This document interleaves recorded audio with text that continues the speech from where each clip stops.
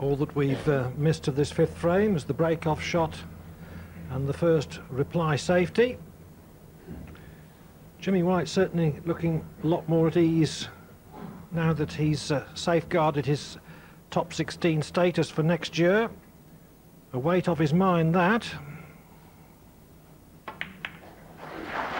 He made uh, one unforced error in each of the first two frames and promptly found himself 2-0 down, but he clinched the third with a run of 64 and he had breaks of 51 and 70 in the fourth. So he's hitting the ball pretty well.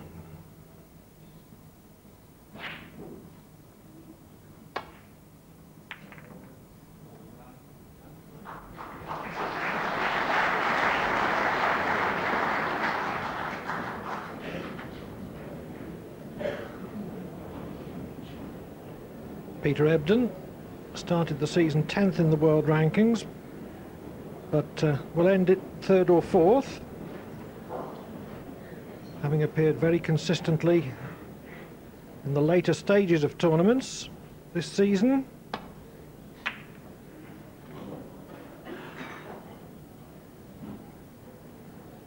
He's been in four semi-finals, four finals, but the only one he's won is the Malta Grand Prix, which was non-ranking. Although he did beat John Higgins in the final.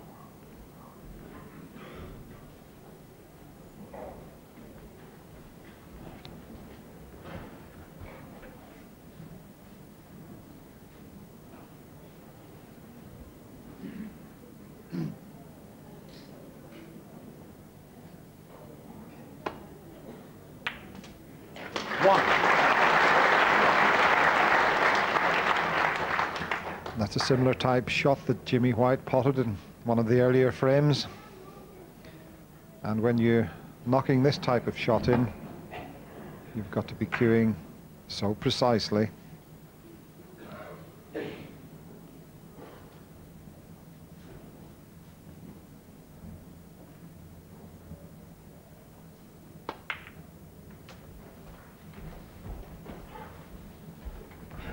So he's given himself an early chance here.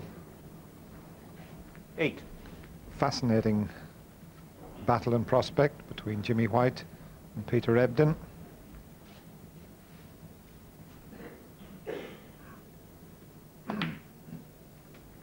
Nine.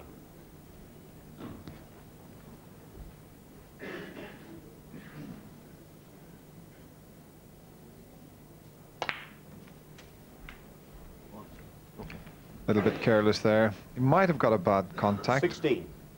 Yeah, he's having the cue ball cleaned, so he didn't come back to leave the red into the same pocket that he took the black. But there's still a possibility, potting it in the corner pocket, coming back for the black. It's worth the risk. Wouldn't be leaving anything on.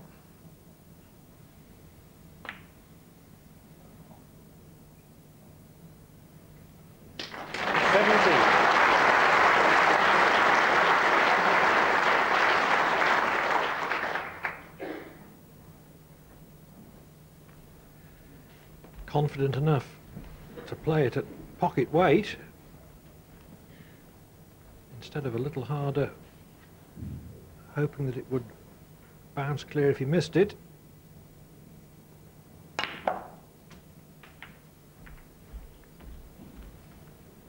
That could have worked out a lot better. 24.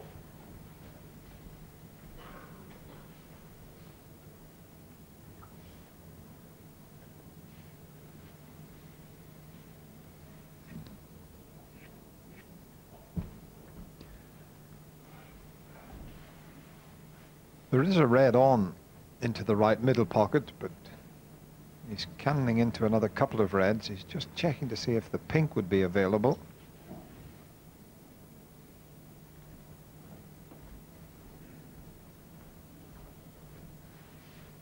It's obviously very tight. Jimmy's having a look at both ends. But if he can't get onto the pink, he might go on through for the blue here. Main thing is to pot the red. 25.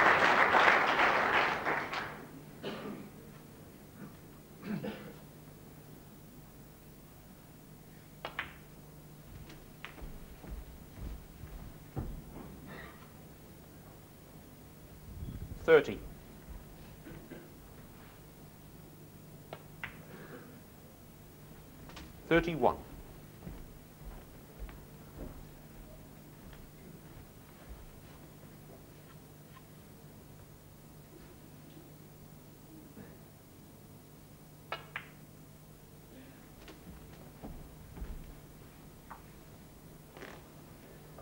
Thirty-six.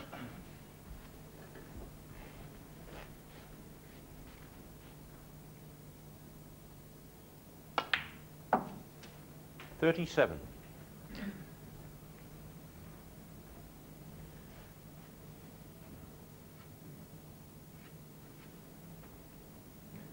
As you travel up and down the country playing exhibitions, the question everyone asks you, can Jimmy White still win the World Championship?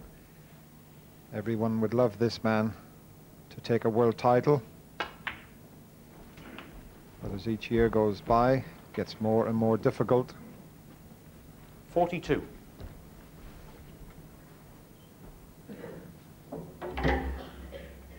But the way he's been cueing in the last couple of frames is very promising. 43.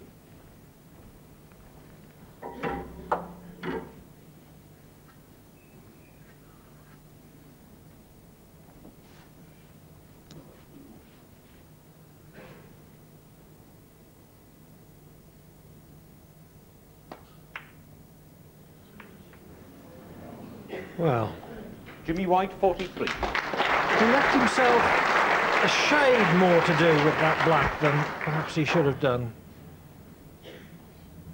And knowing that uh, he should have had an easier shot, he played the black itself rather tentatively. Had he been two or three inches closer to it, I think he'd have potted the black and gone into the bunch at speed.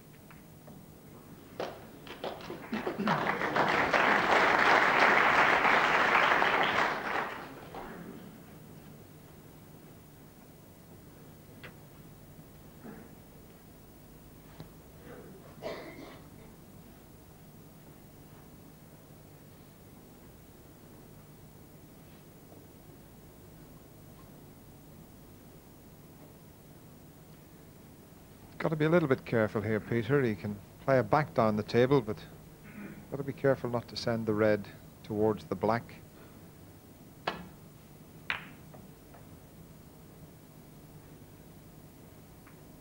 Oh, that could be a useful little nudge on the brown there.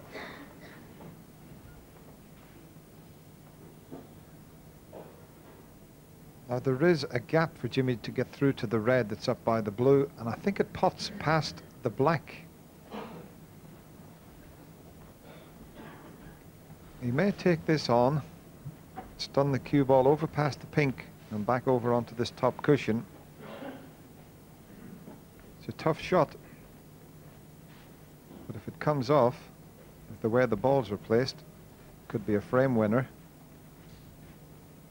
Yes, and if no other ball moves, no other ball goes, if he misses it,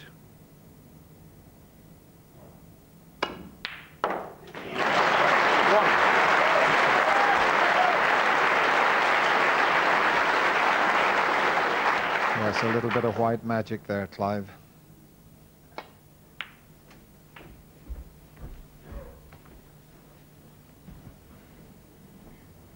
Eight.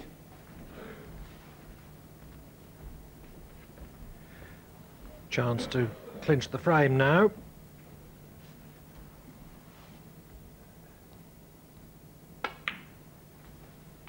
Nine.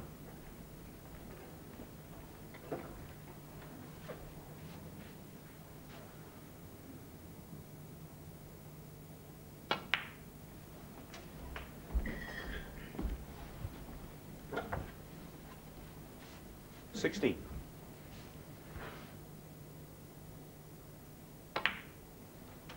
Seventeen.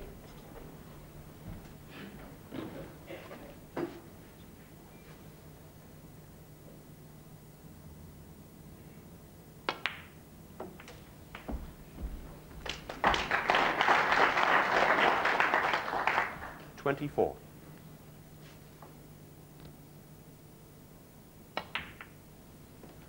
Twenty-five.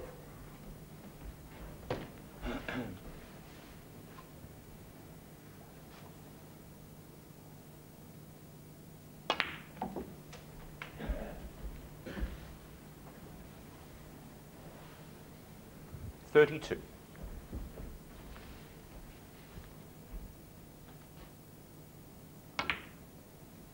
Thirty-three. Jimmy White continues to cue well. He cued pretty well in the second session of his first round match against Euan Henderson until uh, it came to the panic of actually clinching the match. He was three up with four to play, but was caught at nine all 39. before taking a very nervy decider. Forty. But he's just touching them nicely today.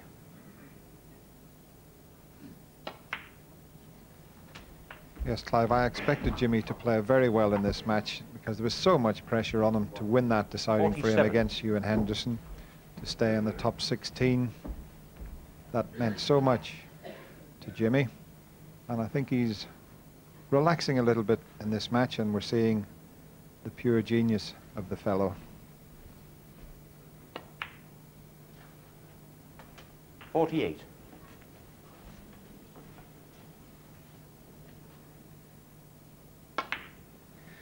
Yes, the length of the match, I think, has got something to do with it. Best of 25. Fifty-five. The staple diet of the circuit is best of nines, where the end is in sight not long after the beginning.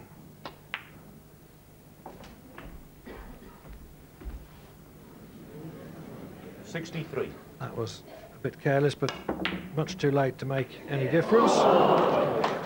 Jimmy White, 63.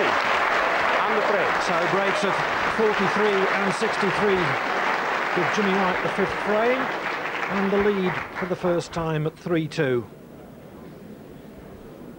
Back here on the stage he loves, it's given him some disappointments, but it's given him some pleasures. Six times he's been in world finals. He knows he should have won two of them. Two years ago, he missed uh, a black from its spot in the deciding frame against uh, Stephen Hendry and lost 18-17. And then uh, four years before that, he was 14-8 up on Hendry and lost 18-14. And those defeats really knocked it out of him psychologically. And uh, he took a long time to get over them the following season.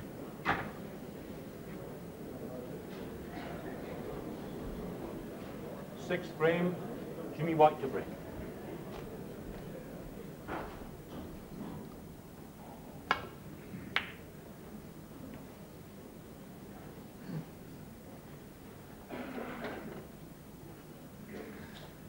But Jimmy's got a, a tough gentleman on his hands here, and Peter Ebdon, who started this match in terrific fashion with some super long potting.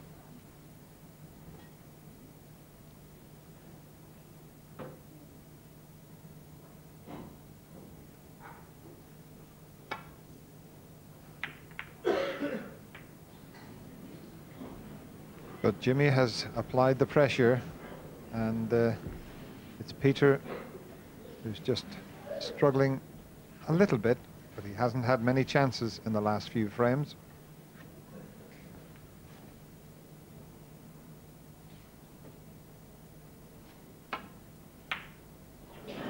Oh, well, having trapped uh, Ebdon into a mistake, White misses a comparatively easy ball. Under the cushion he may have been, but uh, player of his class should pot that.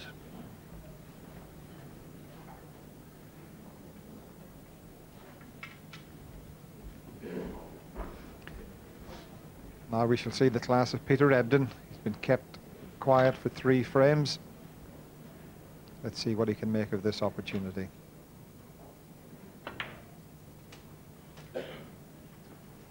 One. He needs to reassert himself now, having lost the last three frames, scoring 36 points in total in that period.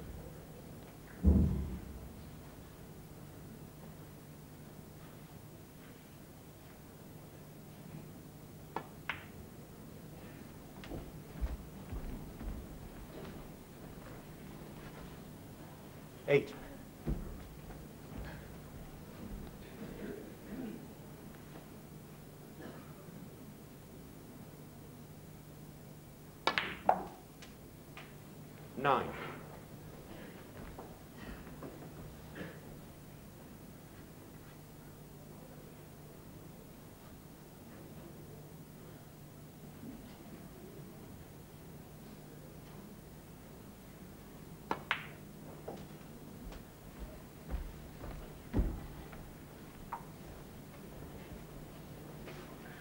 16.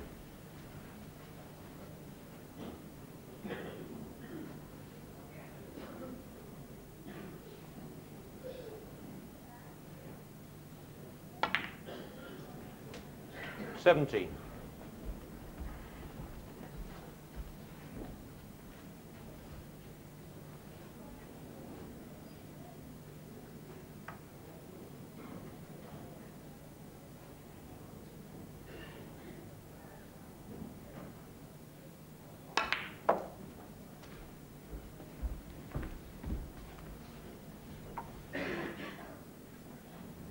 Twenty-four.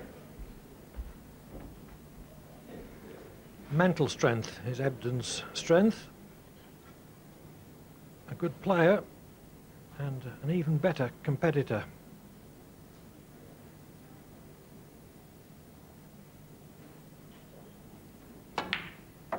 Twenty-five.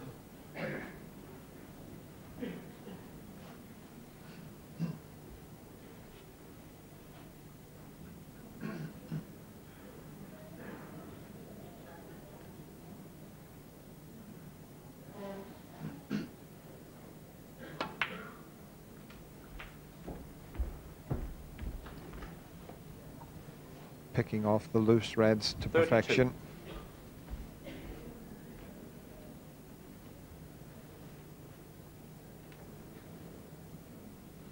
Gonna have to start looking for an angle on a color to bring a few more reds into play.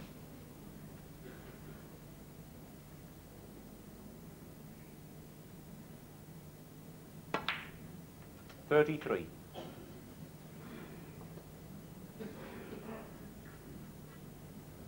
He hasn't got the perfect angle here to go into the reds, I don't think, but he can get nicely onto the loose one.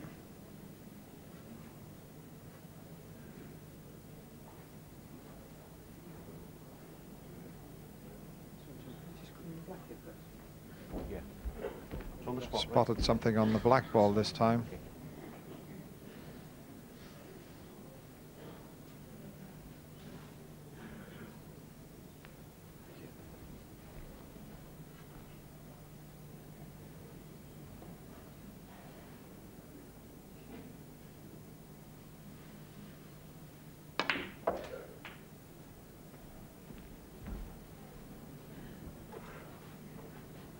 40.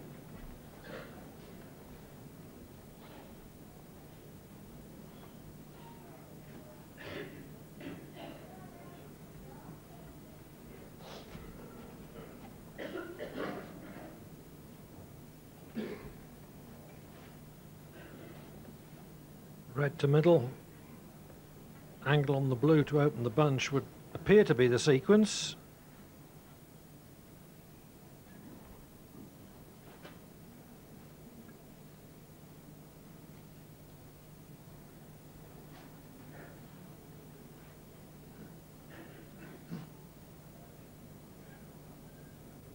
Red to corner, maybe.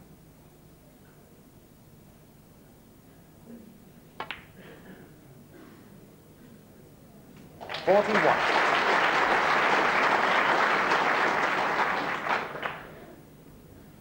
An excellent pot. Chose the more difficult shot. He's got the ideal angle on the black now to go into the reds.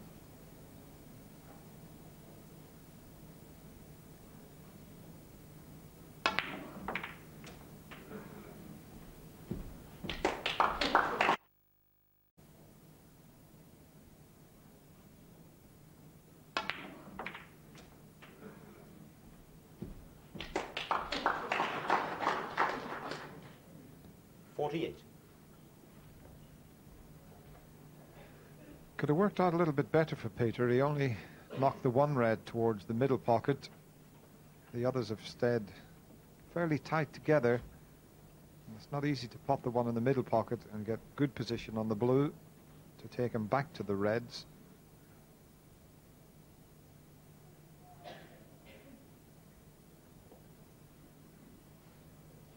It all depends whether he's straight on that red into the middle pocket.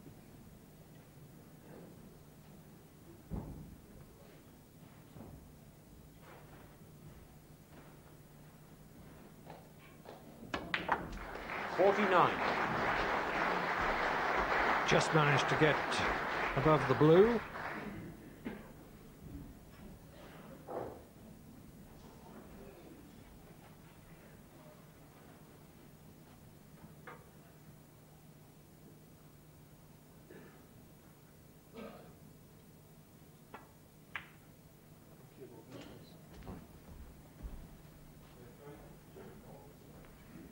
Fifty-four. A request from Ebdon for the referee, John Williams, clean the cue ball. Yes, Clive, I've played Peter a couple of times this season, and uh, he does tend to like to have the cue ball cleaned on quite a number of occasions.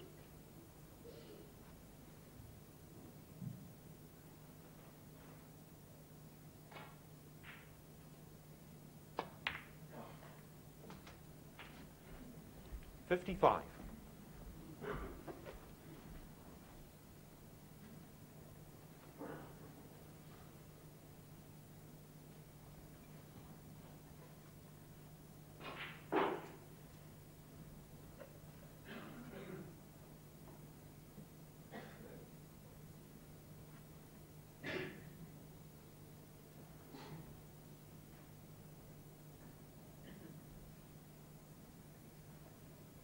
You talked about Peter's mental strengths, Clive. He's just proving you right here.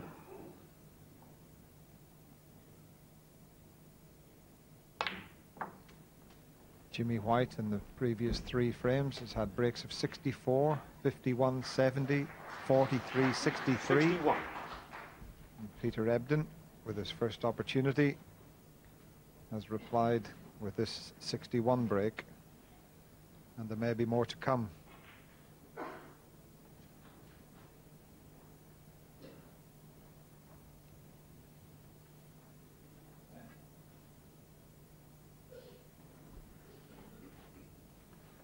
Still a few balls from the winning post, though, in this sixth frame.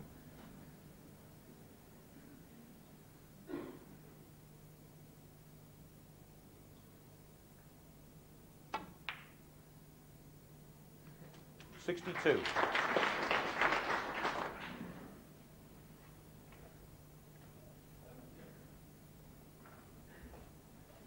This blue and uh, one more red, though, would leave White needing a snooker.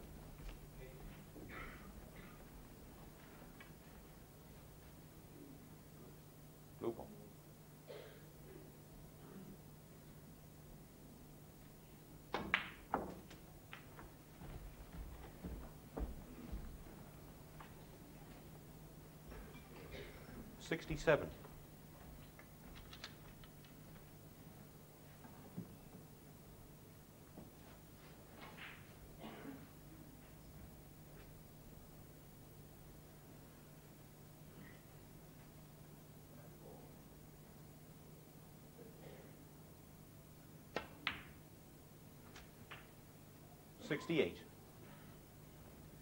Didn't strain to keep ideal position on the black. It would have been better if he'd played the pot of little left-hand side on the cue ball to spin the cue ball off the cushion and not leave such a thin clip.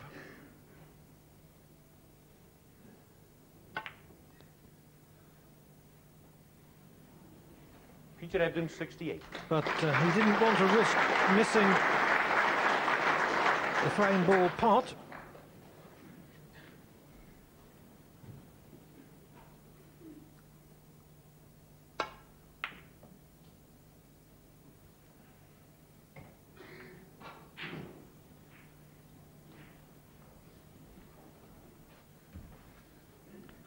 Sixty-eight in front, sixty-seven on the table. And Ebdon leaving it to White to open the bunch.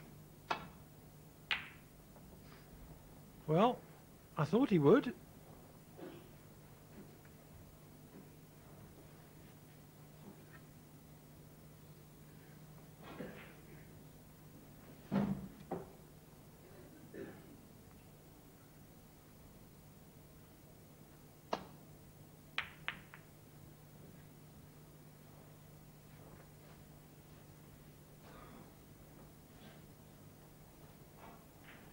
Bound to say I thought that Ebdon would have played safe off the isolated red the shot before because what White needs to get back into this frame is a sequence of red blacks.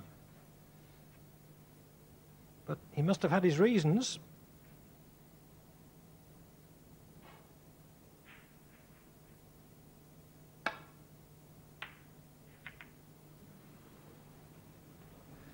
Well, it could be very interesting now. That was a slip up from Peter. And if Jimmy White can take four reds, four blacks, One. he could still be in with a reasonable chance in this frame.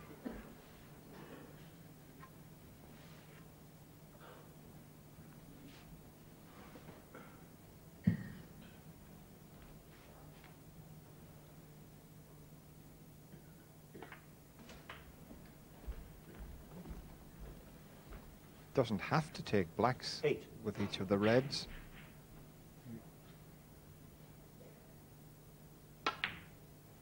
Nine. But he'd probably leave the red that's closest to the pink there. He would leave that to the last.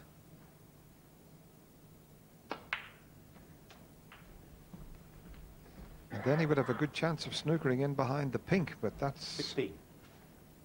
five shots away.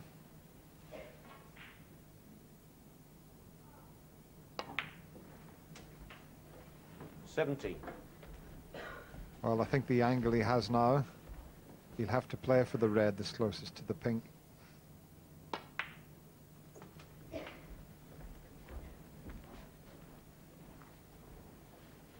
Twenty-four. He's still all right though because he can lay the snooker from the red behind the black. Twenty-five. And he could even take the last red and a colour and go down and play the snooker on the yellow. So there's, there's a few options available for Jimmy White here, and this frame is far from safe.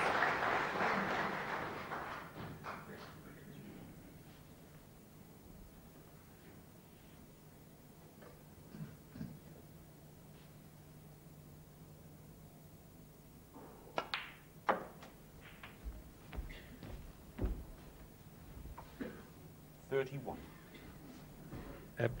There's a snooker coming up.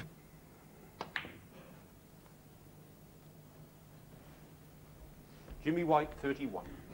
But White didn't play it very well.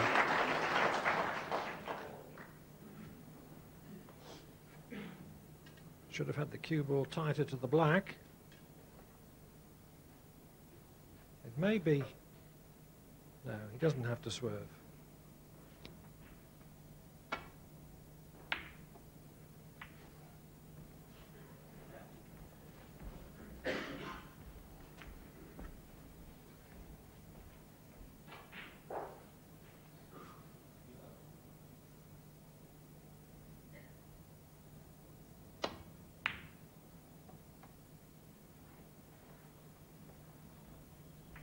That was unlucky though, just the flick off the brown.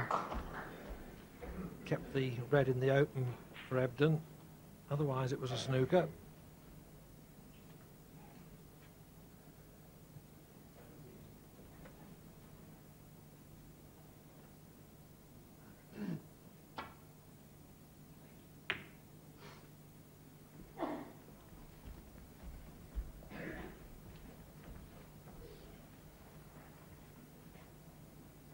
Ebdon just ricocheting the cue ball away from that red. He was able to do that because the red was tight on the cushion.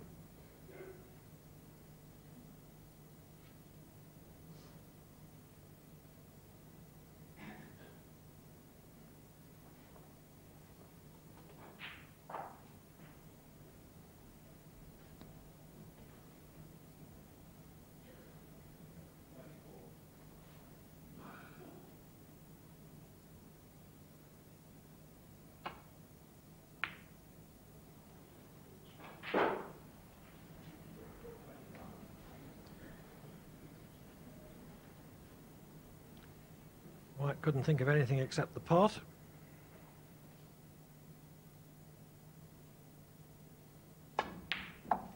One. And that last red gives Ebdon more than enough extra insurance.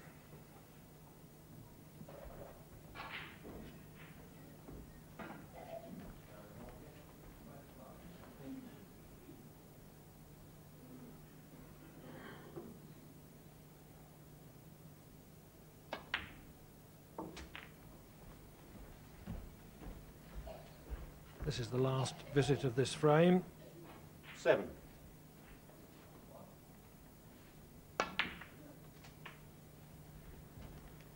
Nine. White uh, won't uh, come out of his chair.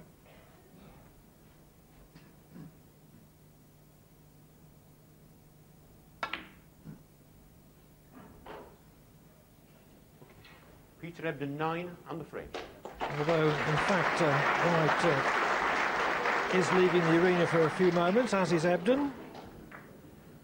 And uh, that gives us uh, a chance to talk about the prize money in this uh, World Championship. Already, these players, by winning one match here, are sure of £16,000. If they win, then they can increase that to 30 and then it uh, goes up almost doubled each time until the winner gets uh, 200,000. Of course, we've had some pretty big rises over the years. I don't know how much it was uh, when you won it, Dennis. I think it was around £60,000, Clive, but I'm just thinking back to when Alex Higgins won his first World Championship back in 1972. He had to pay £100 to enter it and picked up prize money of £460. So there's a slight difference. Yes, and of course, going a long way further back, uh, the very first uh, World Championship, the first World Final, that is, in May 1927, Joe Davis won the princely sum of £6, 10 shillings. Peter Ebdon returning to the arena. He did something rather interesting in an exhibition at the Police Club in Eastbourne the week before the championship. He made two breaks of 147 in the same evening, and I can just picture the constabulary sitting there thinking, hello, hello, hello, what's all this? And uh, he almost made a third maximum in, in, the last frame of the evening. He got uh, to 13 reds, 13 blacks. I bet they give him a few coppers for that, uh, Clive. well, they should have done anyway. He's actually made uh, two maximums in competition. He made one in his first professional season in the very first frame of uh, a first round match in uh, a then ranking tournament called um, the Strachan Challenge. He made a 147 from his opponent's break-off shot at uh, 10 o'clock in the morning at Aldershot, which uh, I doubt will ever be done again. And uh, he also made a 147 in the pre-televised uh, stage of the UK Championship uh, four years ago. And the gentleman coming into the arena made a maximum break here, Clive, a few years ago and picked up £100,000 for it. But what a match we have in our hands here.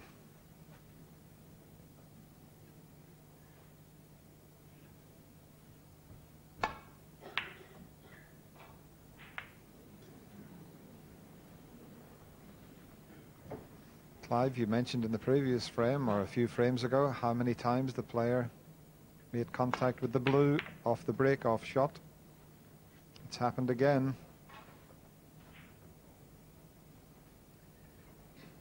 Amazing, really. How many frames in their life have they broken off? They should have it right by now.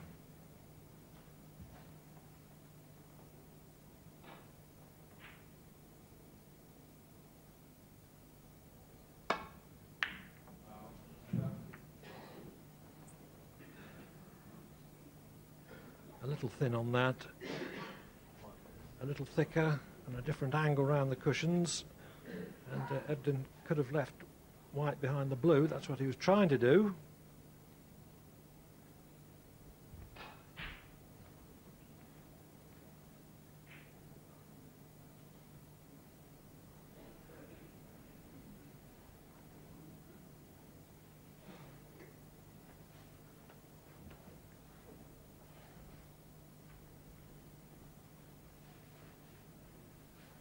I think Jimmy's got a little bit of blue in his eye as well here, Clive.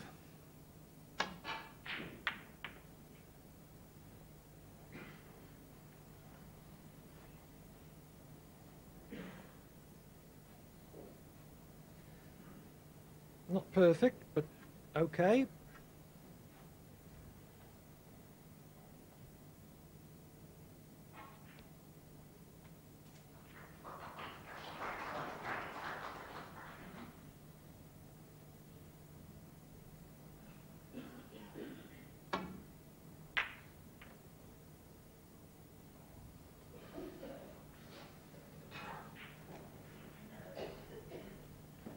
The reds have opened up nicely, but the pink and black are tied up.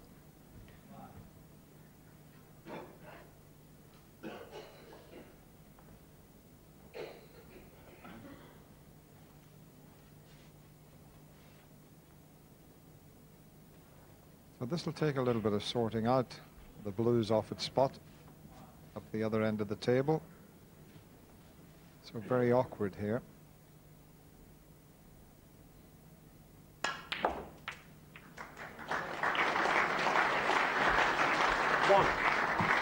Cue part of Jimmy White again. Very few players in the game can create that type of cue power. Yeah, it's all done with timing, not uh, just bludgeoning force. The secret of a power shot like that is to have the cue travelling at maximum acceleration as it goes through the ball. It's a little bit like watching the top golfers applying backspin to an iron shot. Rumble.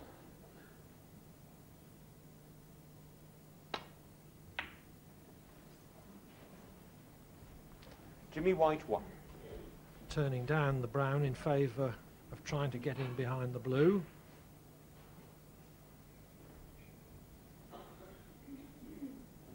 Still a perfectly adequate safety.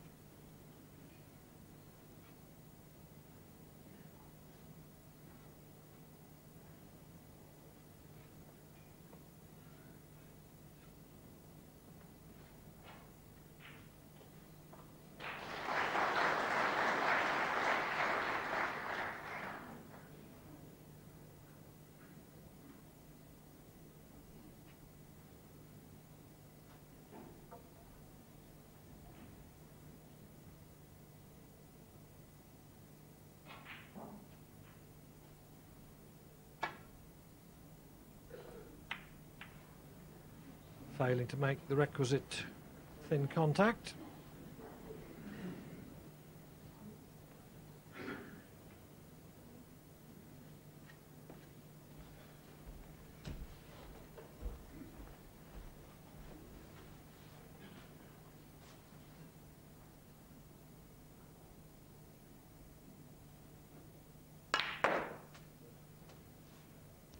That's another terrific shot One. from Jimmy White, freeing the pink.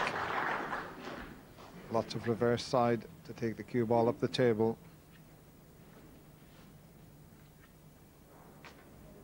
It's as if the white stops, then bites and spins back. Years of practice.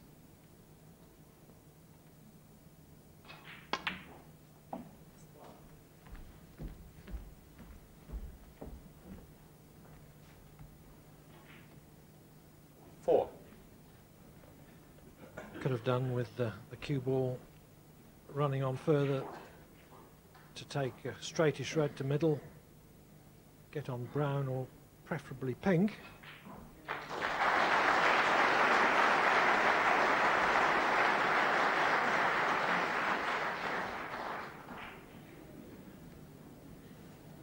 Screw shot with rest, maybe the best.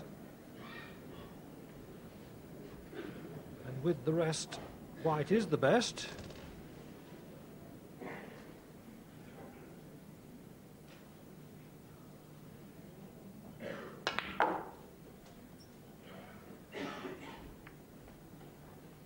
Five.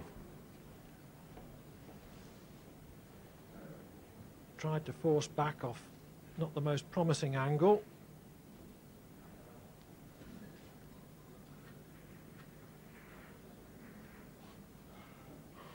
Hasn't really extricated himself from his positional difficulty. Rumble.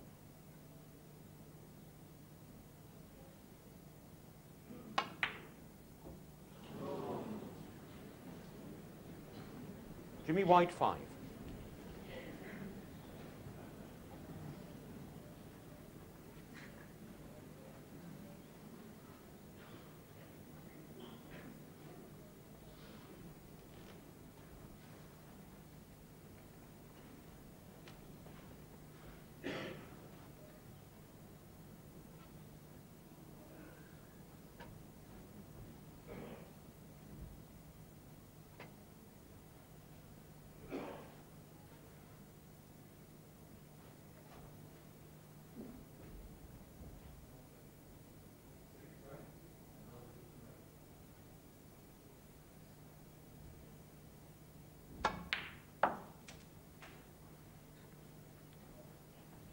One.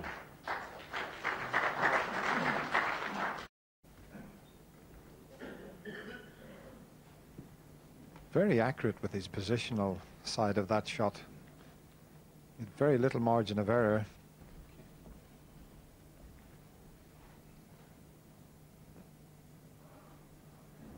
Just watch the cue ball, avoiding one, two, three, four reds. Pinpoint accuracy there. Yes, the first two in particular.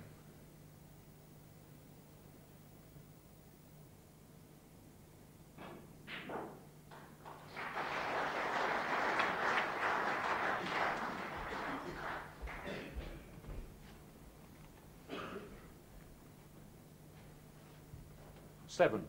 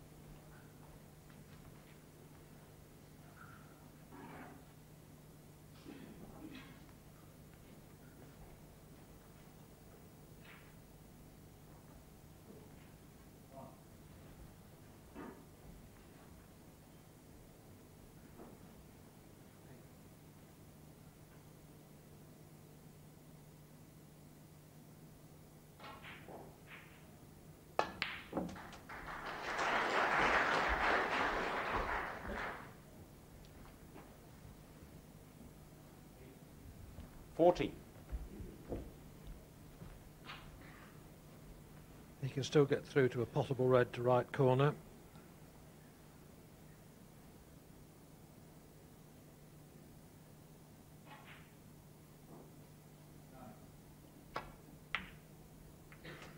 Fifty.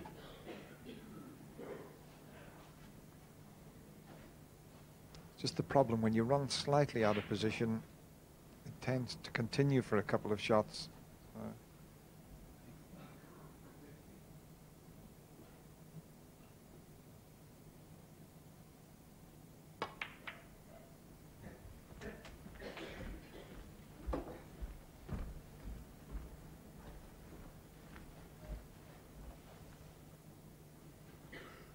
Twenty-one. Still not in the ideal situation here.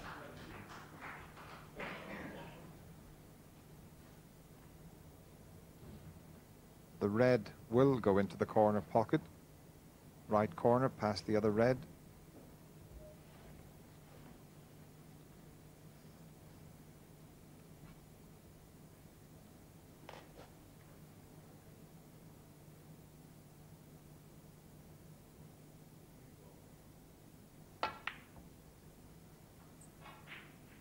Well, he had a little bit of safety in mind. He would have been nicely on the blue had the red have gone in. He thought it would probably be safe if he didn't pop the red, but it's over the pocket for Jimmy.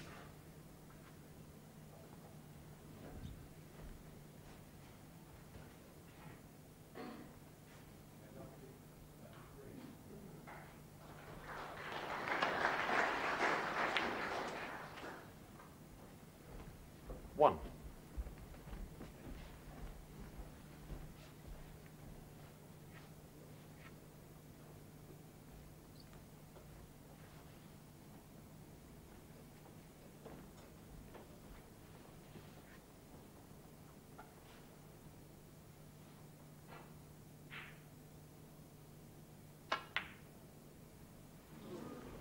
I think the pink's in. Well, Jimmy just indicating and acknowledging the fluke, but believe it or not, Peter Ebdon got an identical flute, Seven. fluke in the, one of the earlier frames.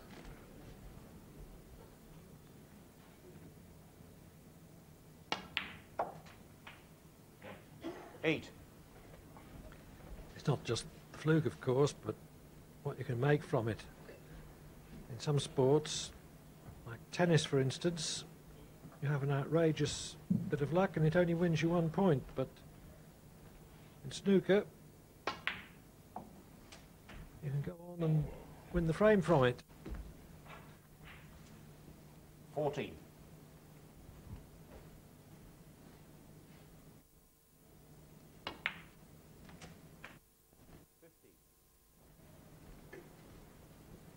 Eight frames to be played in this session.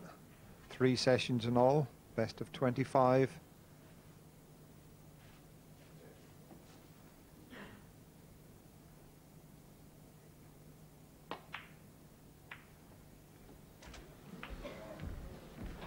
And it's nice when you get to four frames because you know in your mind that you can't go to the next session behind.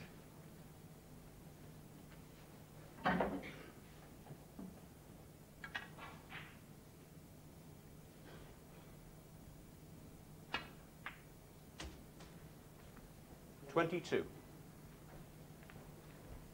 White intended there, I think, to leave a better angle on the blue. Having developed that red when clipping the pink in, perhaps should have made better use of it.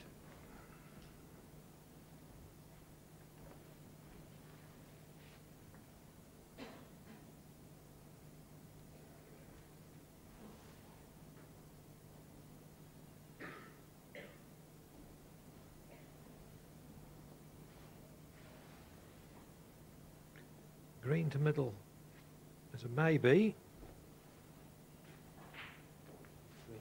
Green ball.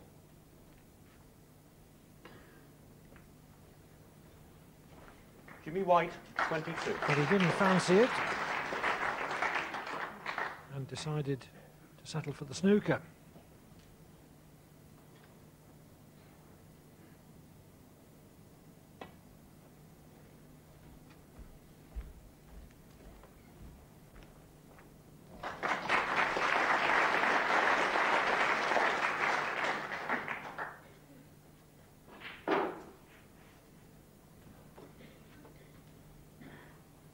Jimmy will be hoping to take the white up behind green and brown here.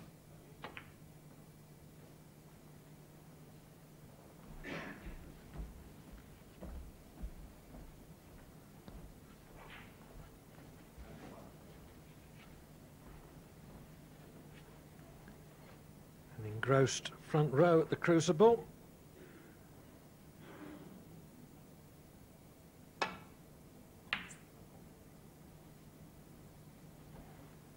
And so they should be. This is uh, a good match.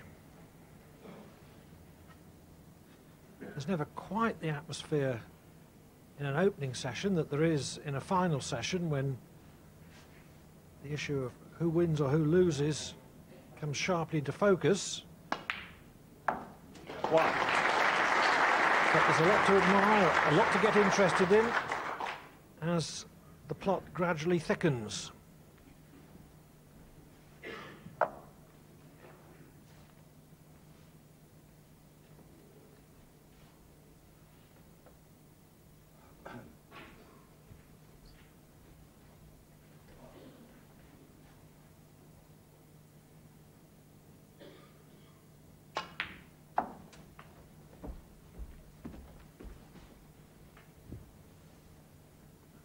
Seven.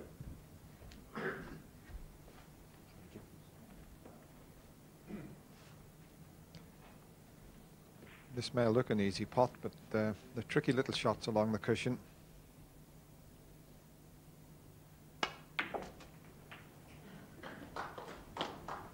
Eight.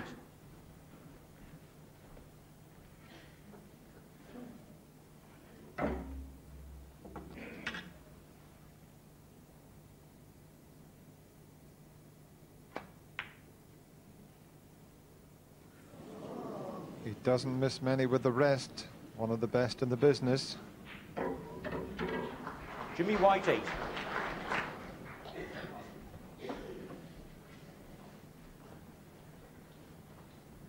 Just overcut it slightly.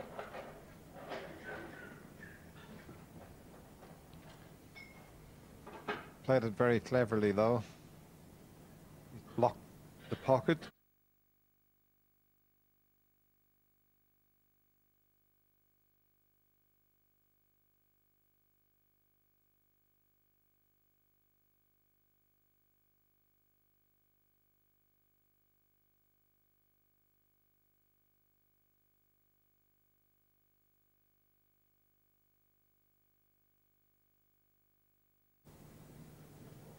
Red next to the black.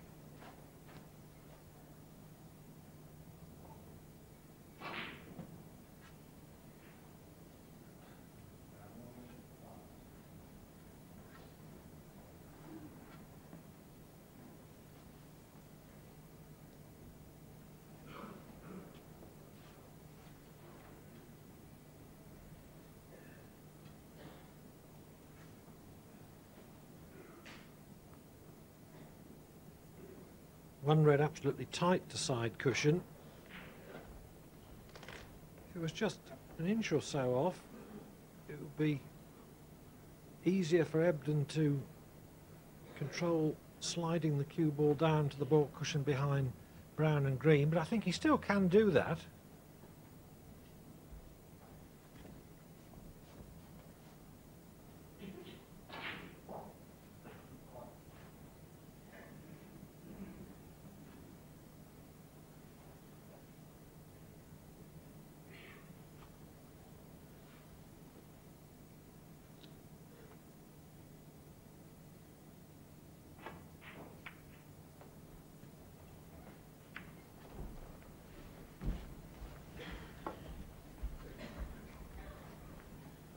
Chance for Jimmy to knock the red onto the black. And take the cue ball back around the angles towards the brown.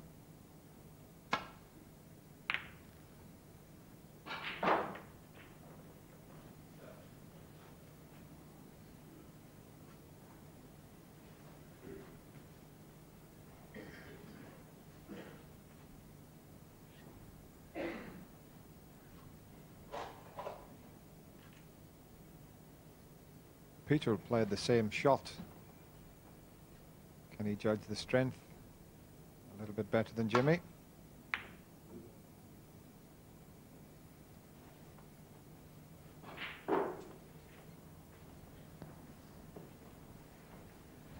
Caught it a shade thicker than intended, leaving the red nearer the middle pocket than he wanted.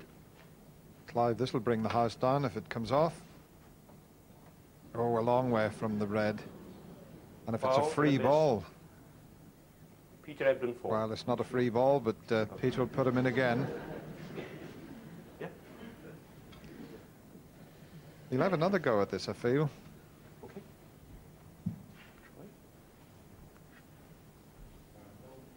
Got to be careful not to go in off the red, but uh, he could pot it.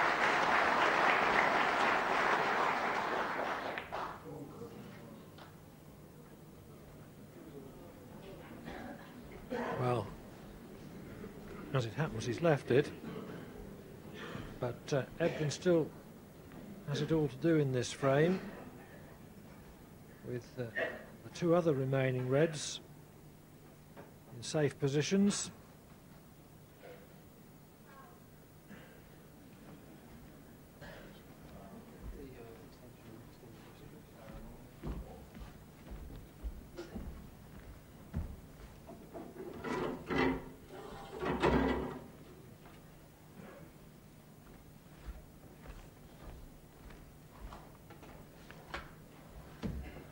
Be interesting to see how Peter Ebdon goes about this. The pinks over the pocket, so no problem with position. Although he's using an extension, I'm wondering if he'll attempt to pop this red and screw around the angles and try and bring one of the reds into play.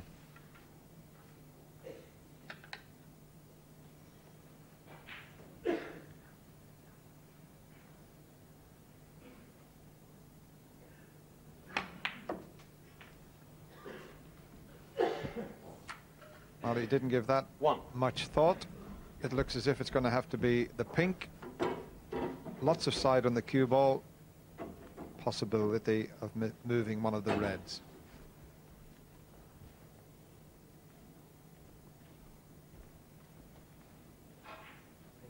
Pink ball.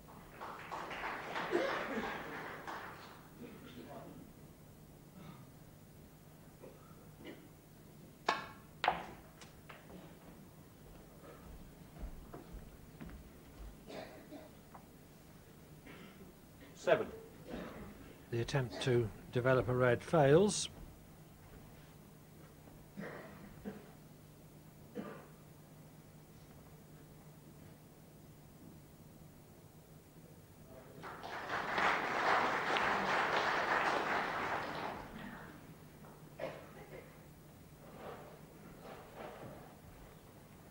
This, Peter Ebdon seven. this frame in total contrast to the previous three or four where we've had quite substantial breaks.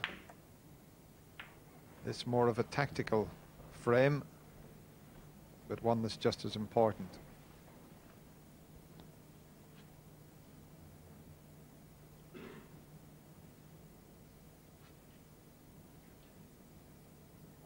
Yes, you have to be good at all types of frame.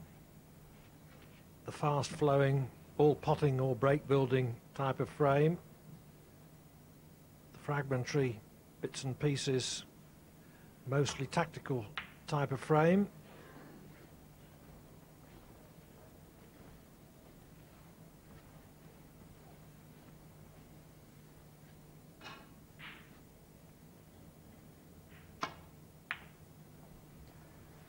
Maybe, Clive, they're both getting a little bit of practice here for their next opponent. The winner of this match will take on Steve Davis, and they'll be plenty of tactical play from that gentleman, who's the best in the business at it.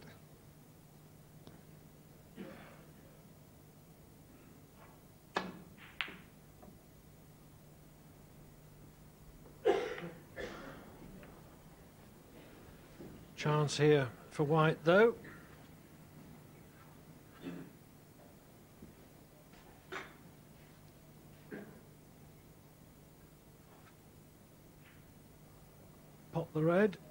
get uh, an angle on the pink, hoping to move the other red.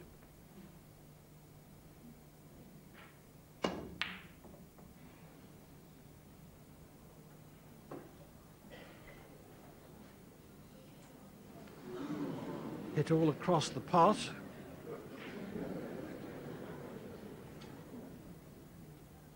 Certain similarities between Jimmy White and Steve Davis. Both of them came to the Crucible with only one quarter-final appearance in the season's preceding nine world ranking events.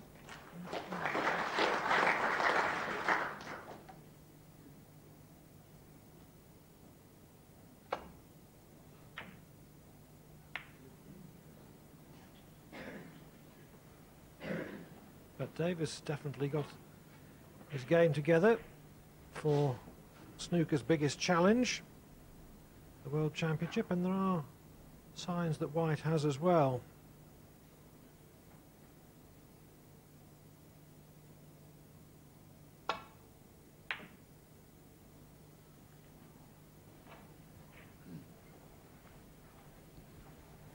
Good chance for Jimmy now to get the cue ball back around the angles in behind the green and brown.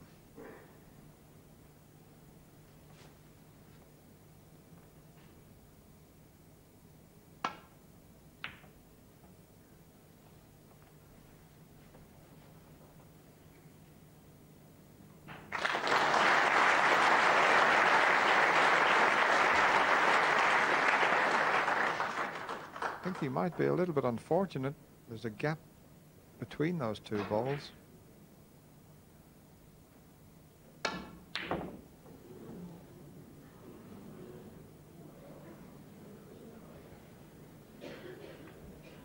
Ebdon forced back down the table behind the baulk line off an almost straight potting angle.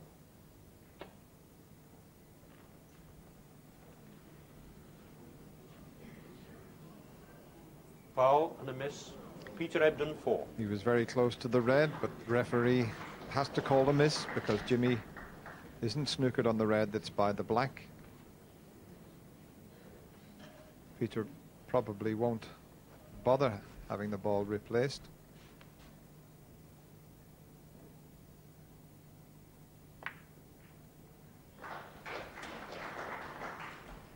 One.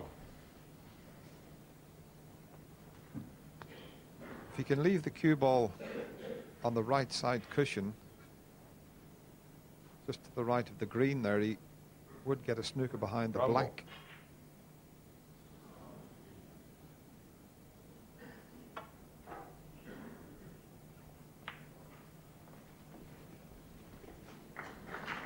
Peter Ebdon, one.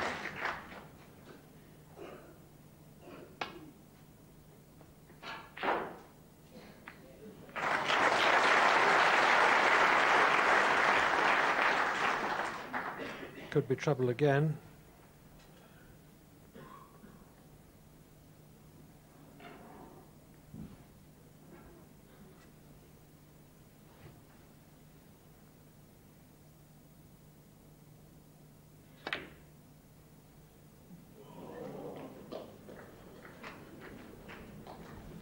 Clever shot from Peter Ebdon. He played the double on the red, but he knew he was still going to have the snooker, even if the double didn't go in.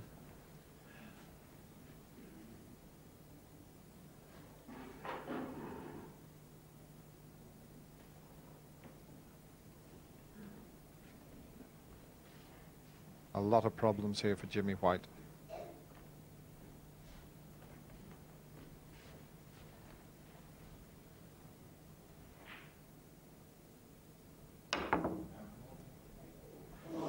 Foul. Peter Ebdon, four. Four points to Peter Ebdon Free for the foul and the free ball. But I can't see any real advantage here with the free ball.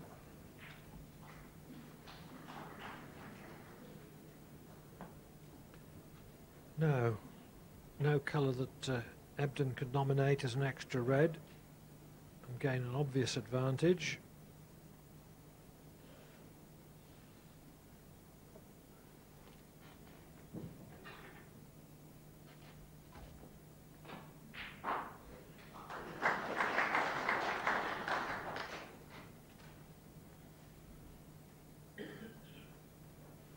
You can put Jimmy in again, but it's a straightforward snooker to get out of.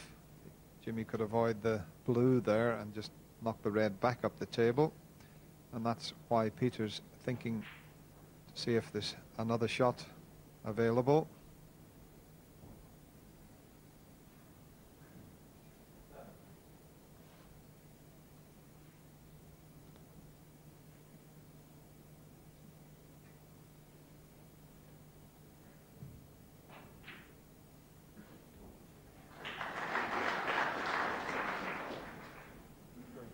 Green ball. As extra red.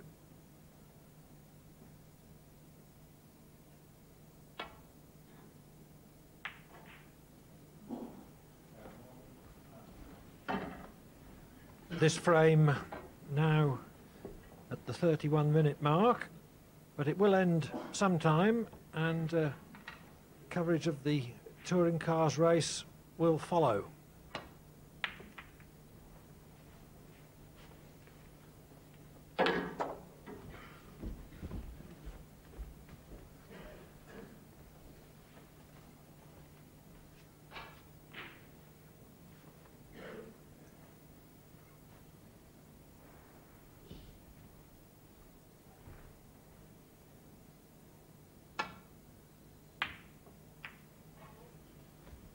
The frames have been fairly fluent here. Frame times, we've had 18 minutes, 13 minutes, 17 minutes, another 13 minutes. This is the longest one so far. but a mere sprint in comparison with uh, yesterday's fair, Steve Davis v Terry Griffiths, which uh, averaged more than uh, 33 minutes a frame.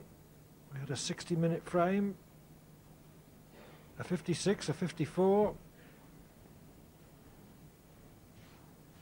Fascinating stuff, but it did take a long time.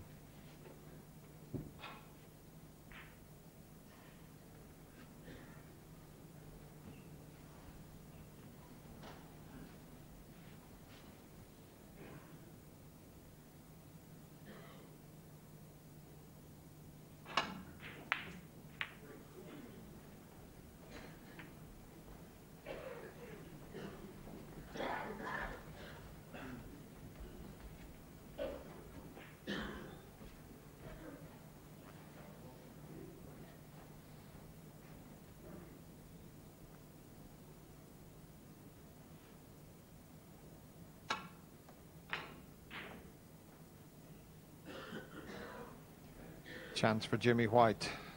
Bit too thin a contact there on the red. Left it on for the corner pocket.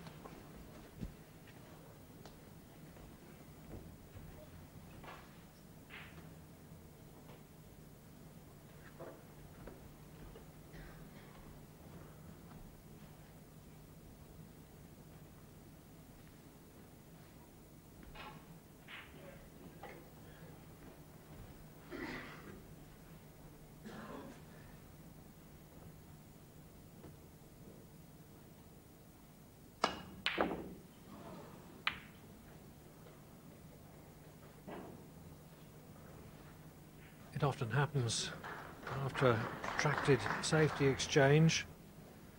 The first decent potting opportunity looks just that little more difficult.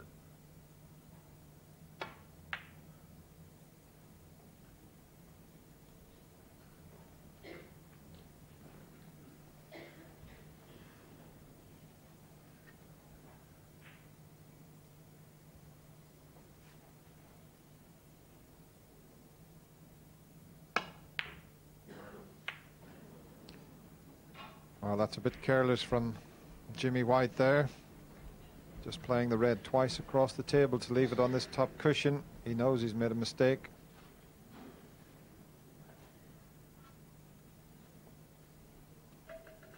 It's a thin one, but uh, Peter Ebdon can snick this into the middle pocket.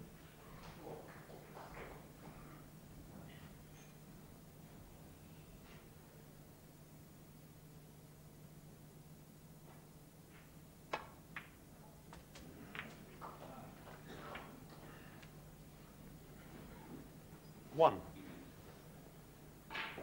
Every chance of uh, taking the frame now.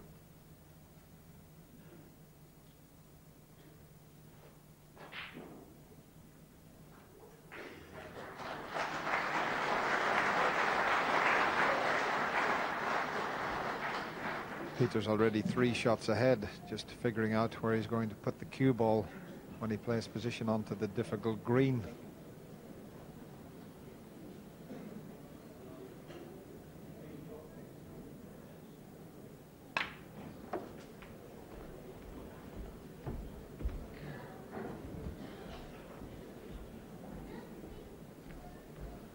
He's got the perfect angle on the yellow. Seven. Pot it and drop in behind the green.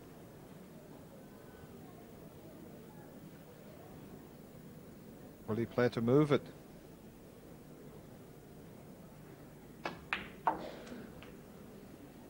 Nine. Spot on.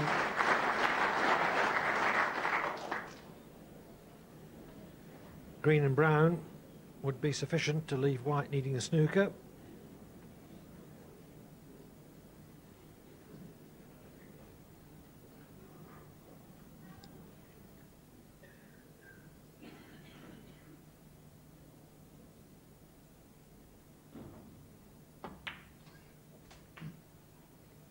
Twelve.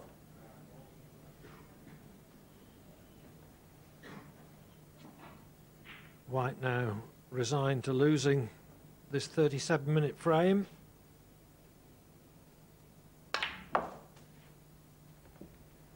Sixteen.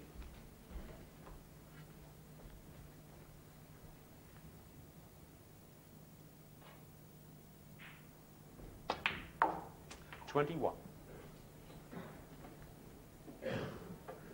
Easily the longest frame of the match.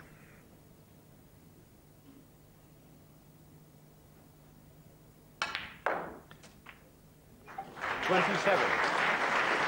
But uh, Peter Ebdon has won it Thirty-four on and the uh, leads Jimmy White by four frames to three.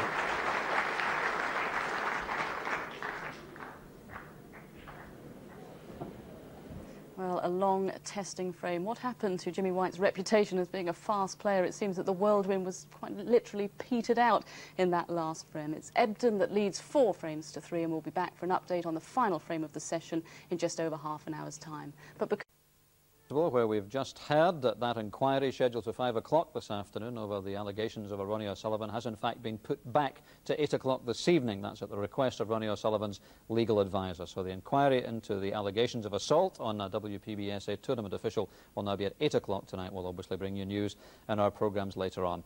But we're now heading out for live snooker this afternoon. Let's once again go out into the arena here at the Crucible. And as always, we hear from the man making the introductions, Alan Hughes. Ladies and gentlemen, first to table number one, and it brings to the table last year's world finalist and the newly crowned British Open champion, who is cool, classy, and looking to go one better than last year, and how well he kept his composure in a tense first round battle against Anthony Hamilton. Ladies and gentlemen, from Darley Dale, will you welcome, please, Nigel Bond.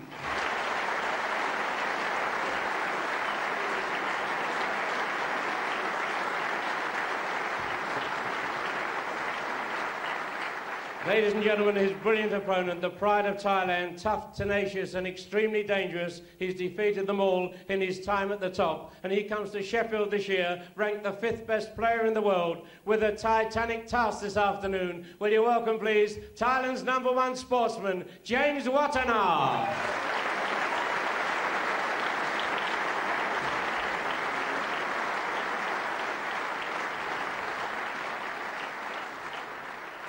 And now they come to table number two, and he brings to the table a flamboyant young star full of self-belief and many people's fancy for the title, who five years ago arrived with a striking personality, a ponytail and a cue. The ponytail has gone, but this young man is here to stay. Ladies and gentlemen, it's Welling Butters, Peter Ebdon.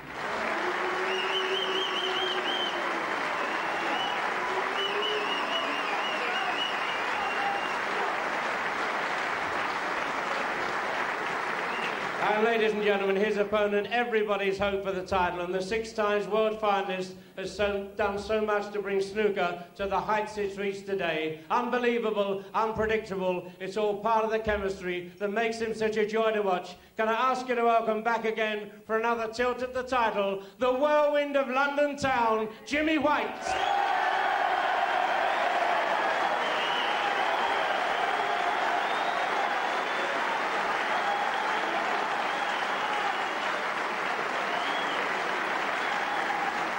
Well, interesting atmosphere, shall we say, for this afternoon's matches. James Wattana 12-4 down to Nigel Bond. That match played to a finish this afternoon, but we, of course, are concentrating on the second session of the match between Jimmy White and Peter Ebdon. And to guide us through it this afternoon, Dennis Taylor and Clive Everton. Thank you, Doogie. Good afternoon, everyone. Ninth frame, Peter Ebdon to break. And uh, a vital session this is for Jimmy White, who lost in the first round here in 1983, but every year since has reached the quarter-final or better.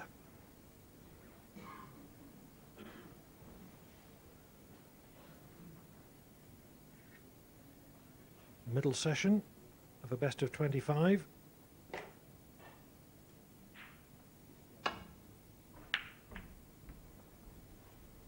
Seeking to make good a two-frame overnight deficit.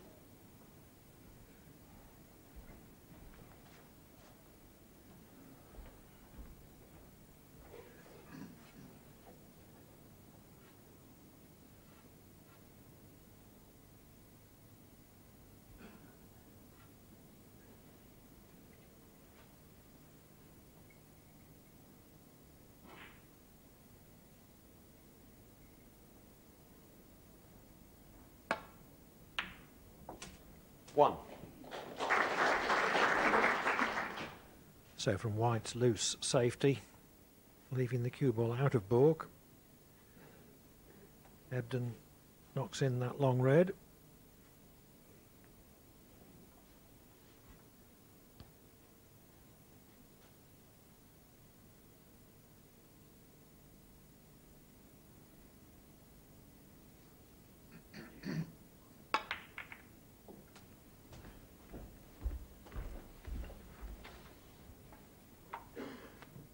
Eight.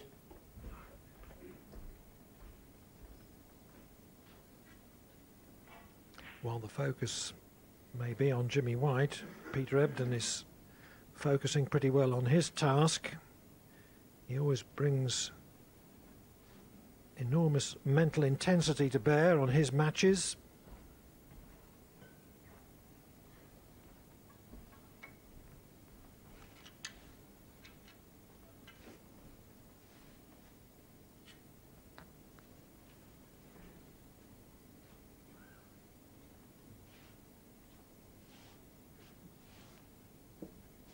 Foul.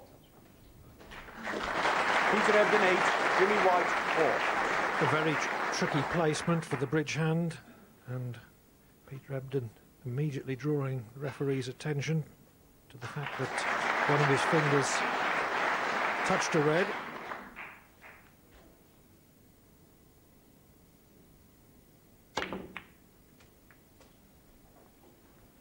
One.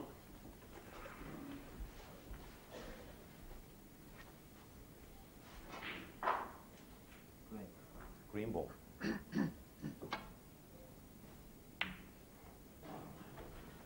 Jimmy White one. Well, I've known Jimmy White take those very difficult blacks on, but um, refused it and has kept the frame safe here.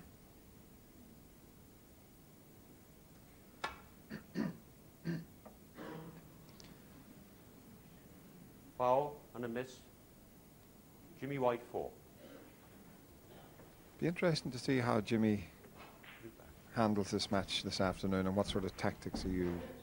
He's a very attacking player, but if he can put a few safety shots together, keep Peter under pressure, it should be very interesting.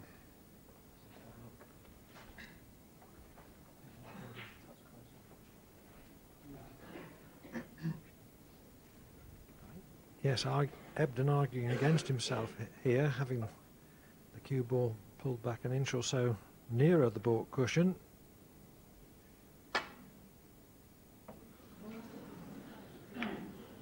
Well, that's Foul and a miss. two misses. Jimmy White five. Tell you one thing, if Jimmy has it put back, Peter Ebdon will make contact with the red this time. We just uh, seen earlier Ken Doherty lose a frame with three misses. Okay. Right. It's a time you don't want to miss cue now, Clive, isn't it?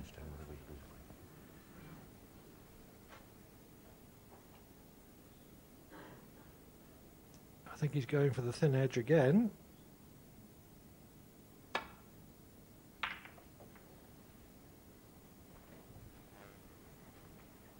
I think he was attempting a thinner contact the first couple of times he played that shot, hoping to get behind blue or yellow. But he knew he could make sure of hitting the red and getting back to baulk, even with a half ball contact. Albeit with no real prospect of putting white in trouble.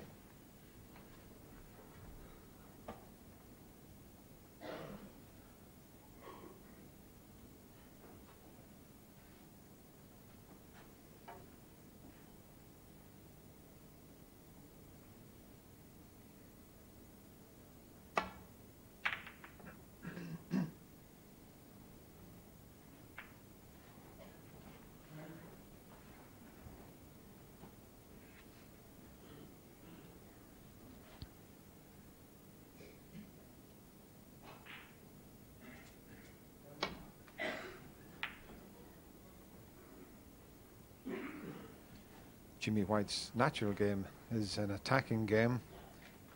But he's an excellent safety player when needed. Yes, I think all the natural potters and break builders have to learn to develop that side to their game as they get a little older.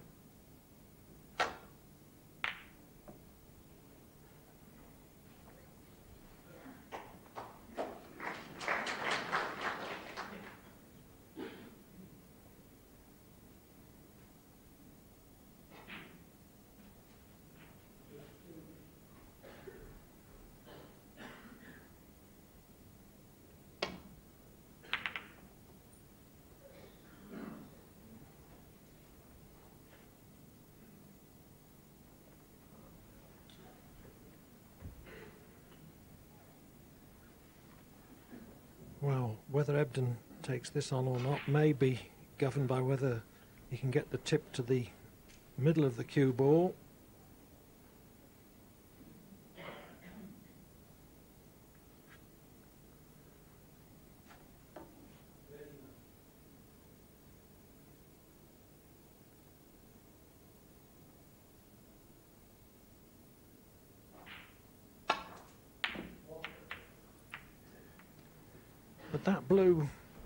Slightly distracting, even so.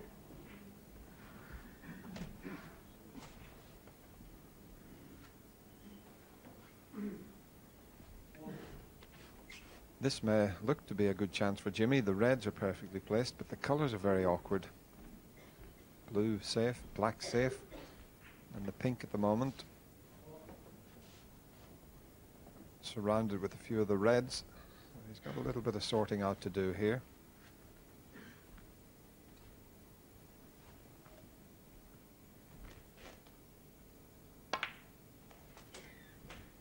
One.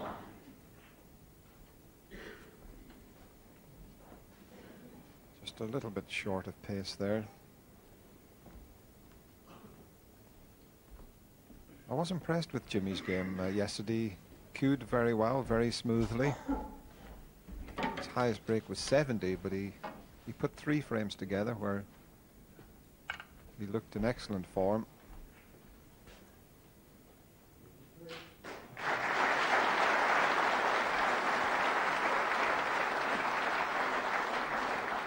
He did, Dennis. The only snag was that uh, he got bogged down in two Three. very long frames at the end of the afternoon, lasting 69 minutes between them, and lost them both to go from 3 all to 5 3 down.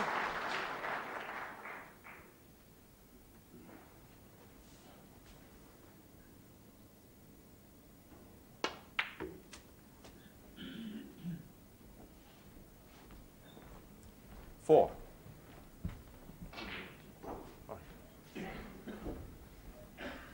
Played for the brown there. You'll have to take the green now into the centre pocket. He could do with coming up and getting onto the pink within a couple of shots. That would help the situation.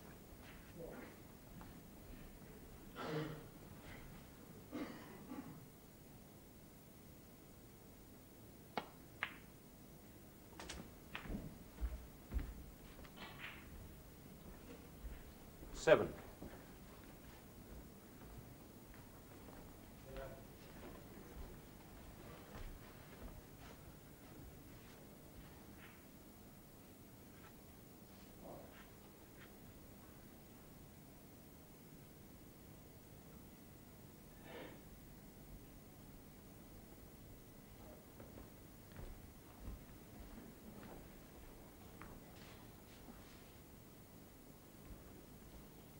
He's got the red into the left corner pocket. It's just the, the red that's closest to the white that's causing a slight problem for him, getting nicely on the pink. Now, has he left it short? Eight.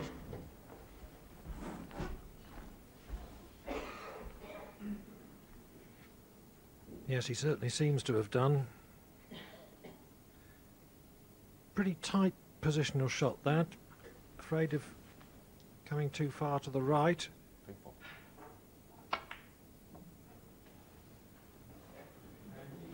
Jimmy Whitey. So for the moment, he has to be content with a 14-point lead from these fragmentary opening exchanges.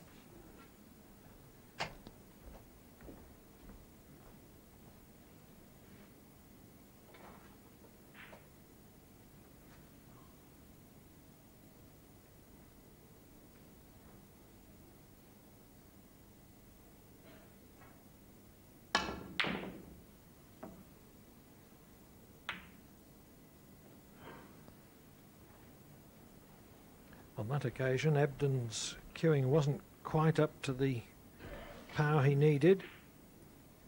He almost hit that red the wrong side.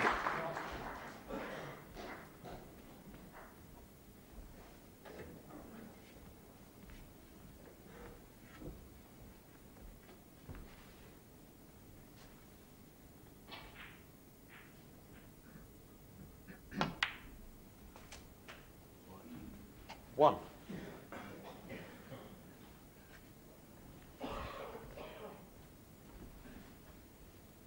Chance to get the pink back on its spot. Possibly with an angle to come close to his next red.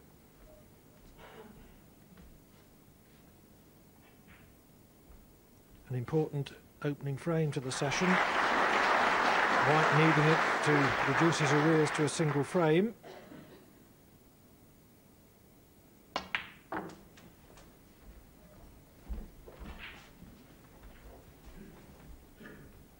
Seven.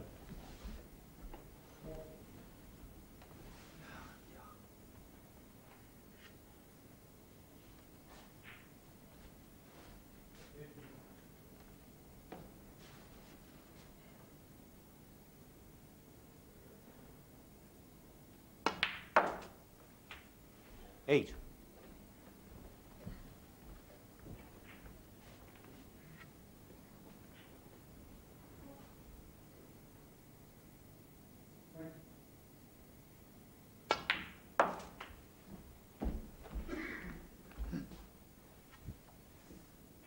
The red just to the right of the pink there is causing a few problems for Jimmy.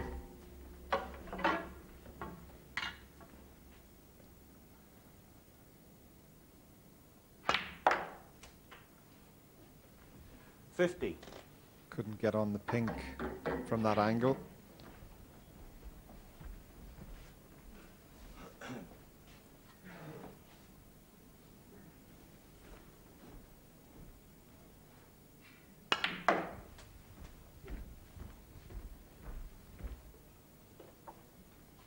Eighty. Now, it could be rather unfortunate. He screwed the cue ball into the one position he didn't want it. Can't get to the two reds. It's on for the right corner. There you see it.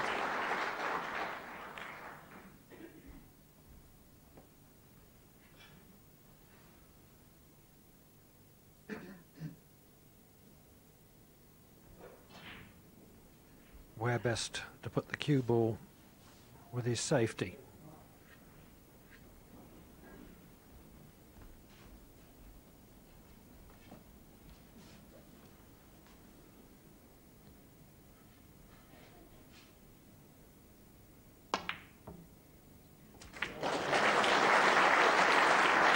Ninety. Terrific pot there. Thin cut in. It's been rather unfortunate again.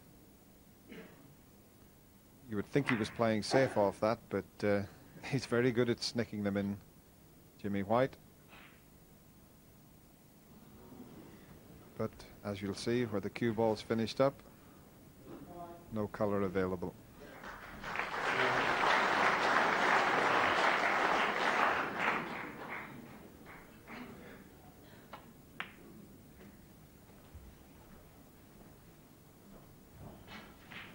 Jimmy White, 90. That's pretty good play, though. If the red that he played hadn't gone in, he was still leaving the cue ball safe.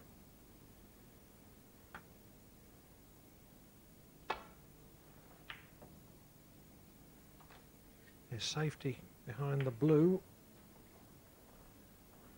was good enough to demand a good shot from Peter Ebdon. A very thin snick back to the baulk area. It had to be to avoid the left-hand corner pocket.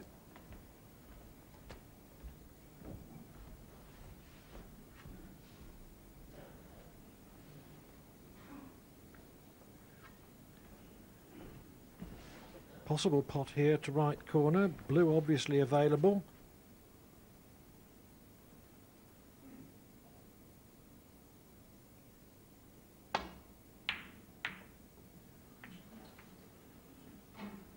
Didn't get it, there was always the chance that uh, he was going to leave something for his opponent.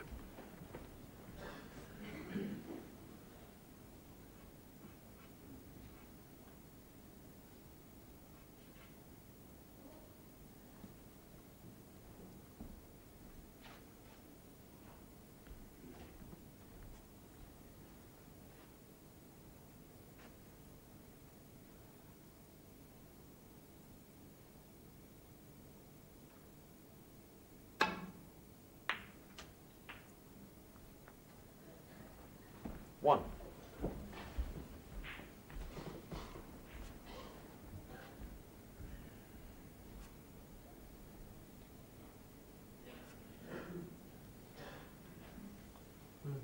Blue ball.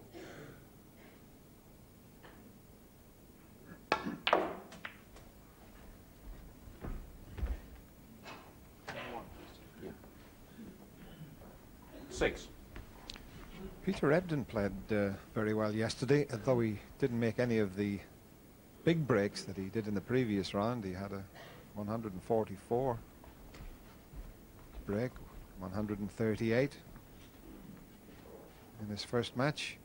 His highest break yesterday was a break of uh, 68, but he was very solid.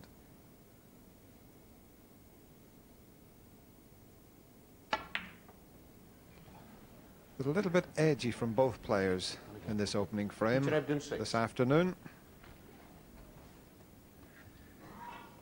You may have heard a gasp of exasperation from uh, Ebdon, which might have have been directed not at himself, but at a kick that he appeared to have there. The object ball certainly went very straight on that attempted thin cut.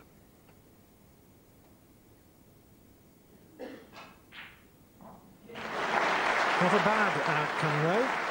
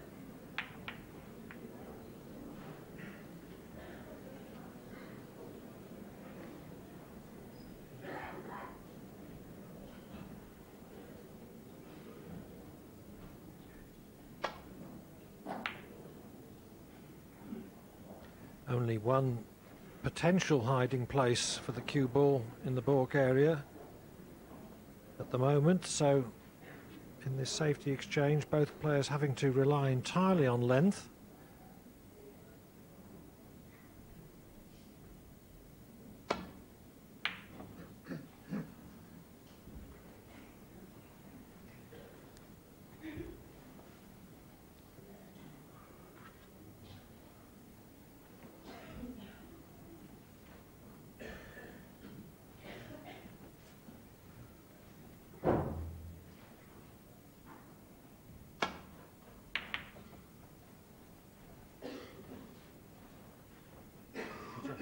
Jimmy still keeping to his safety tactic.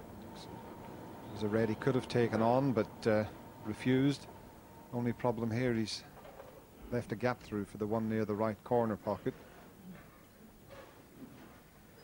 And the audience uh, for this match doubled at a stroke as the curtain has been raised in the middle of the arena. The match on the other table having finished early.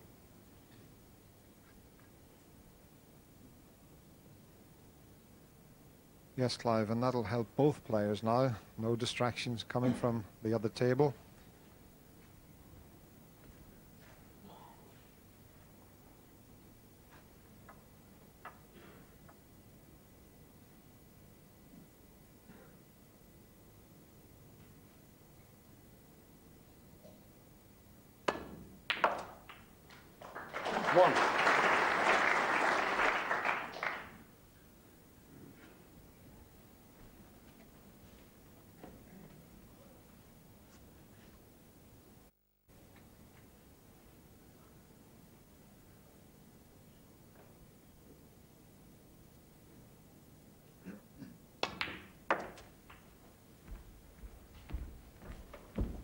Turned out to be a very good chance for Peter Ebdon now. Ebdon concentrating fear. He takes it in full. He'd be three frames ahead.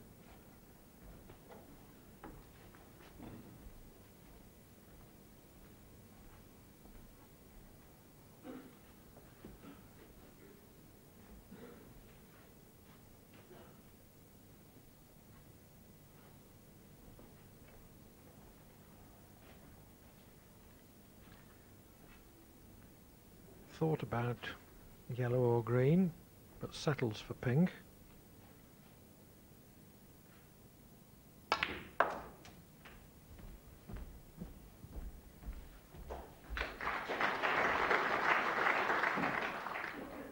Twenty-seven.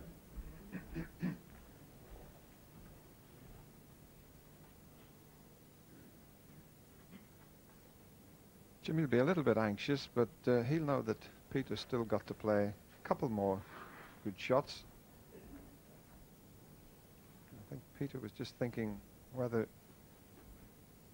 possibly to play for the yellow off this last red. But it looks to be almost straight. He's got a slight angle to work with here.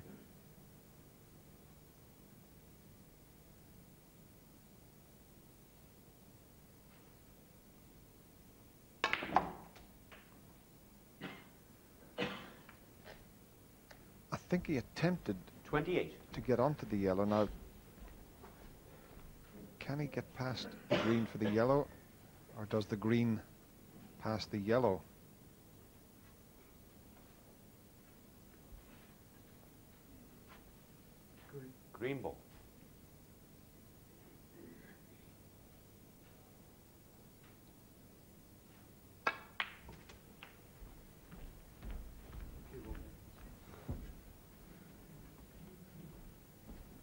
31. The cue ball's got a long way to travel now to get ideal position from yellow to green. But if he does, Ebdon should win the frame.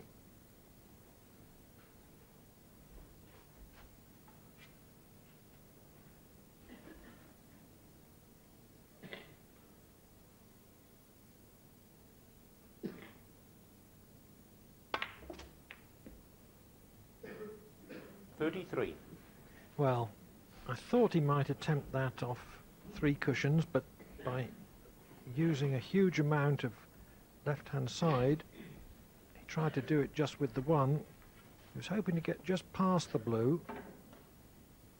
Still not too bad, though. Still a good chance.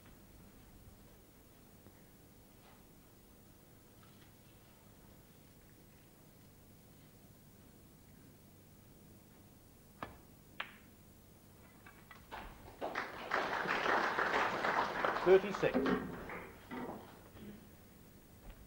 Not perfect on the brown, but just brown and blue needed.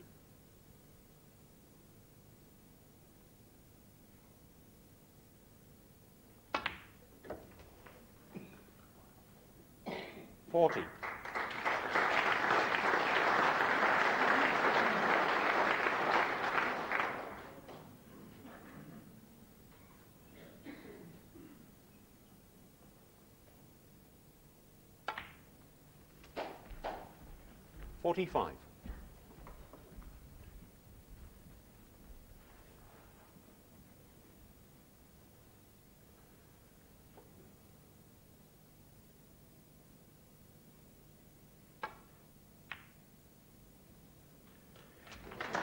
Jimmy White on the playing leader, 27 in fragments.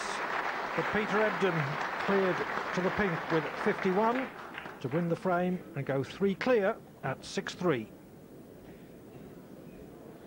A little bit tentative, but in the end it's 6-3 rather than 5-4. Stephen Hendry's with me. How significant is that, do you think? Um, well, I mean, obviously it's not it's not the end of the match, but uh, I think Jimmy had two or three good chances in that frame, and uh, you really have to keep the pressure on Peter um, because he, he's, he's so strong. When he gets in front, he can he can just roll over it as he did in the first round. It's interesting, isn't it? Because Jimmy's had such an awful season. I think he's played 13 tournaments, hasn't been in a semi-final yet, never mind a, a, a final. And yet this place, hopefully, from Jimmy's point of view, will inspire him. And I think winning the first match against Euan Henderson, you know, ensuring his place in 16 would have taken a lot of pressure off him. And he looked great yesterday, and, and I thought it was, you know, a bit unfortunate to be 5-3 down. But um, as I said, you know, you have to take your chances and, and put pressure on, on Peter's long pot. And uh, he missed a couple there. You, he starts to hit the ball quite hard when the pressure's on, and uh, you know, Jimmy has to keep the pressure on him. But you know, if he's if he's going to miss chances like that, you know, it just increases Peter's confidence. Yeah. And from Peter's point of view, he's such a consistent player. He's had another Yeah. good season, hasn't he? Up to four, I think, provisionally. But he's not really as big a winner as you might expect him to Well, be. he's not he's not won the titles uh, this season, but um, there's no doubt you know he's going to win titles, you know, lots of them because he's been in I think four finals and so many semis. He's always there or thereabouts at the end of the tournaments, and he's and he's so dangerous um, and so confident in his own ability that you know he'll always be a danger in every tournament. Mm, all right, well, let's go back out then and uh, take a look at the second frame of this particular session. Jimmy White now 6-3 behind, and the confident Peter Ebdon, who remember was in such excellent form in the opening round, beating Dene O'Kane 10-1. He's also had a, a 1-4-4, which is jointly the highest break of the championship so far, along with Tony Drago. A little bit tentative in the opening frame. Let's see how this one pans out. Once again with uh, with Dennis and Clive.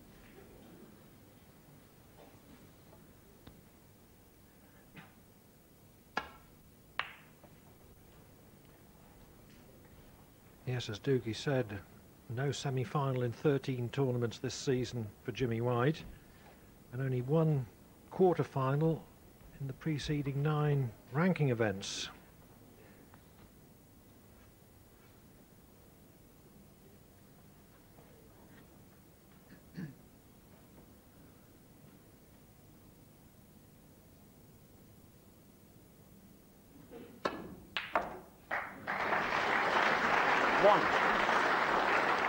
An excellent long pot from Peter Ebdon, but he shouldn't have really had the chance. It wasn't the best break-off shot from Jimmy White.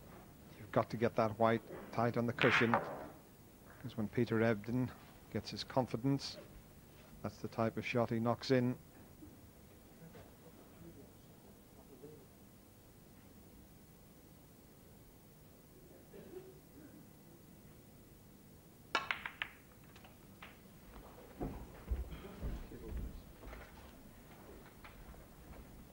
Eight.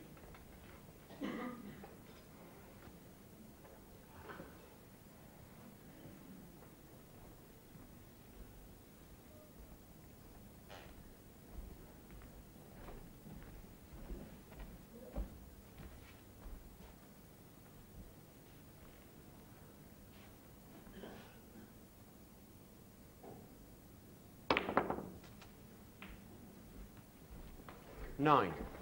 You did see the white jump there, and that's the reason it's gone over towards the side cushion.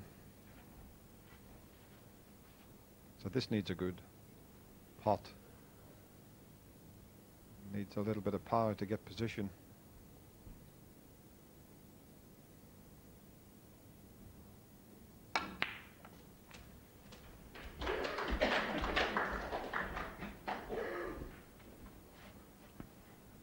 Sixteen.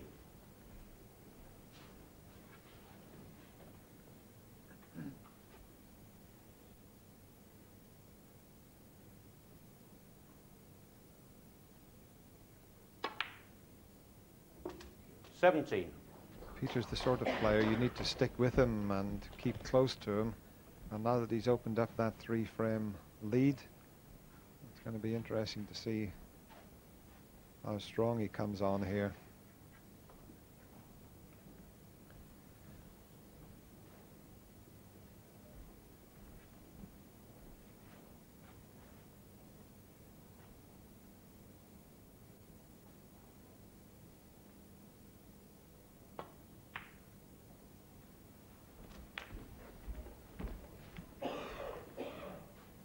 Twenty-two. Too far for his uh, intended red to left corner, which he could have played with a hand bridge. Has to play this with the rest. Still easy enough.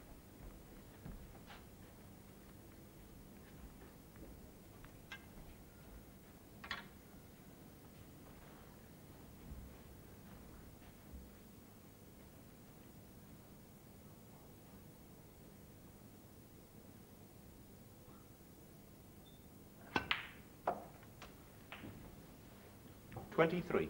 Well,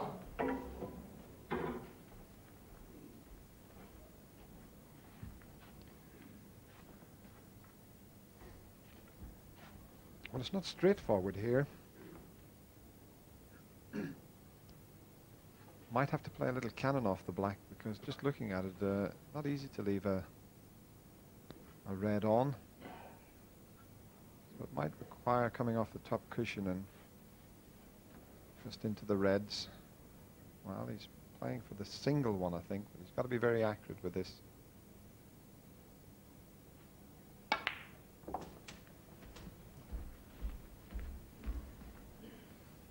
Now, has he gone far enough? Thirty. That was a little bit careless there. I thought he might have gone into the pack that time and just disturbed a few of the reds. Yes, the trouble started when he didn't get on his intended next red. Peter Ebdon, thirty. There would have been quite an easy sequence for three or four shots had he done that.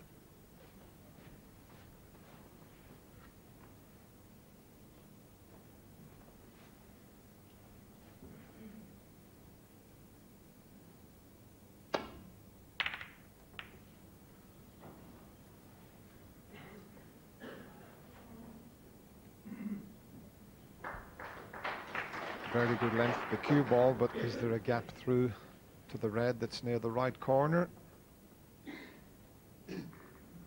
Yellow might just be stopping Peter from potting that one.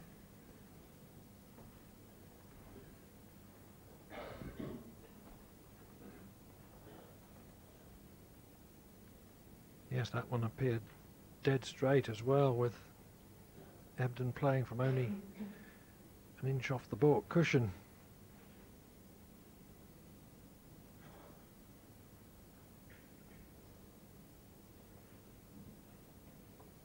He's in a spot of bother here, so we may have to try and just bend it a little bit around the yellow.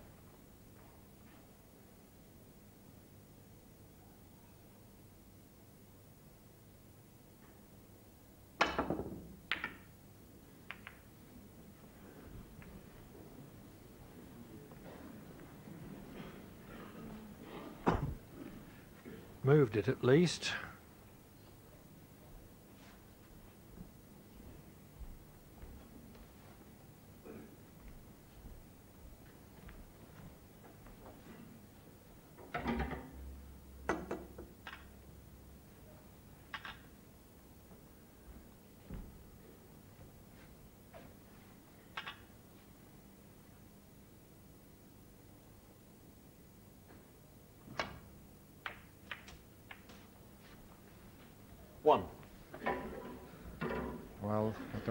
Black pots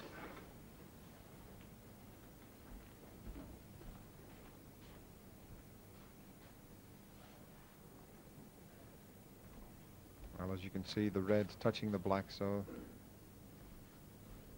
no way Jimmy can pot that one. Yellow. Yellow ball.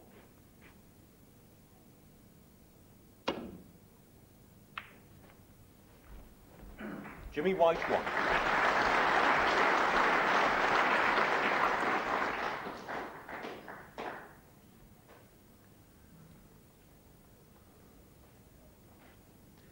Peter Ebdon's reached two quarter-finals in his uh, four attempts at the World Championship. In his first year, on his debut here, first match, he beat Steve Davis.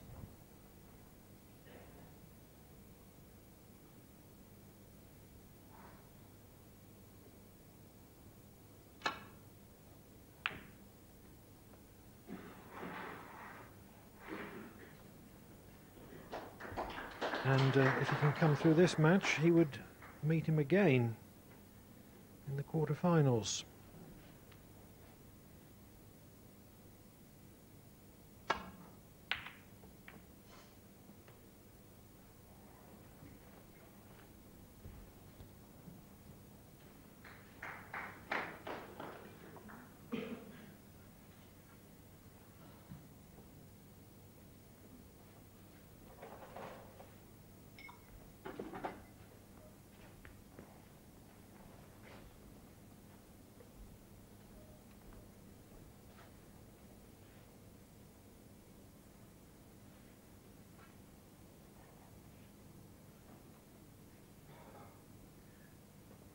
Right of picture so close to the cushion that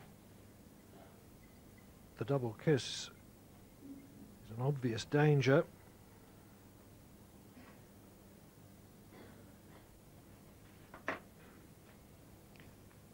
That's a possible shot back down the table, but uh, Peter's playing the, the single red on the right. He's got to be careful about the double kiss here.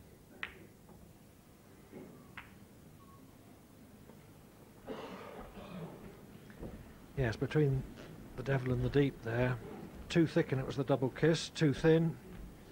And uh, cue balls into the jaws of the corner pocket.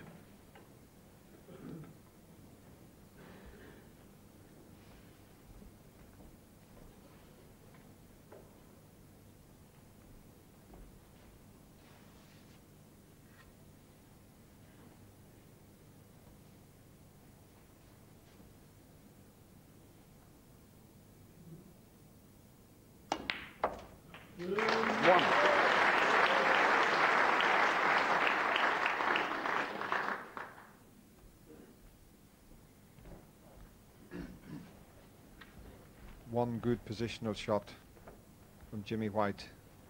The four reds are all available. He's got quite a way to travel with the cue ball to get up to them.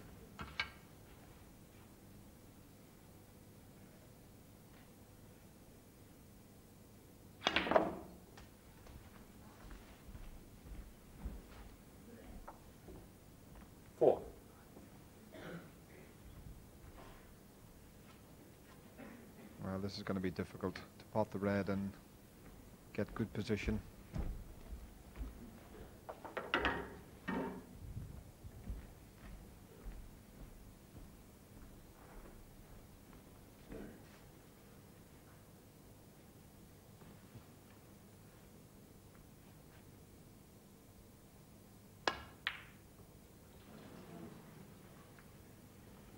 Jimmy White, four. Not that easy. And not a bad outcome anyway.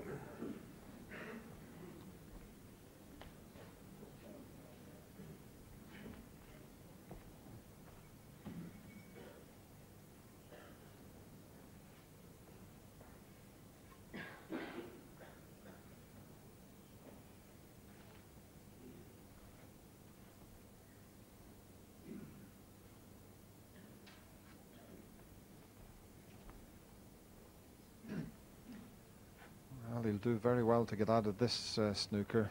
He can hit the red, but uh, it's going to be very difficult to get it safe.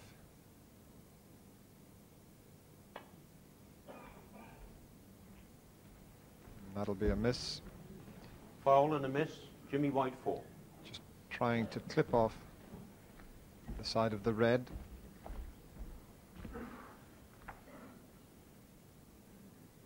He's going to have another go. He's trying to just clip off the side of the red to the right there and try and take the white onto the top cushion. Very, very difficult shot. Foul and a miss. Jimmy White, four.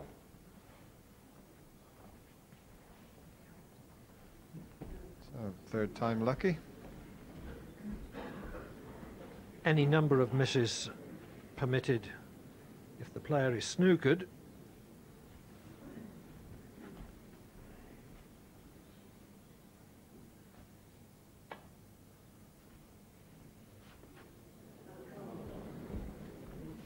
Foul and a miss. Jimmy White, four.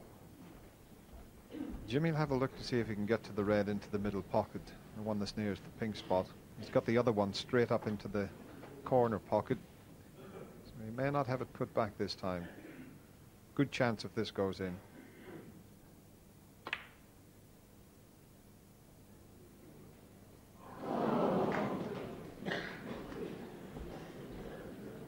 Surprised he played it dead weight there. Sometimes the ball can just drift a little bit when you play it at that pace. I thought he might have just punched it a little bit more.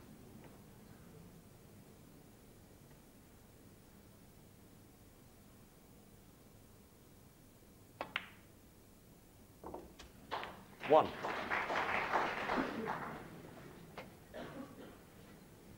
So a gift for Peter Ebdon here.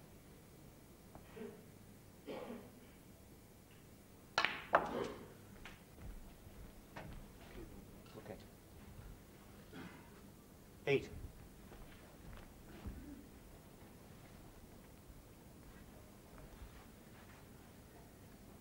Not as straight as he would have wished on his next red.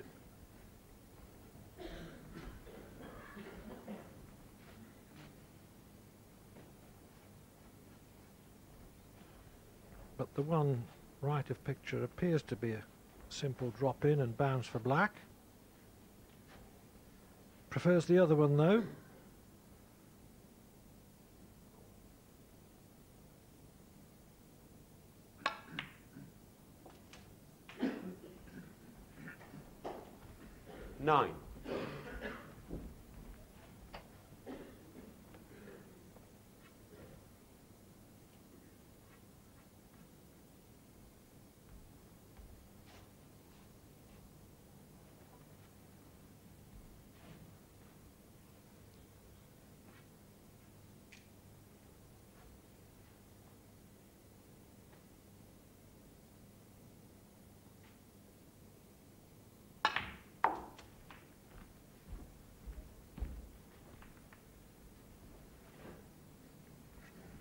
14. The theory was there that uh, even if when he cannoned the cluster nothing came out, he was bound to be on either red to right corner or red to baulk pocket. But he's left himself bridging slightly awkwardly.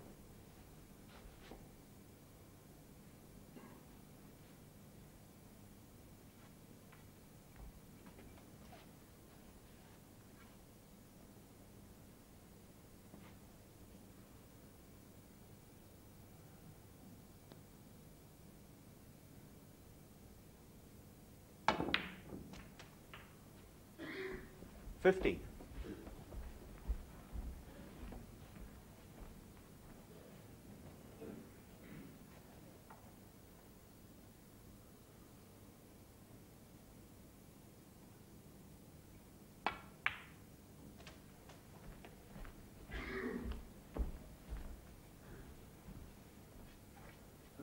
Twenty.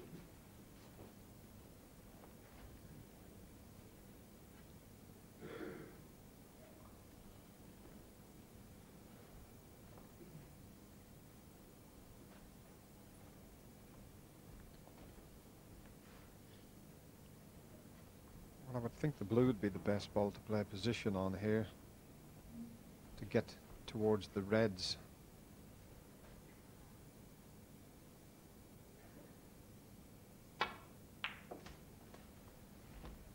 Twenty-one.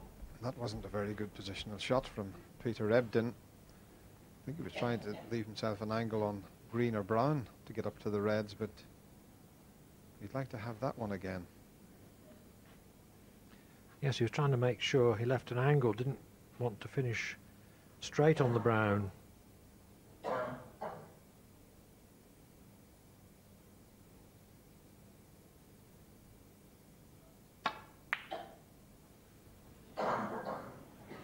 Peter Ebdon, 21. Well, he's going to be very fortunate here.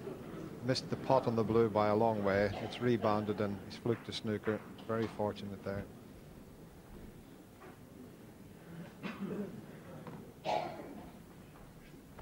Ebdon leads by 34.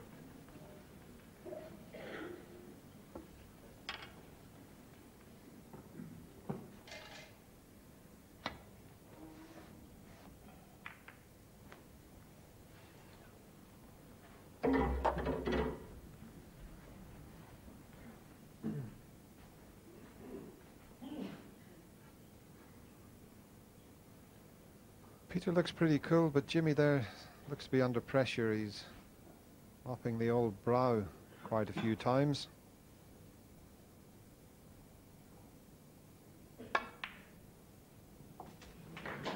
One.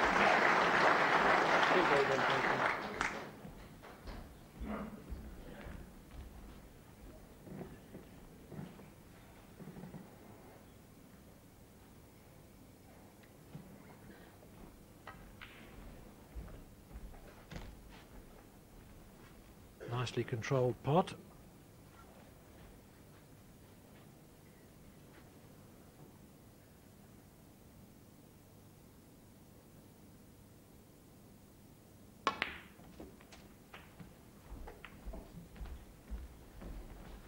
Well, it looks as if uh, Jimmy White's Eight. going to get another chance. Peter didn't regain position on a red there.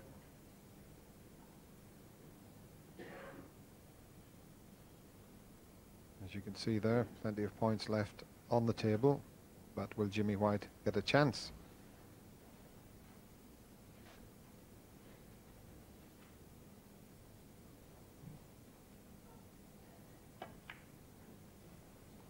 Peter Ebdon, 8. Ebdon pushing on towards a 7-3 lead, which would be a threatening deficit for white.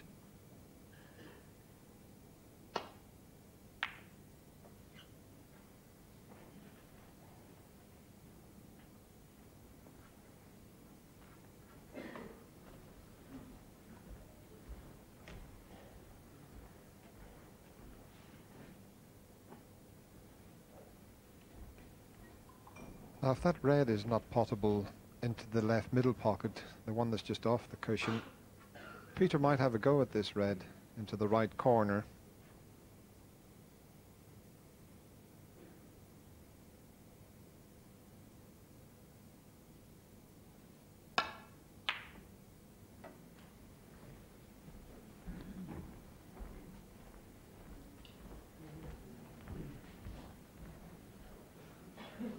Yes, if he'd potted that together with the colour and one more red, and it would have been available to left middle, that would have been enough.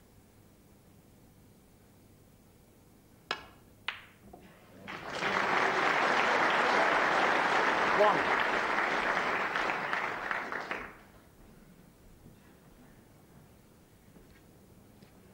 Still a little awkward here for Jimmy White.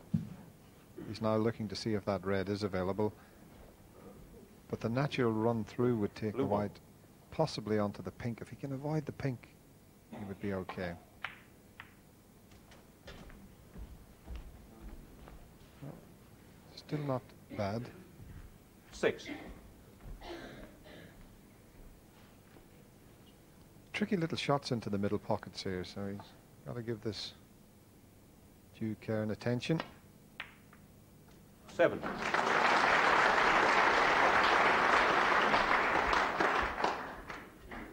Tried to nudge a second red towards the pocket, but hasn't uh, improved his position in that regard.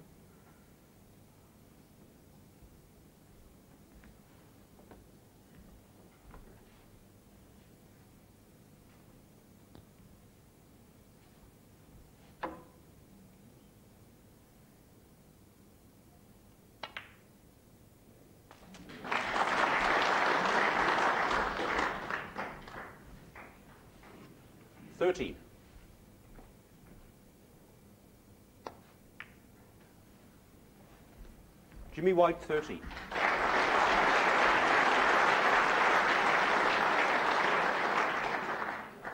reducing his deficit to 29.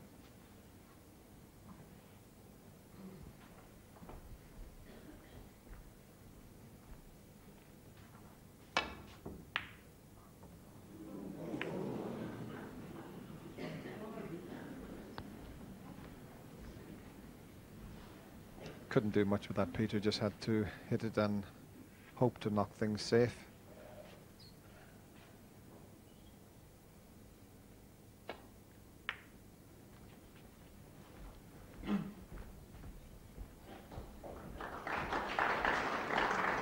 Jimmy freeing that loose red, the one that was on the side cushion. So the ball's all in potable positions now.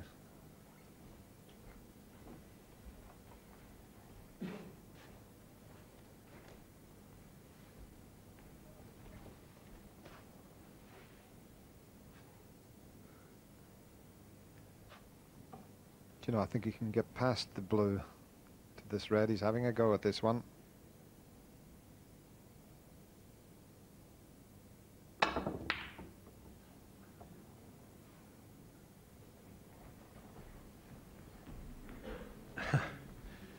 Missed it by a long way. But hasn't left anything easy.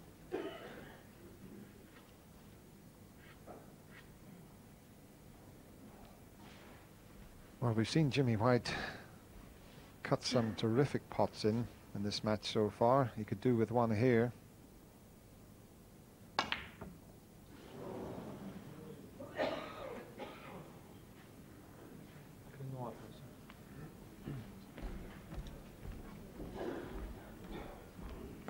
The thin cut fails.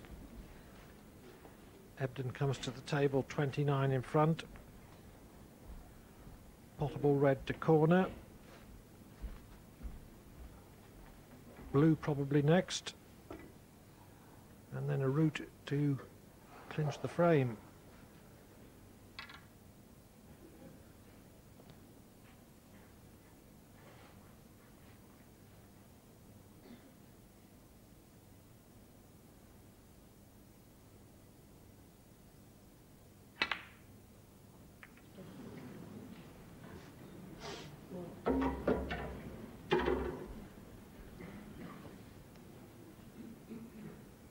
Well, there was a little bit of pressure on Peter to knock that one in. He knew it could have been a frame winner. I think the red might pass the pink, but it's by no means easy. But Jimmy White knows if he can knock it in, it could be a frame winner.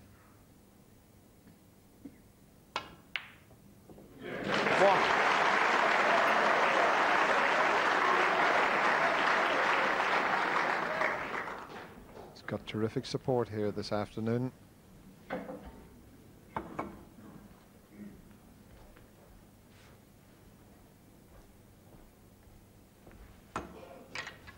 A shot which may well have offered him a passport to the frame.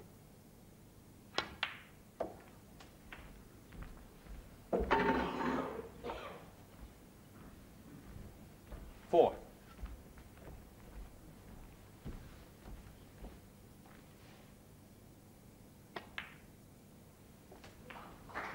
Five.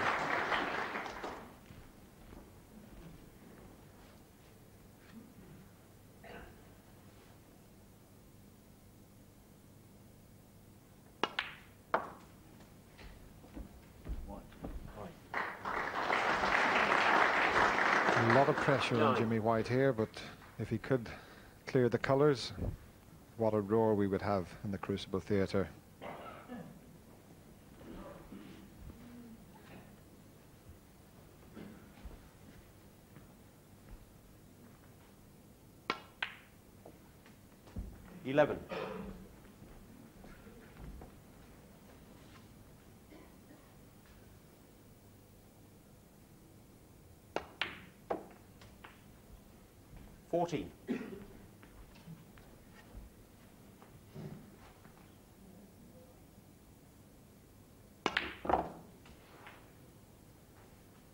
18.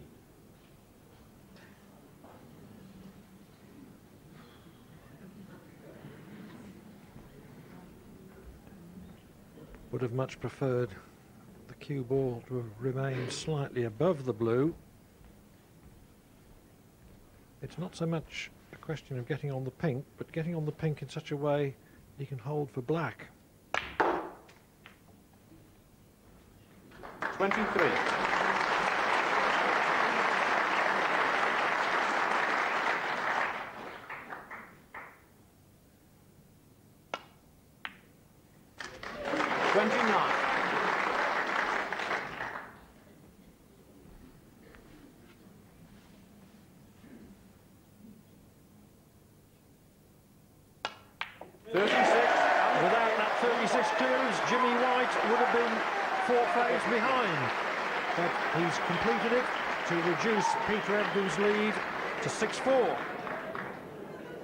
Well, a terrific comeback there by Jimmy White, and psychologically that will clearly give him an enormous boost. So 6-4, the two opening frames, in fact, each lasting all of half an hour. We'll be back with further live coverage of Jimmy White against Peter Ebdon after the news. Welcome back to the World Championships here in the Crucible Theatre in Sheffield. The second round coming to a close today. We'll be watching the match live, of course, between Jimmy White and Peter Ebdon. 5-3 overnight. Peter Ebdon went 6-3 in front. Jimmy pinched the 10th to go 6-4. The 11th frame currently in progress. It's uh, been underway for about four and a half minutes or so, but only 13-0, as you can see, while now 20 in Jimmy's favour. So let's uh, rejoin Dennis Taylor and Clive Everton. Ebdon went in off, uh, attempting a thin cut from distance, left the red near this right corner pocket, and uh, Ebdon has been in his chair ever since.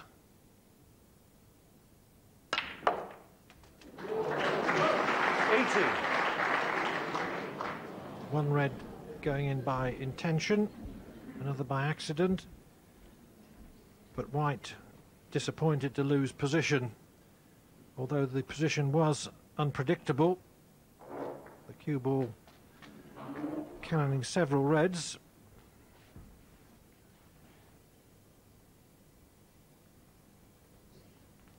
Yes, Clive, Jimmy, a victim of his own cue power there, generates terrific amount of power when he plays that particular type of shot. It was just a matter of six inches too far that time.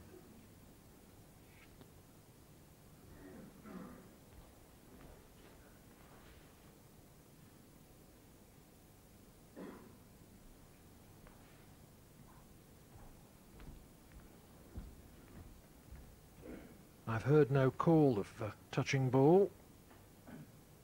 If it was a touching ball position, white safety would be easy enough.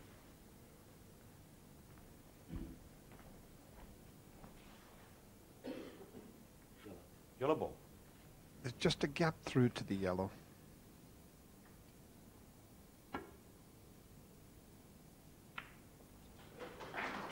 Jimmy White, 80.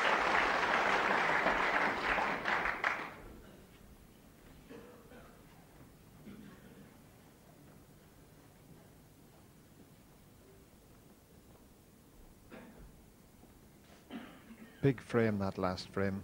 If Peter Ebdon had have opened up a four frame lead, I think he might just have pulled away from Jimmy. As it is, with just that two frame lead, I think we've got a real match on our hands here. Yes, it's the difference between uh, being able to play with a greater degree of freedom. Four frame lead, so much more reassuring than a two. You can afford to make a couple of mistakes and uh, you're still all right.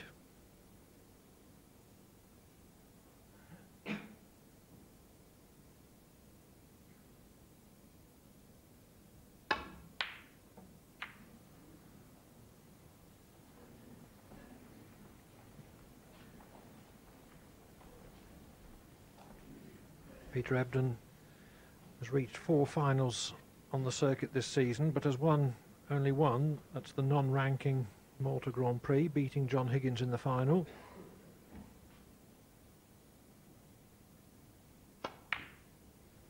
One. Bonus there, route through to initial red for white.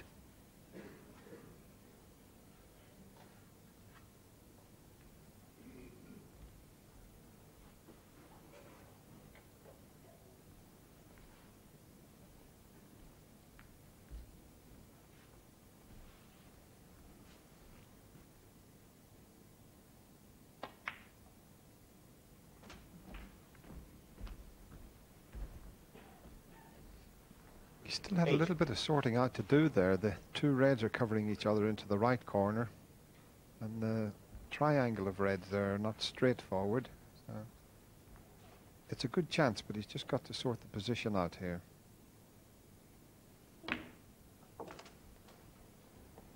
Nine.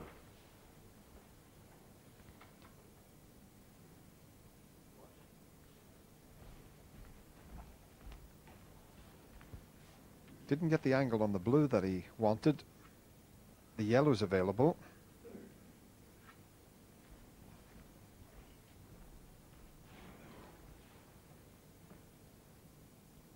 He's just looking to see if he can screw back and leave one of those three reds on, the triangle I mentioned.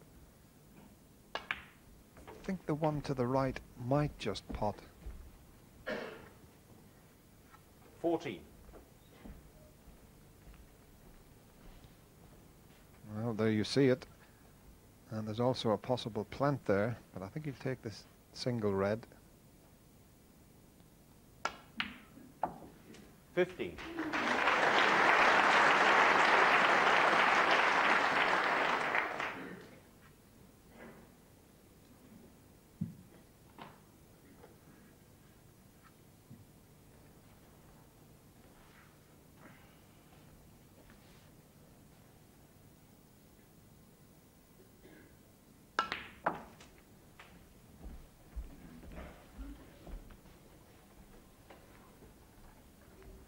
22. At the worst, was always going to have red to left middle.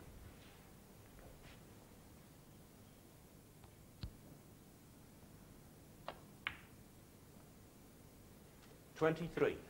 Should win the frame now. He's got them in the ideal situation. Already 45 points in front. And just the confidence booster that Jimmy White needed, I think, clearing up in the previous frame to pinch it on the black. Twenty-nine.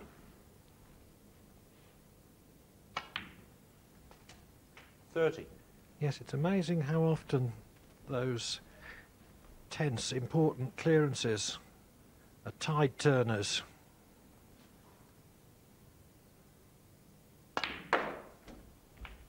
It's been the case in this frame. 36.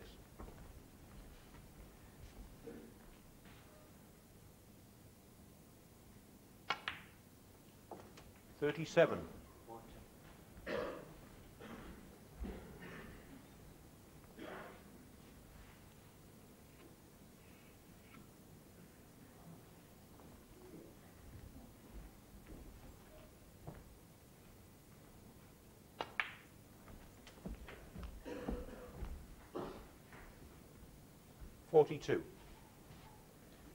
Already arithmetically past the post Forty-three. with that red.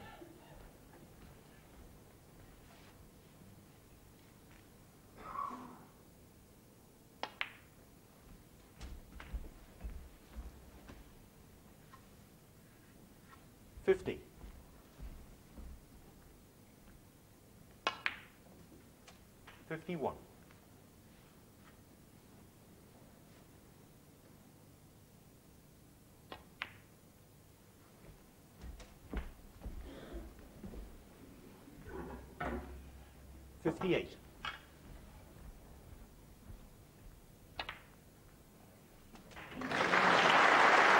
69.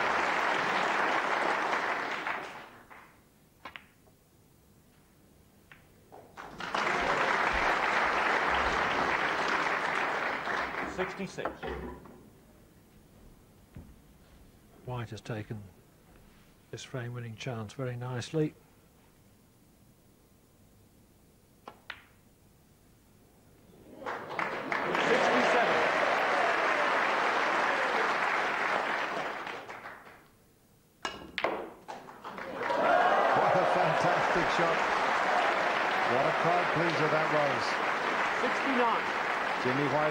Banana shot. Absolutely fantastic. Just watch the cue ball.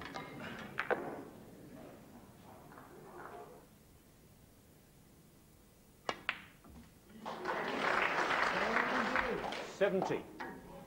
What a clearance this would be. The last three reds were all on cushions.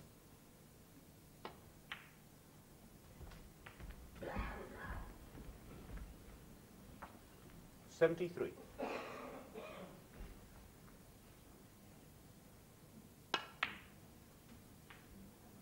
Seventy-five. This could be the first century of this match. And what a way to make a century. We've had all sorts of shots in the last minute or two.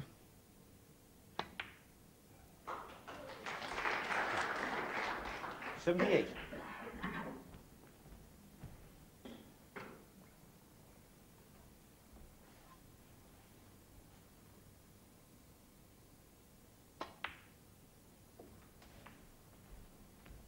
Eighty-two.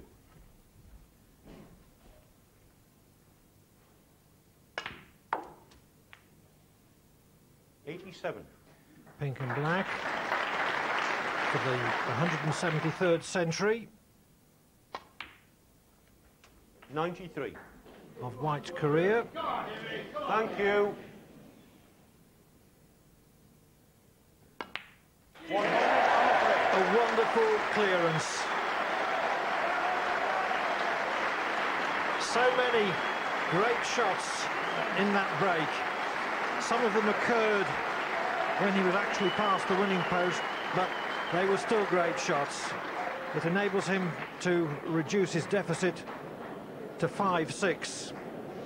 And uh, possibly the most spectacular shot of all was the banana shot in potting yellow to get on the last red.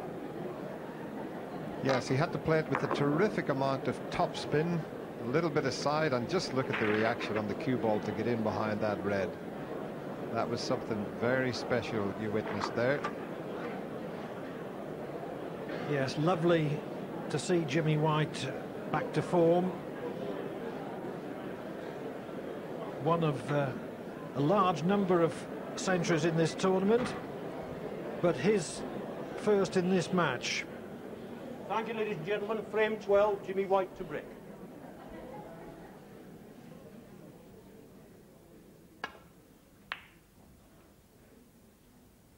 So the mid-session interval coming up after this frame. And I think we'll uh, see the strengths of Peter Ebdon. He won't want to lose this frame. He'll want to keep his lead going into the interval.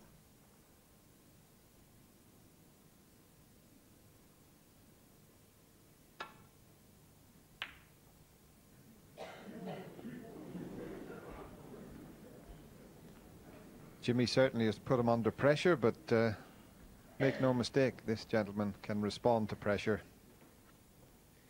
He has a very strong character.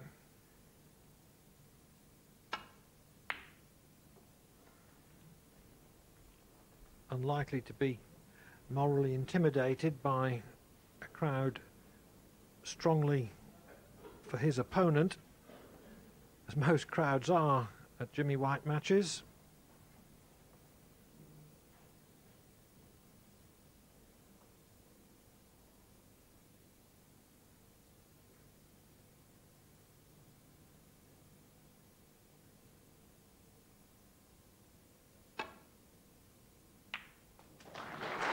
One.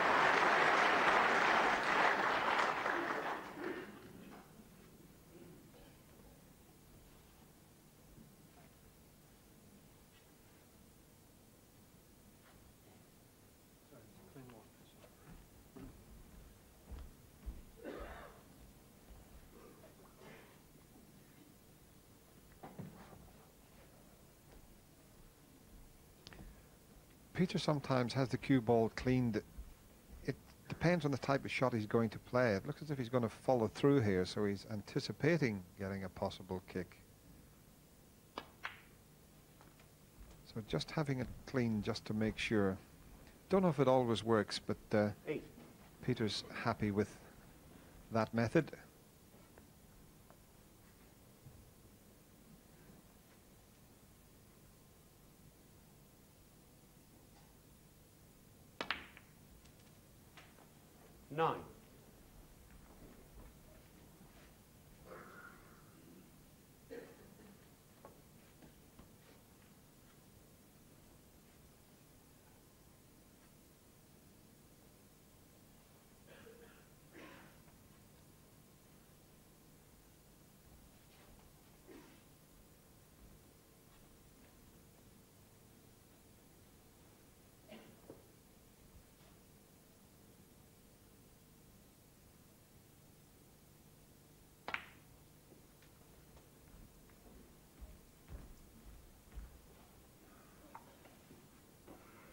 16.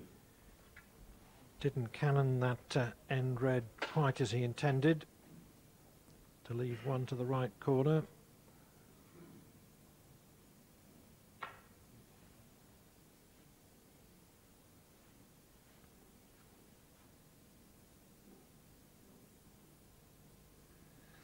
Well, as you can see now, not enough room to get to that red. So Peter trying to just work out where he wants to knock the first red so as he can possibly make the plant.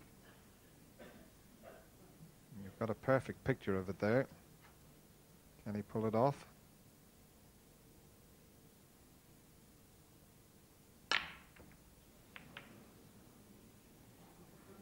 Peter Ebdon, 16.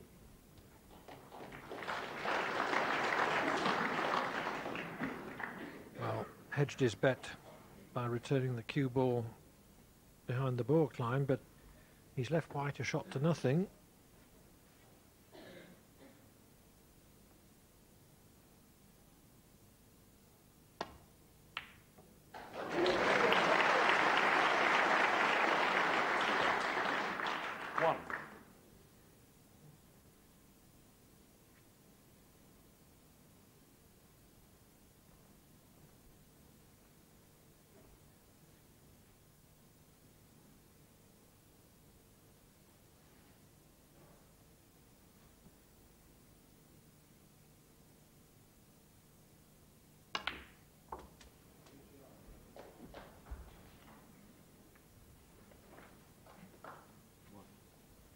Made that pot look very easy.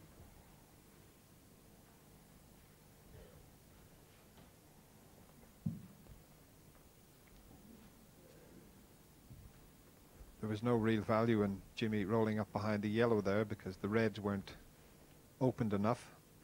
So it wouldn't have been putting Peter under a great deal of pressure. As it is, he's given himself a chance here.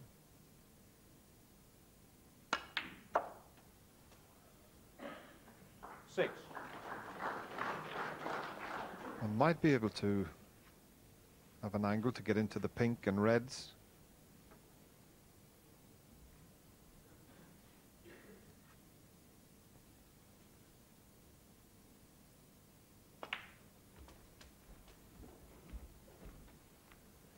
Hadn't quite got the angle to do that, but uh, we know the power he's got. This could disturb a few here.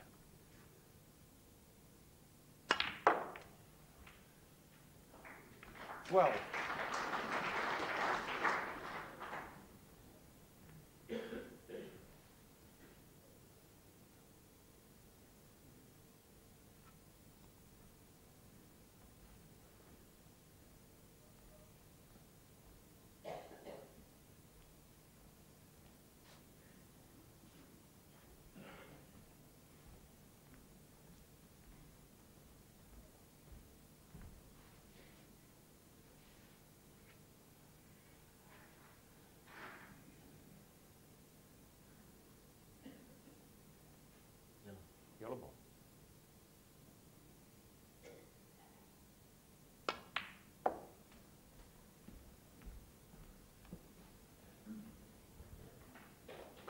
Forty.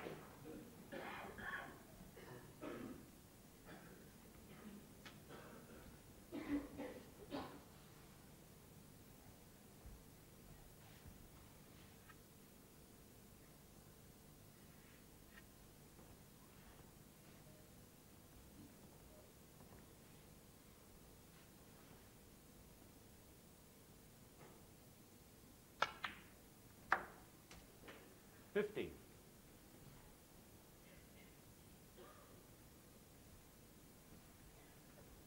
Looks as if he might be dead straight on the blue.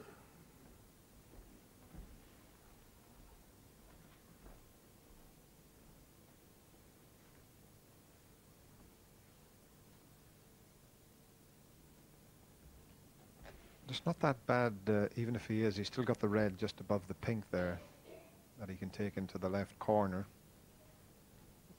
Just a matter of rolling through a few inches.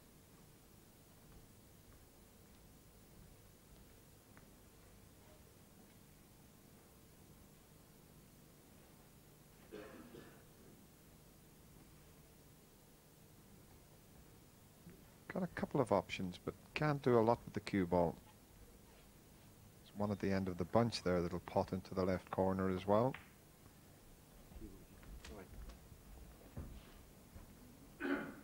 Twenty.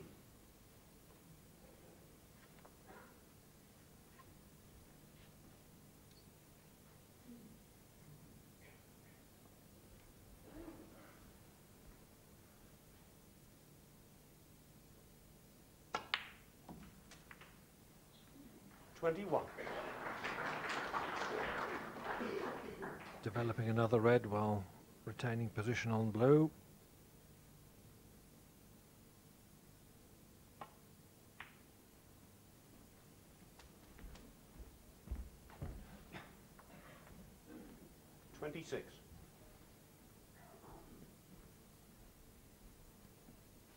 Taking his time, Jimmy White. Very measured here, not dashing around the table.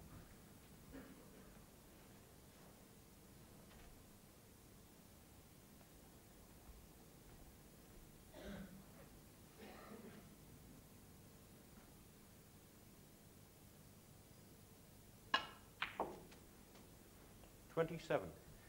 Yes, when he's been struggling for form earlier this season, he's often seemed hasty, as if he can't contain himself.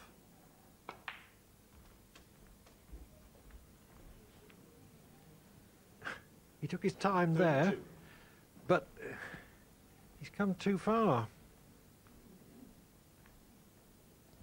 That's just down to concentration there, Clive. He just lost his concentration just for the split second. I think he can still pot the red, but it's quite a thin cut to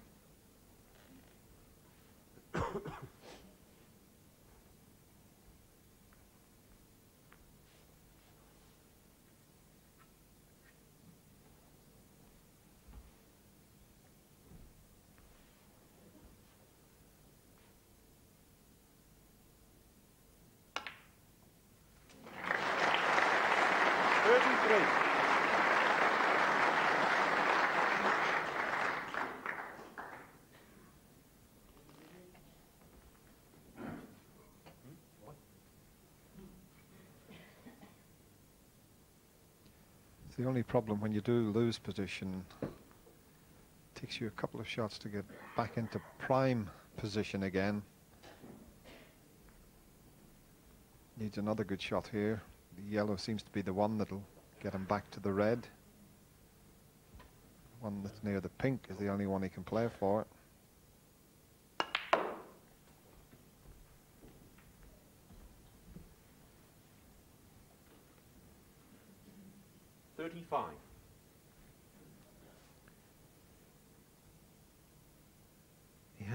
On red to left corner.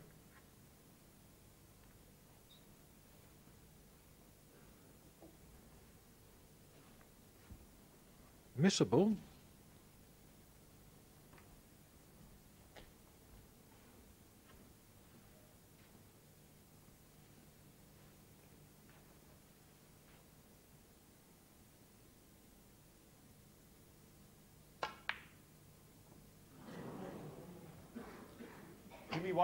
White, 35. So a couple of shots after he lost prime position, he broke down altogether.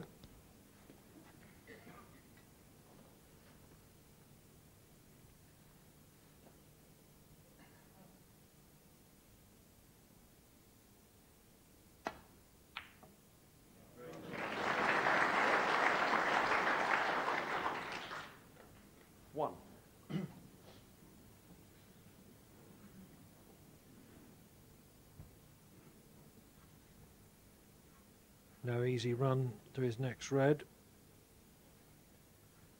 Snooker coming up here, surely. Green ball.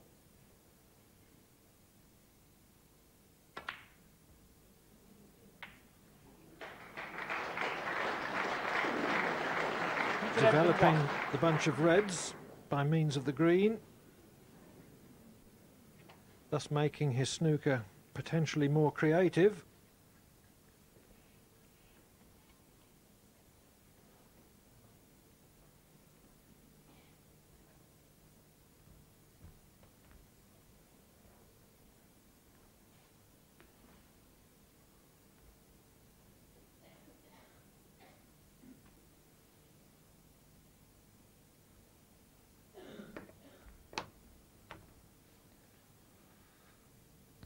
Just looking at it, that's a possible route somewhere along those lines to get to this red. Uh, it's not going to be easy whichever way Jimmy takes it. He's looking at coming off the side cushion to get to the the same red, but he's got to be very ca careful either way.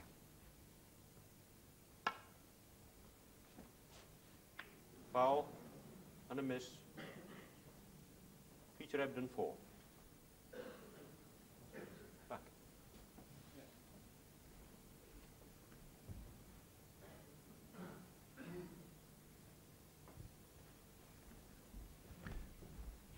Escape not near enough, in the opinion of referee John Williams.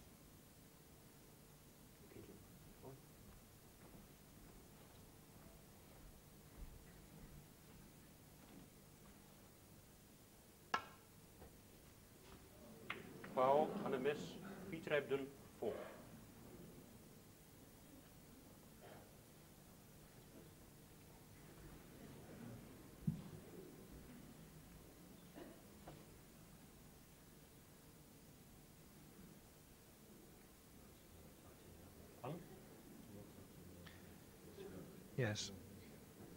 Good refereeing this by Williams because one of the three balls in that little cluster is material to this shot.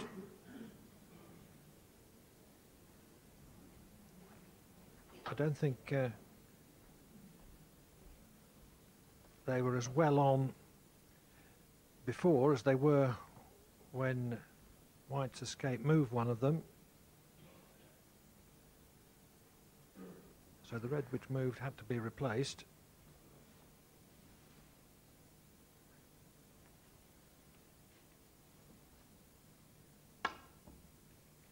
Foul. Peter Ebdon, six. But near enough.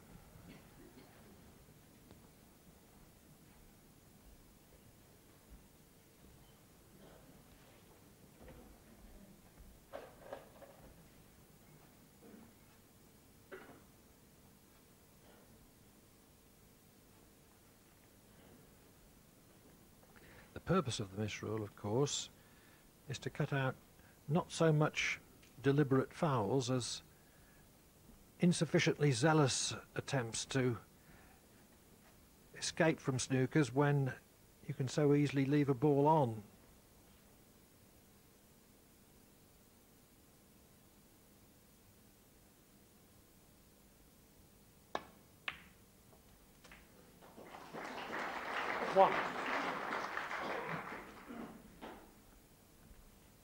Was a very good pot, and uh, it was an even better position shot to leave the cue ball short of the baulk line there, so that he was nicely on the brown or yellow.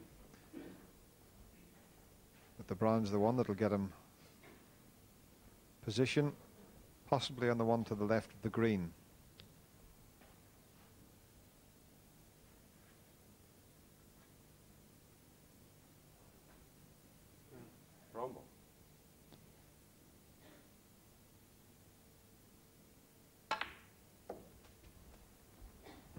One near the pink spot is available as well, so Five. a couple of options there.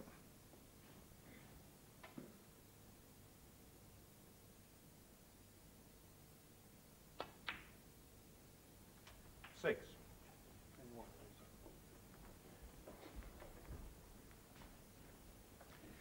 Ebdon's snooker behind the green changed this frame. He obtained 15 points in penalties from that snooker and this opening.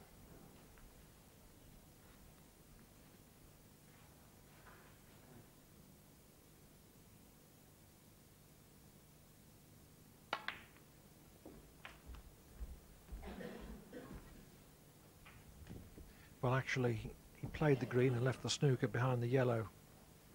Nine.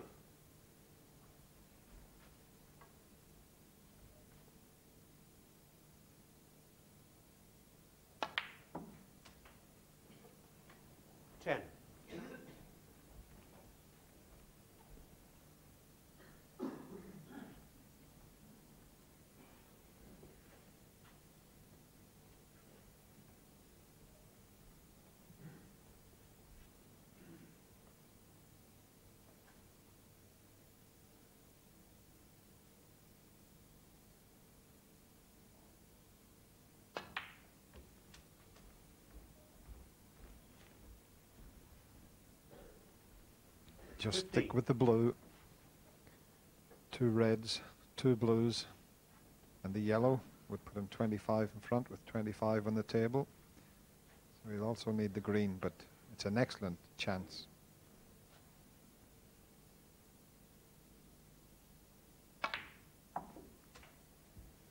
Sixteen.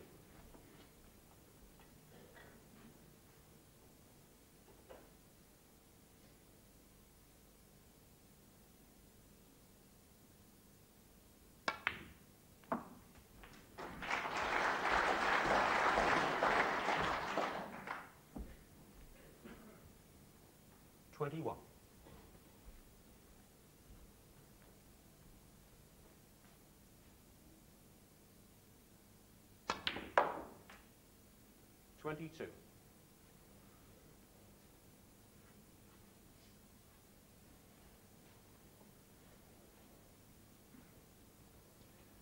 He's just gone slightly the wrong side of the blue, so we'll have to leave a, a longer pot on the yellow.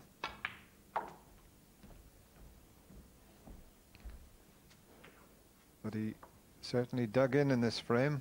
27. Terrific powers of concentration. And an awful lot of determination.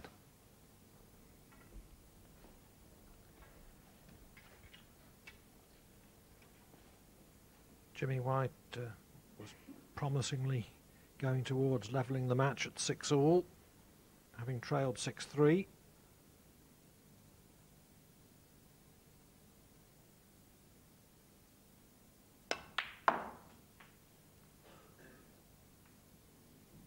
Twenty-nine.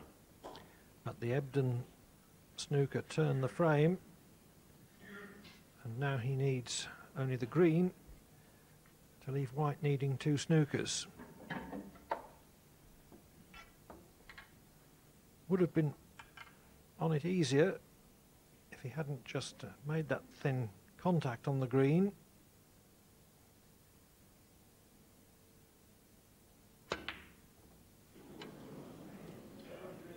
Peter Ebdon, 29.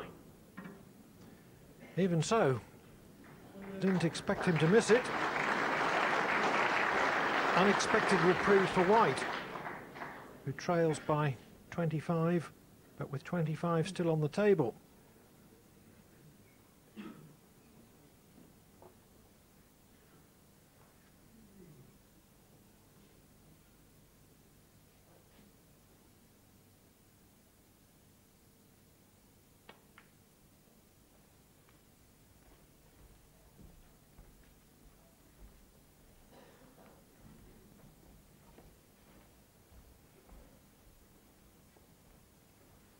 Ebdon sends the green round off two cushions, he's got to be careful that the green doesn't cannon the black.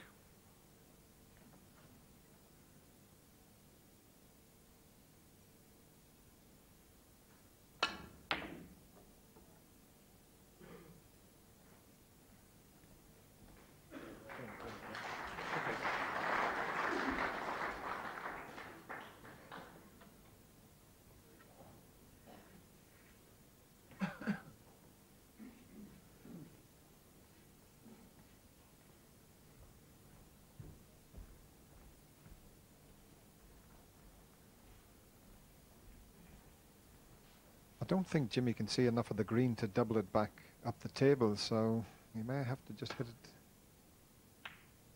Well, he could manage a half ball contact, which wasn't bad. Good shot. Pink and brown, potentially snookering balls.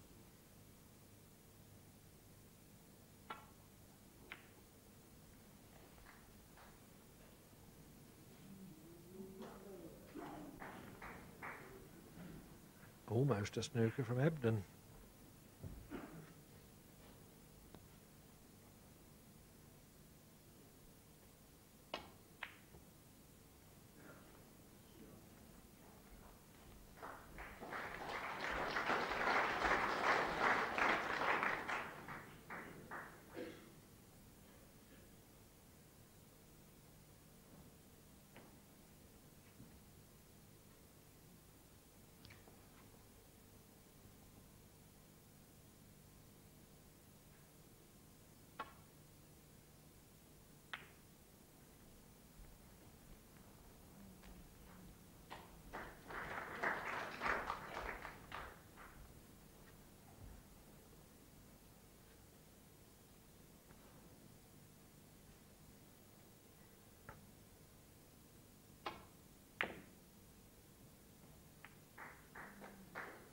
No time to risk the double.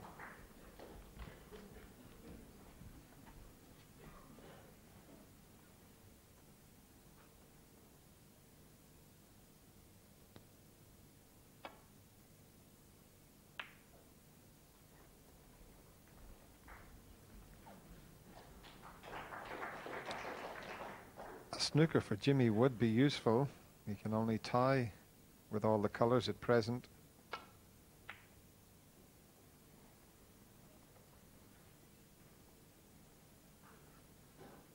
think Peter has a safety shot on. Twice across the table with the green. Avoid the cannon onto the black. And the green should finish on this top cushion. He's hit it too thick, though. You could easily have turned out a lot worse for him than that.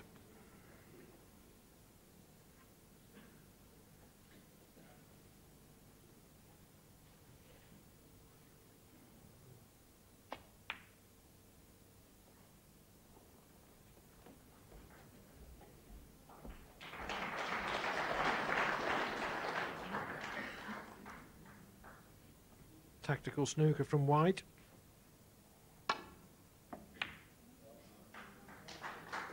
A trust to luck from Ebdon. And the chance for Jimmy.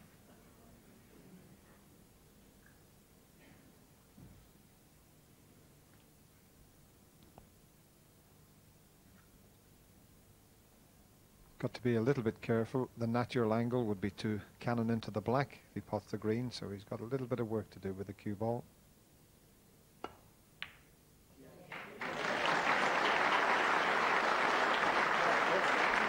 This is a chance that White didn't expect to have when Ebdon attempted green with the rest, which would have left White needing two snookers.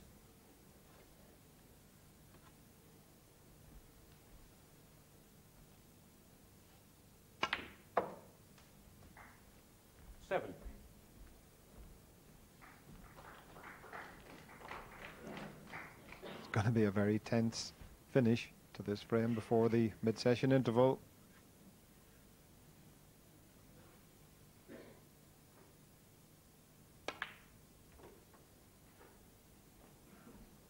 Twelve.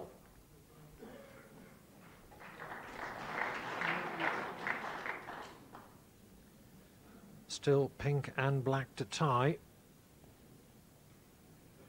It's all about the angle he has on the pink here, Clive. If it's just off straight, he can screw the white right back up onto the cushion to leave the black on. But if it's a little bit straight, he might be coming too close to the black. Let's see what happens.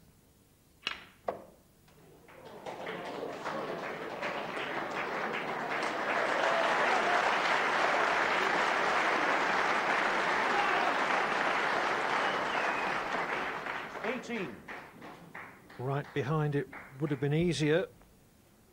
This is quite an awkward little cut along the cushion. He's got to commit himself and just drop it in.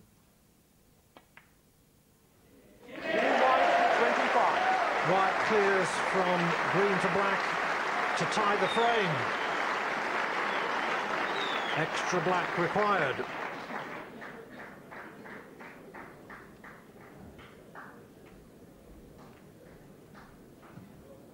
John Williams will spin the coin.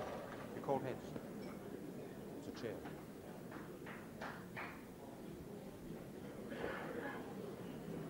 Thank you. White has won the toss and put Ebdon in.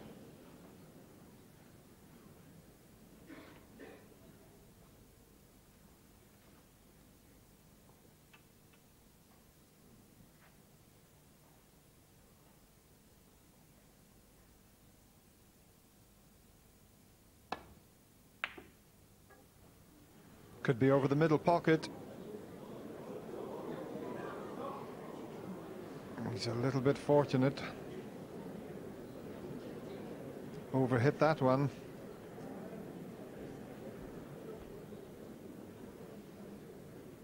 I don't think the double's on. Jimmy might have to just play safe. It's in. Peter Ebdon missed the green, which would would have left Jimmy White needing two snookers. White cleared from green to black and added the tie-break black to level at six all.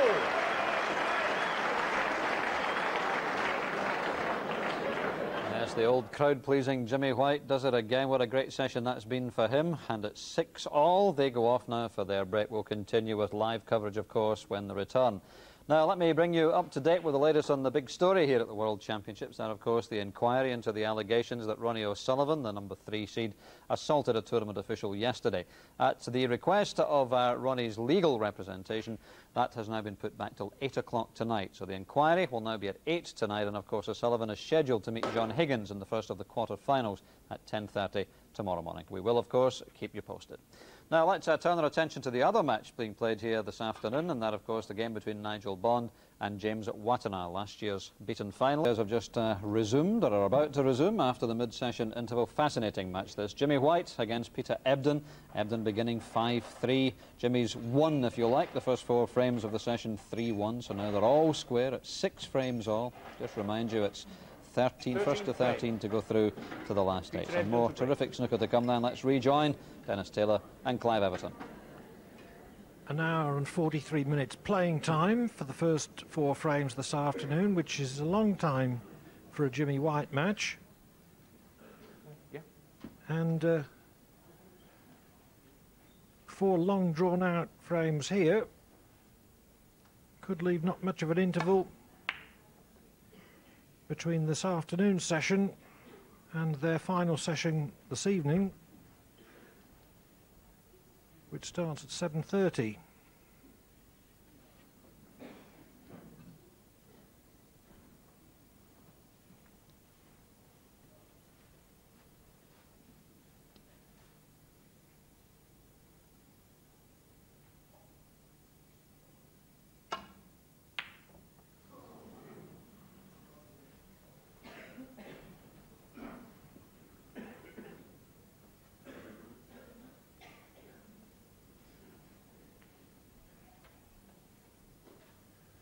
table all nice and clean again, brushed uh, at the mid-session interval, gets rid of all the chalk marks and finger marks.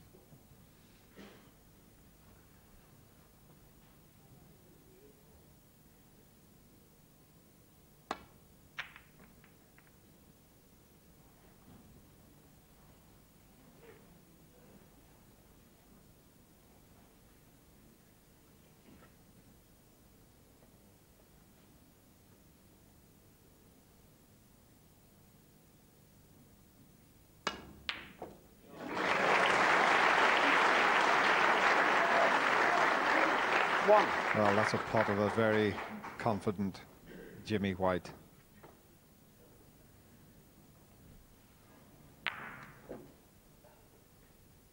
Plenty of topspin on the cue ball, really zipped through the object ball on contact. Blue ball.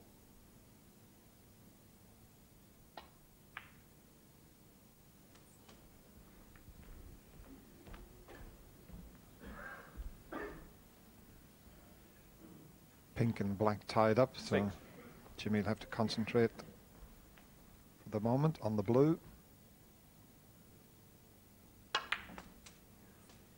Seven.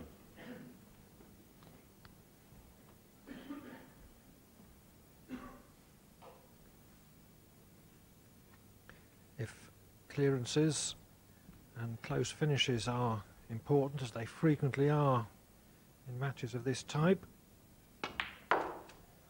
a good omen for White is that he made two important clearances before the interval. Twelve.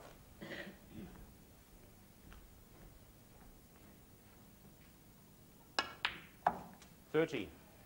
36 to win the second frame of the day on the black. 35 to tie the last frame that we saw before the interval. And in that case, he later added the tie-break black.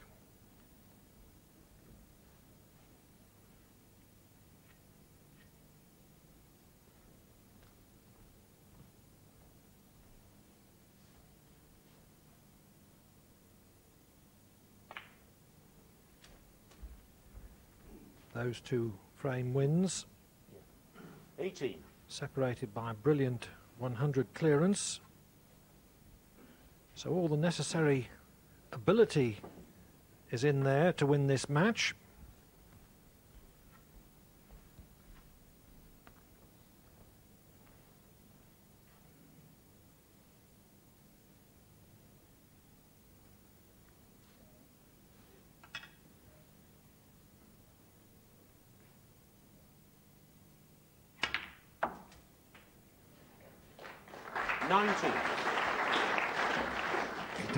That shot so well, even with the rest.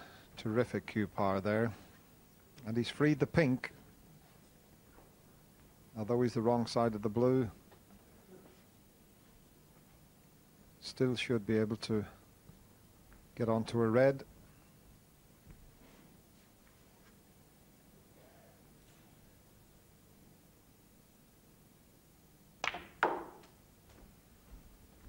Spot on.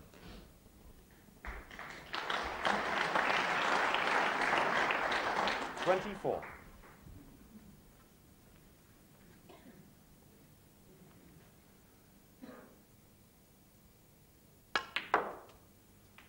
Twenty-five. And he's getting the little flicks, Clive. That's twice he's had a little cannon off the blue to leave him in perfect position. Make the best of them. They won't last forever.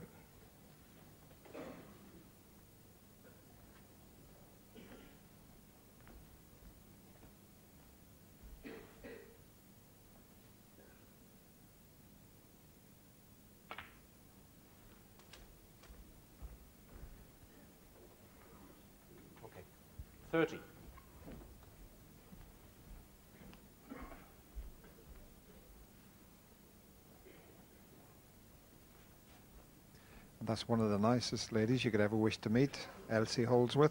She's missed virtually no sessions here since 1977. A charming lady. Thirty-one.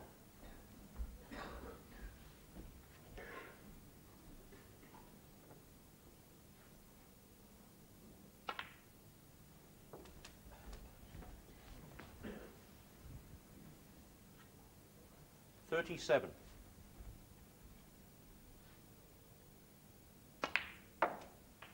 Thirty-eight.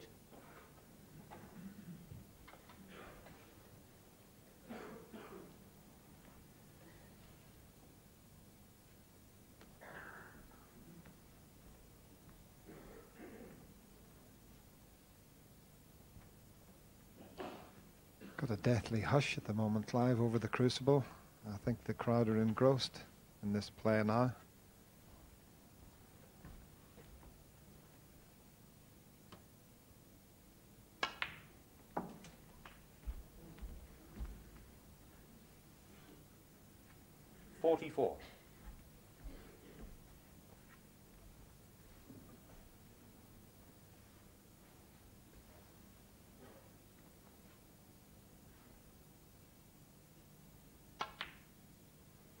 45.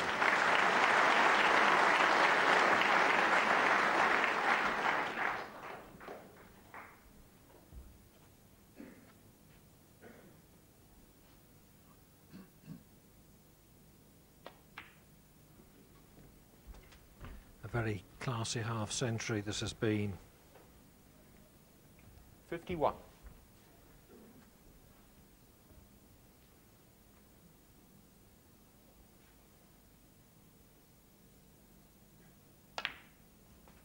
Yes, Clive, when you think that the pink and black were tied up when Jimmy started this effort, it's been perfection.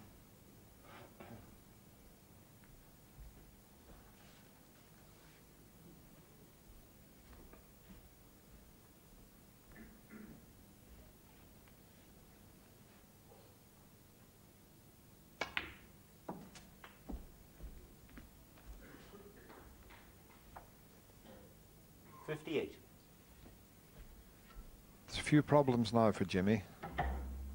Not straightforward.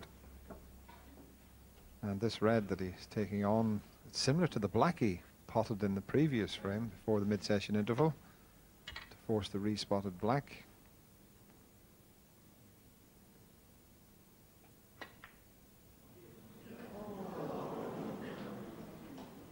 Jimmy White, fifty-eight. Overcut it.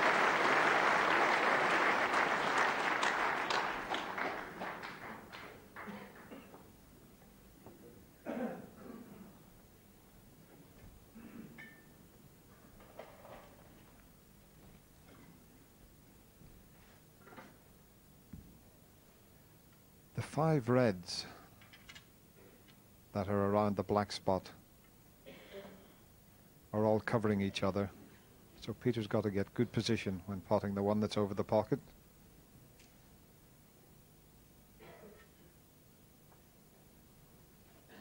He really needs to get on the pink, I feel, to have a chance to bring a couple of them into play. He goes down for the blue. The pink is blocking the path for the cannon off the blue to the reds. So this is not straightforward by any means.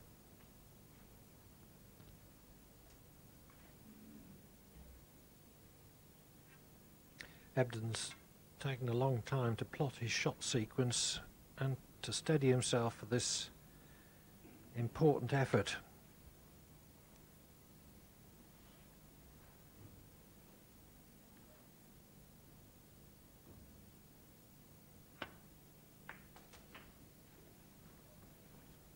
One. Should he lose this frame, he'll go one behind for the first time since he was down 3-2.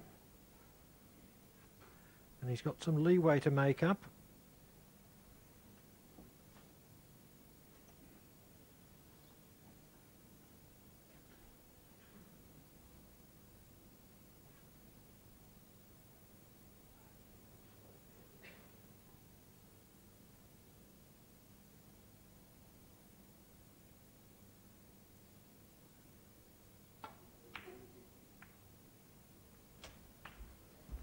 Didn't judge the cannon. Might still be on a red, but it looks very tight. Seven. He had to just played that a little, little bit more pace. He would have been on the red that he's closest to there. Don't think he can see enough of that. Certainly not to pot it.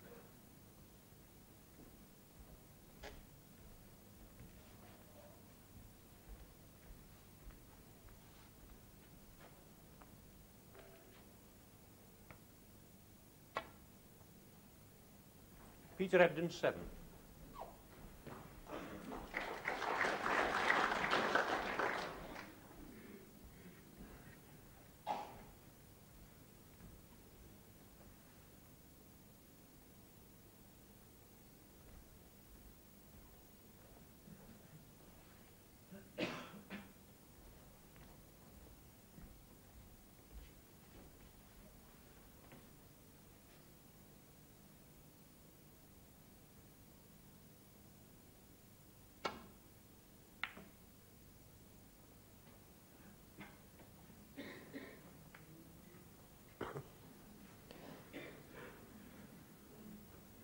Thinner than intended.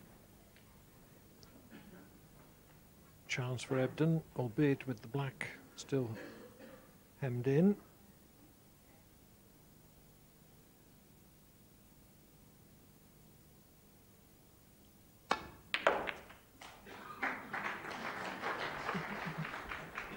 One.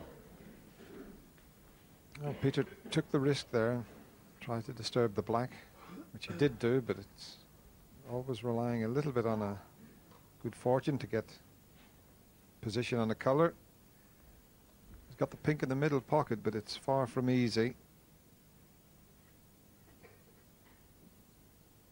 Now, will he commit himself to taking that pink on?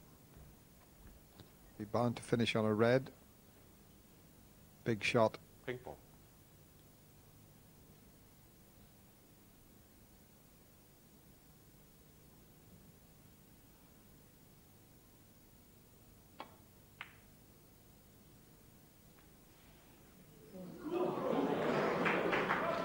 Peter Ebdon, one. Well, that was amazing. Gentlemen, the stewards have been asked to remove people who shout out. They'll show the exit door. It's up to you.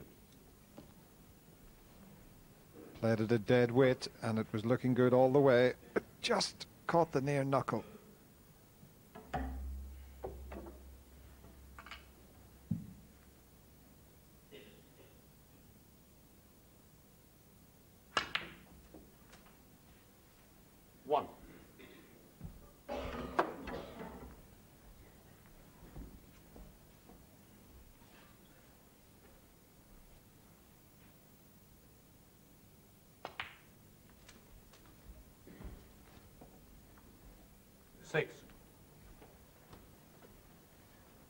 Been much more straightforward for White to clinch the frame.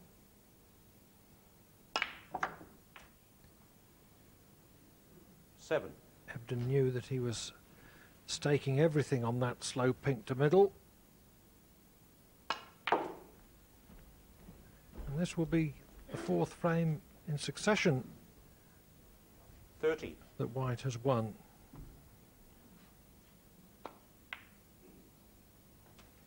Forty. thereby improving from 6-3 down to 7-6 up.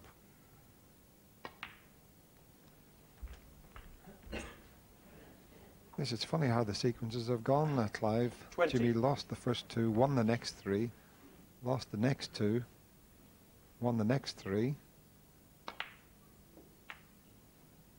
21.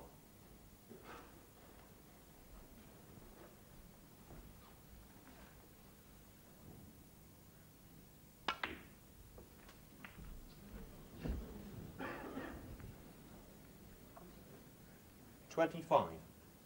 Touching ball.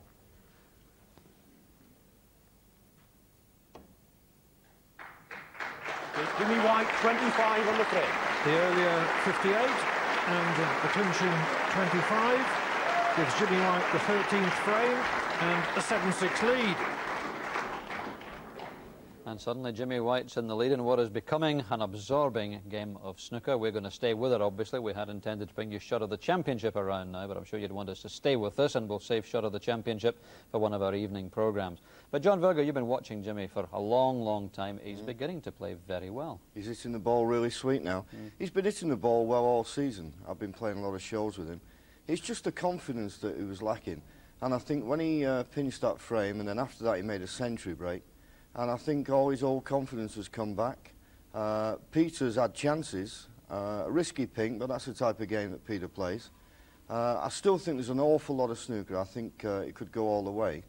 Uh, but as I say at the moment, I'm just pleased to see Jimmy playing his best It's interesting to hear you say that he's been hitting the ball well all season because by his standard he's had an awful season and people would say with all Jimmy's experience if he's playing well in practice why on earth isn't he doing it in tournament? Yeah, well, unfortunately, Jimmy's a bit of an enigma. Jimmy doesn't use his experience. Jimmy can only win, unfortunately, when he plays well.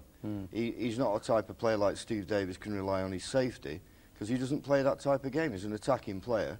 So if he doesn't play well, then uh, invariably he's going to give his opponent chances. So experience has got nothing to do with it with Jimmy whatsoever. Yeah, well, it's been a, a fascinating game. Jimmy in front now, that 13th frame might just be awfully important. They've both gone out of the arena just to take a little bit of a break. But uh, this, I think, beforehand, you would have said Peter Ebdon had to be a pretty strong favourite, John, wouldn't you? Oh yes, but as I did say at the time, there's not many people got a better record at the Crucible than Jimmy White. And uh, horses for courses, I knew he'd rise to the occasion. It was whether or not his confidence could allow him to stay in the match. And he's not only in the match, he's in front now. And suddenly there are questions being asked of Peter Ebdon. Here's frame 14, Jimmy to break. Yes, horses for courses, and uh, the Crucible has been a pretty good course for Jimmy White. It's 1983 since uh, he lost in the first round, and since then he's never lost earlier than the quarterfinals. That includes six trips to the final, but as yet, no successful one.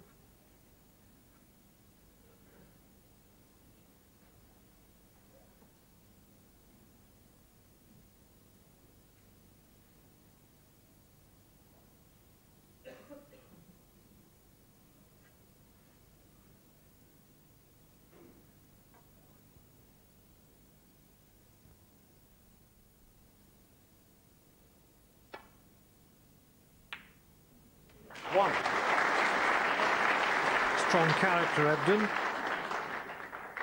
He's lost the last four frames, but he's lost none of his self-belief.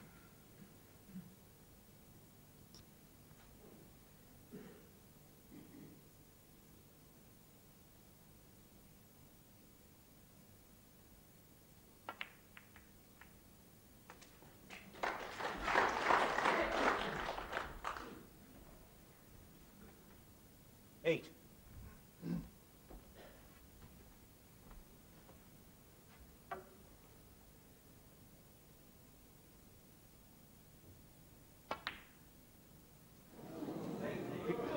Well, I'm not sure whether he got a bad contact. I think he might have had a little kick there. Let's just have a look. Very rarely a player would miss a pot that easy. The cue balls had a good clean, so that indicates that there was a bad contact there.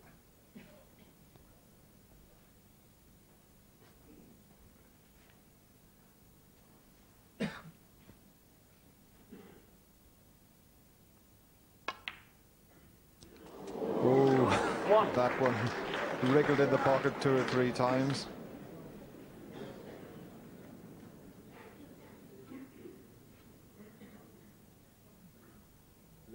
Blue ball.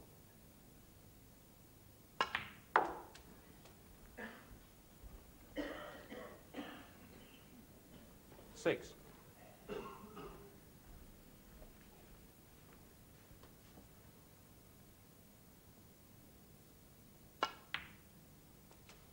Seven. That must have been very disappointing for Peter Ebdon to have potted a terrific long red off the break-off shot and then see that bad contact make him miss a very simple pot. And it's things like that that can turn matches. We've got a long way to go. And as John Virgo says, I think this one could go right to the wire.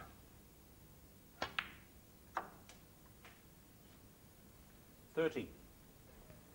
Jimmy White special coming up here. We know the cue power he has. Just keep your eye on this one.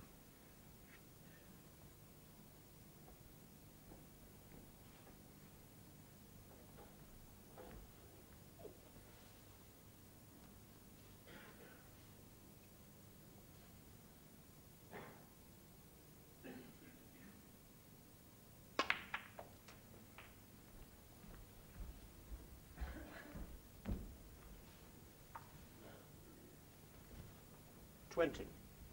I thought he would have gone into that with a little bit more power and a little bit more screw. Maybe the angle just wasn't there for him.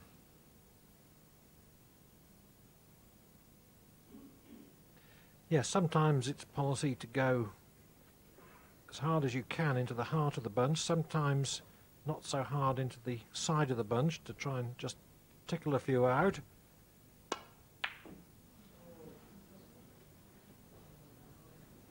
White, 20.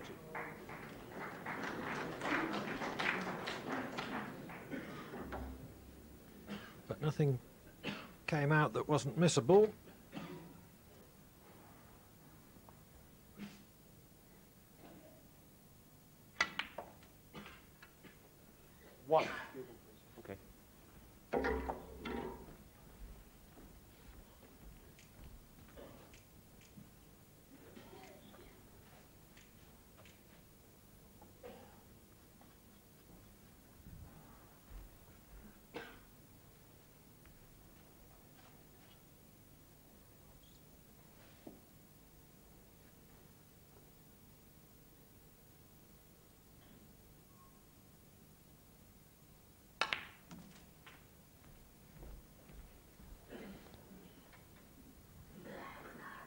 Eight.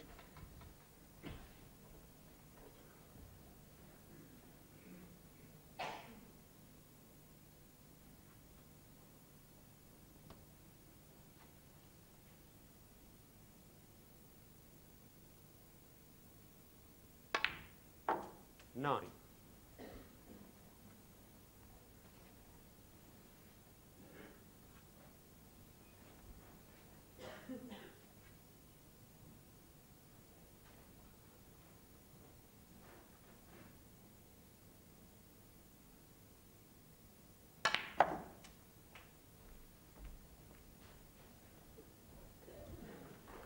Sixteen. Peter Ebdon just proving that he's got quite a bit of cue power as well with that deep screw shot.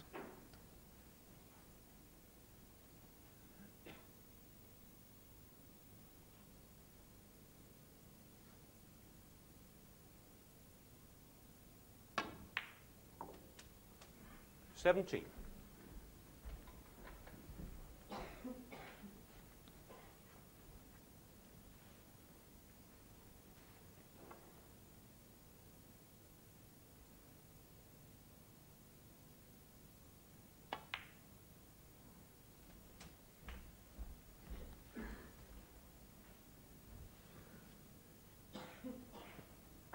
23. Well, he might have an angle here to pot the red and just slide off the other reds and maybe develop a couple and finish nicely on the black. 24. He's developed one.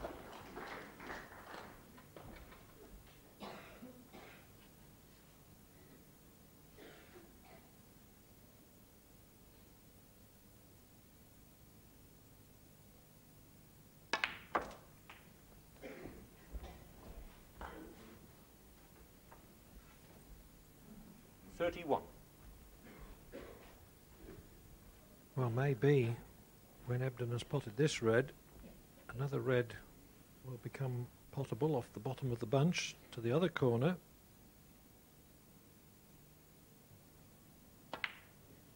Thirty-two.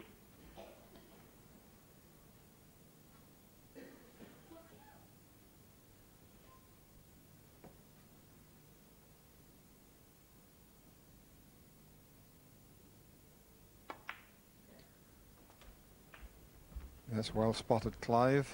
The back red pots. And if he's got an angle, he could develop another few 39. reds here. Just depends on the angle he's got on this pot. Having the cue ball cleaned again.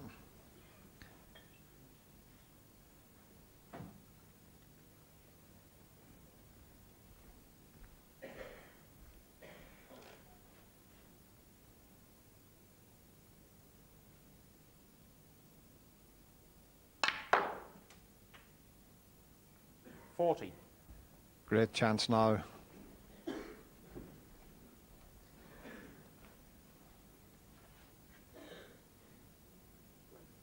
Green ball.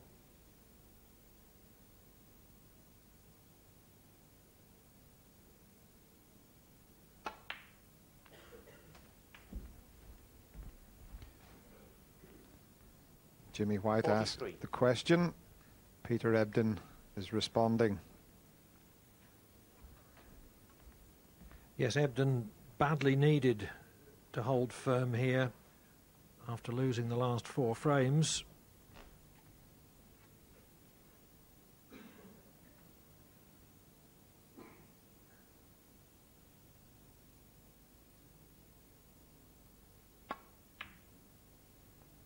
Forty-four. You can't say that's been because of an unduly high number of errors from him. White has played very well to put that sequence together, which included a couple of close ones. Fifty-one.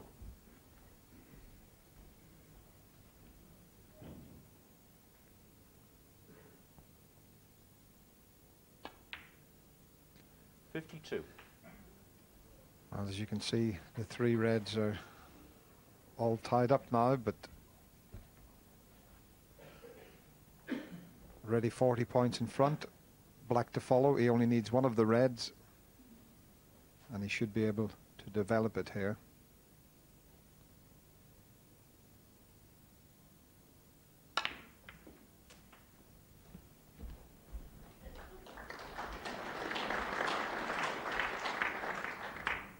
Fifty-nine.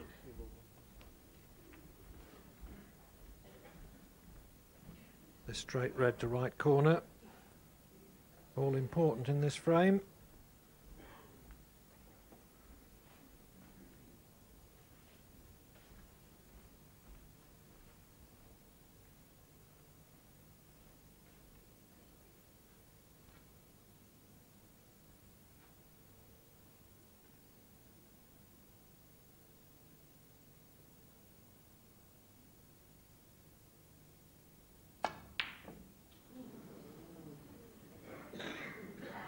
Peter Ebdon, fifty-nine. That was a big surprise.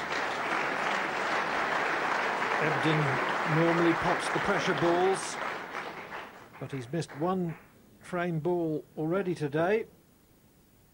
And this is another.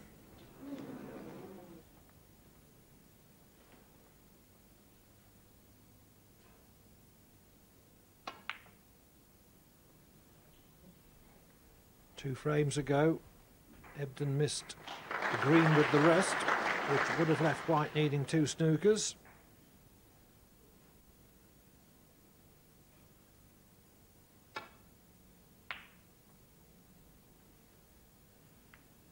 And if he also loses this frame, he won't have any difficulty in identifying the key moment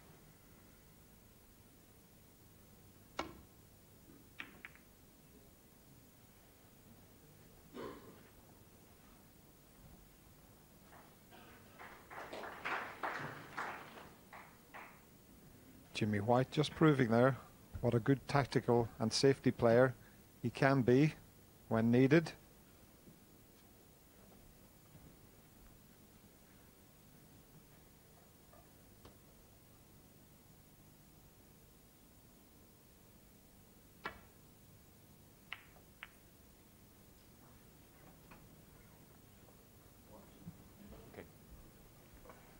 That good safety shot that Jimmy White played previously has given him an opening here.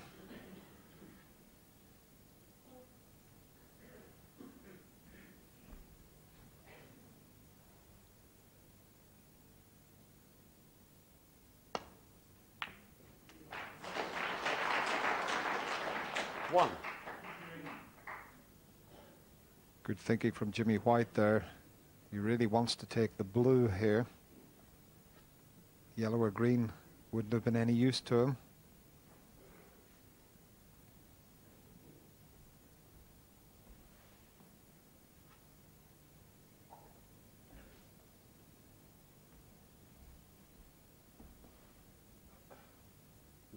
Blue ball.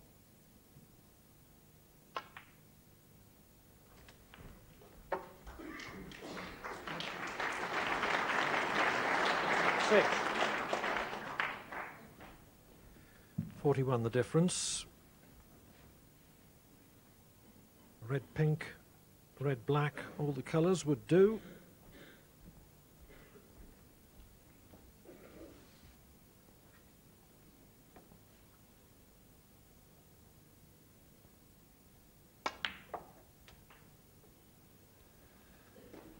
Seven.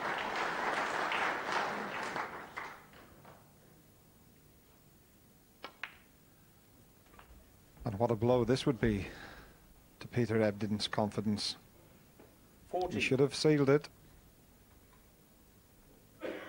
And White should have uh, ideally have been a little straighter on this red. I think he still can hold black ball position, or if not for black, then for pink.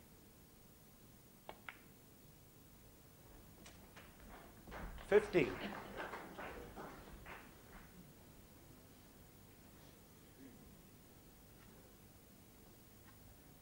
He's just run himself into a little needless difficulty, though, and he's just checking out his arithmetic, which can play you tricks in the heat of a tight finish to a frame.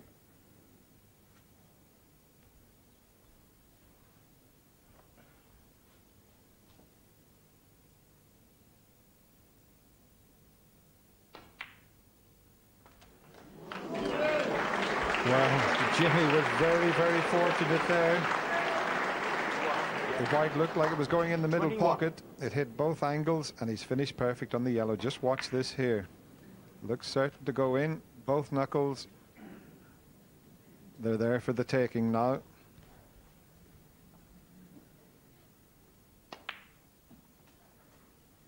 Twenty-three.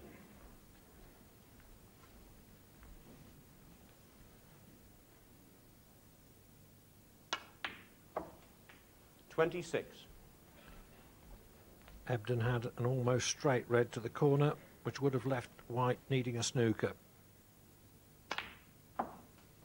Thirty.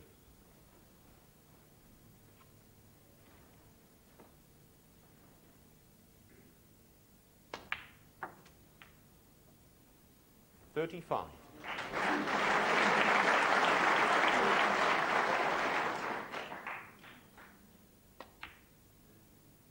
Forty-one.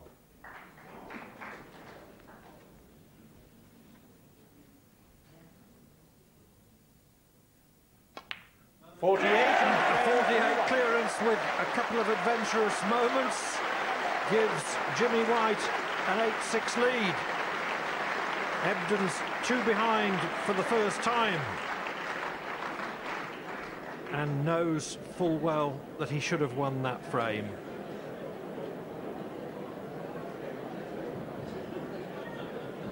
There's a frame that looked for all the world as if it was going Peter Ebdon's way, and what a huge bonus that must be for Jimmy John.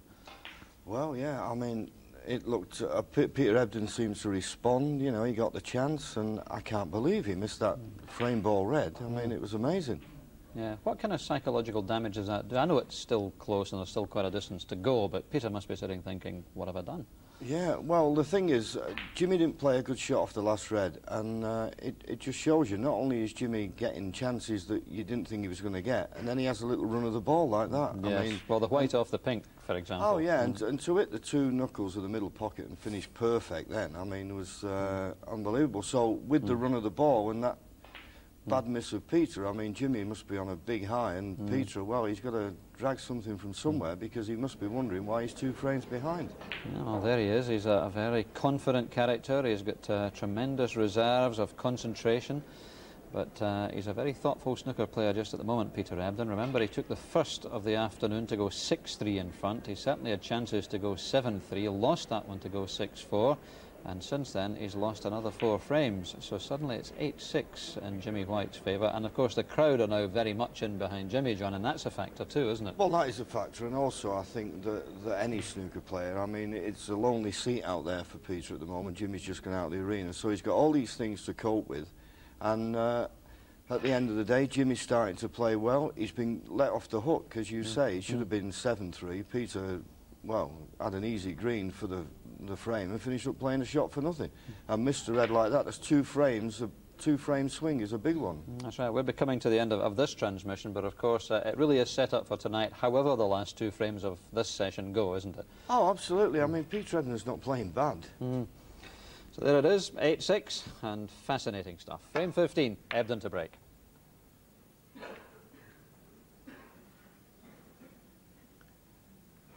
The one thing he mustn't do is dwell on what's happened and uh, the chances that he's missed. Two frame balls in the 13th frame and the last frame that we've just seen.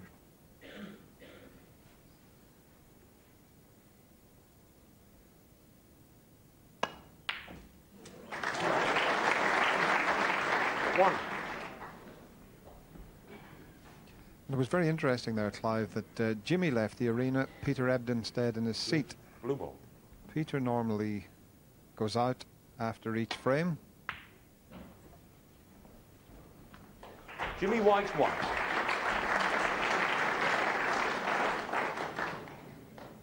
I've played Peter quite a few times, and it's his normal practice.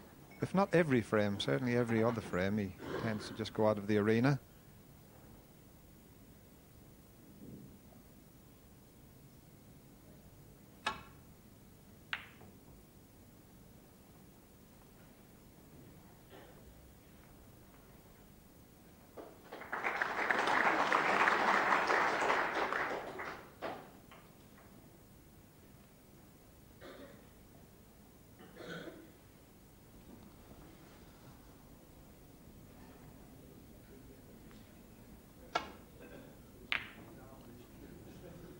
Well, we're in the early stages of this 15th frame then, and uh, Jimmy White from 6-3 behind is suddenly 8-6 in front, and a really tremendous match in prospect. We, of course, are back at 8.50 tonight, a little bit earlier than usual, over on BBC Two. We'll certainly see the continuation of this one, and indeed the final session of Ken Doherty against Darren Morgan. That's more snooker from the Crucible, 10 tonight tonight. Bye-bye.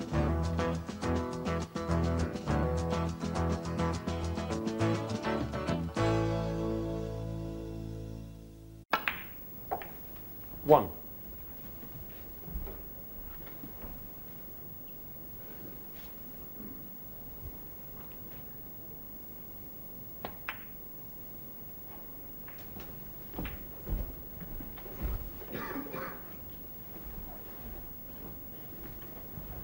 Eight.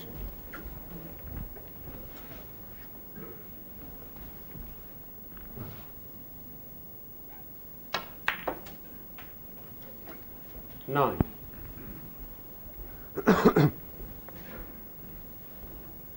He's let the cue ball slip away slightly there, just hampered by the red, but Shouldn't be any problem.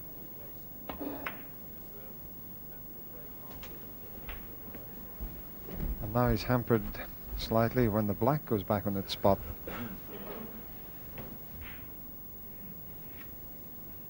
Sixteen. Looks as if he'll have to uh, head up for the blue this time. But he should be back in prime position in a couple of shots. Seventy.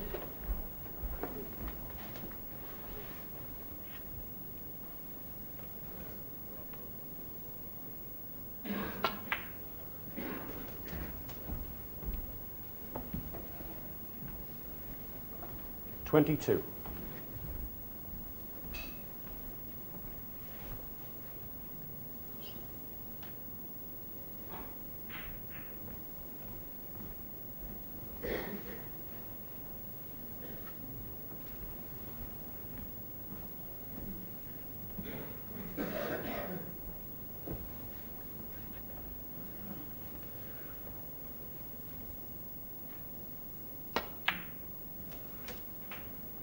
Twenty-three.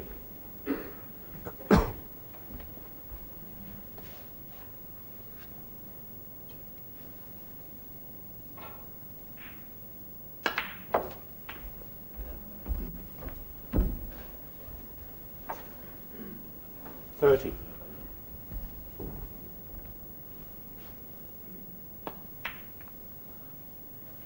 Thirty-one.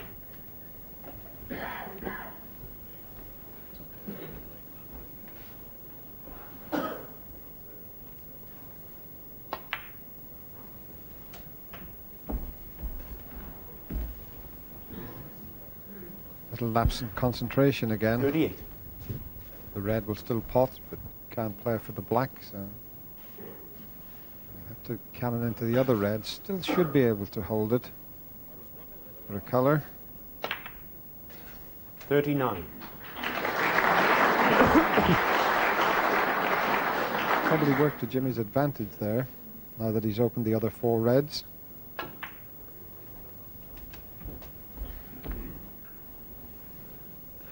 Well, now, Forty-four. he played for the red, I'm sure, that's to the right of the black. Can he pot the one that's by the pink? He could, Forty-five.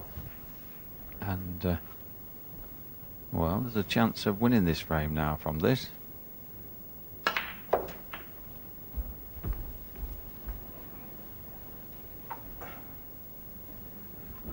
Fifty-two.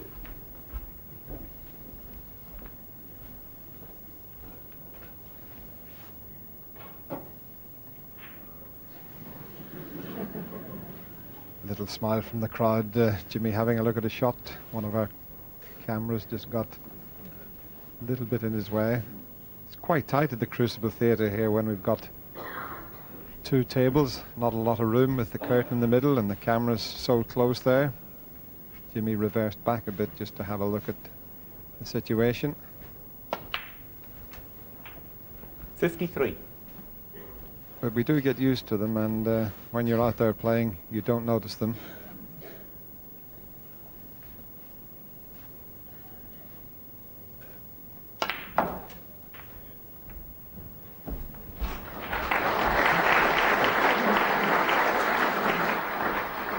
Well, 60. applause, but I don't think Jimmy played to kiss that red like that, but uh, he will not be displeased.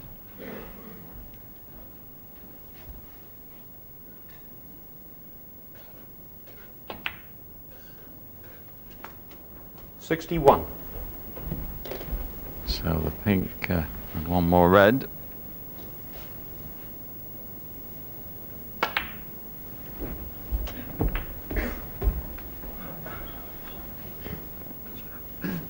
Sixty-seven.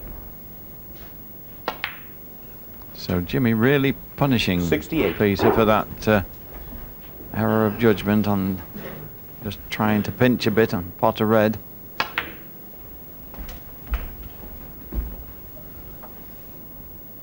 Seventy-four.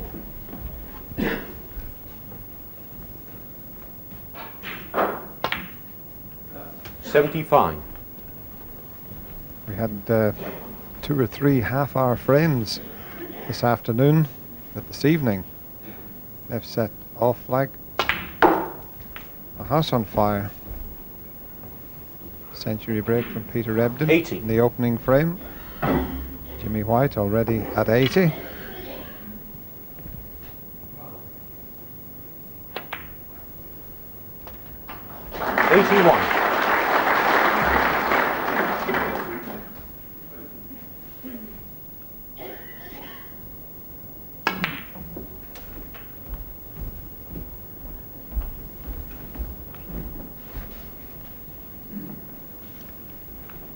88. Well, the red in the middle will go to the far corner.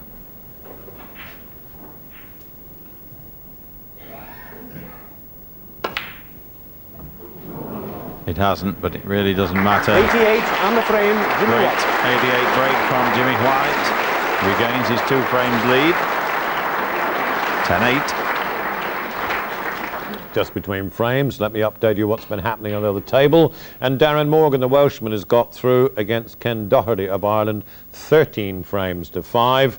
And Darren Morgan will now play the champion, Stephen Hendry, in a quarter final. Coming up in this programme, your first chance to have a go at Shot of the Championship, where you can join us next Sunday and Monday. VIP trip here for all the final. But now continuing with White and Ebdon, it's frame 19. It's just underway. The Reds are all over the place. And this is Ebdon who's in with a five-point lead.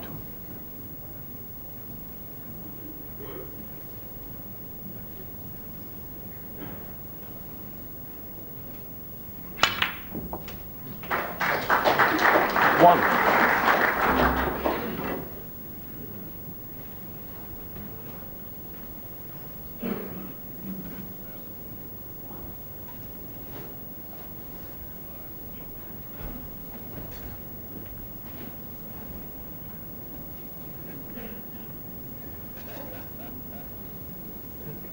Pink ball.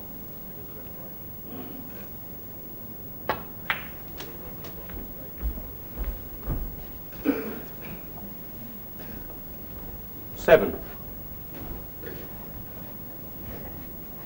Shot playing for the red that's by the black. That will open the black up.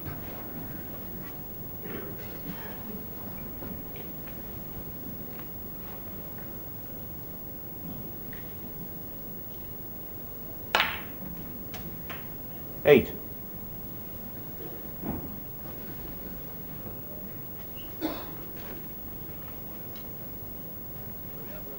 His heart had a bit of a flutter there. He almost overscrewed that and dropped in behind the red, but he's. Okay.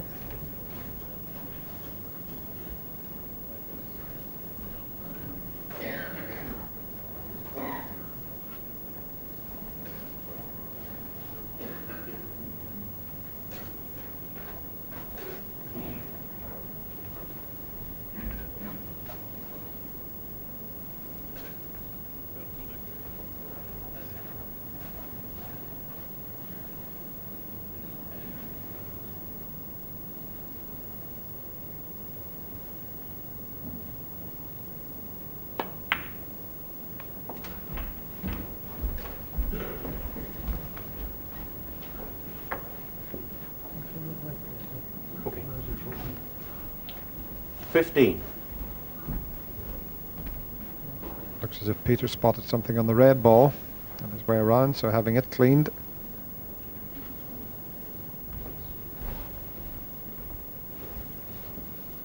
He's got to keep his concentration. There's uh, very difficult to run out of position with the reds like this.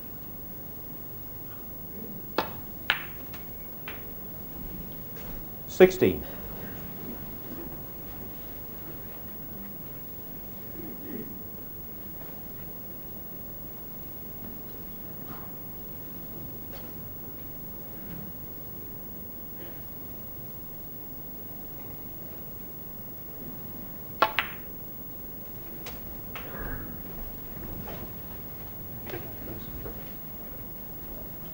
Twenty-three.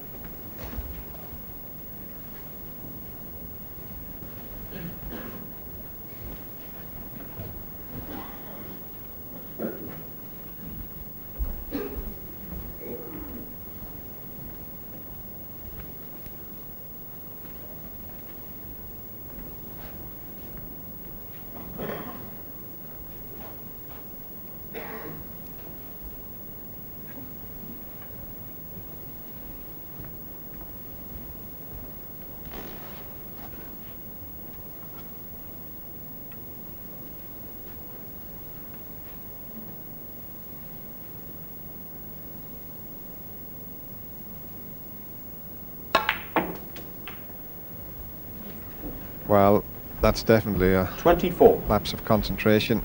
That was a terrible shot he played there. Cannoning into the other red.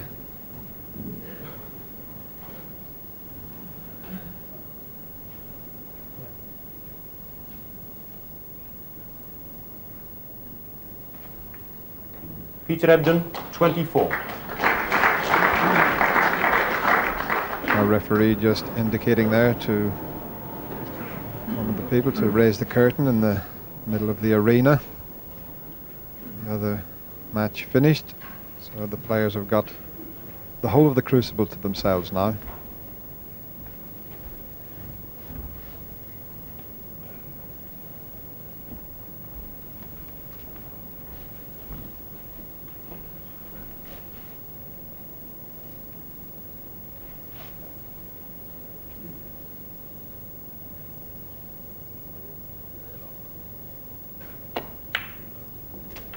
One.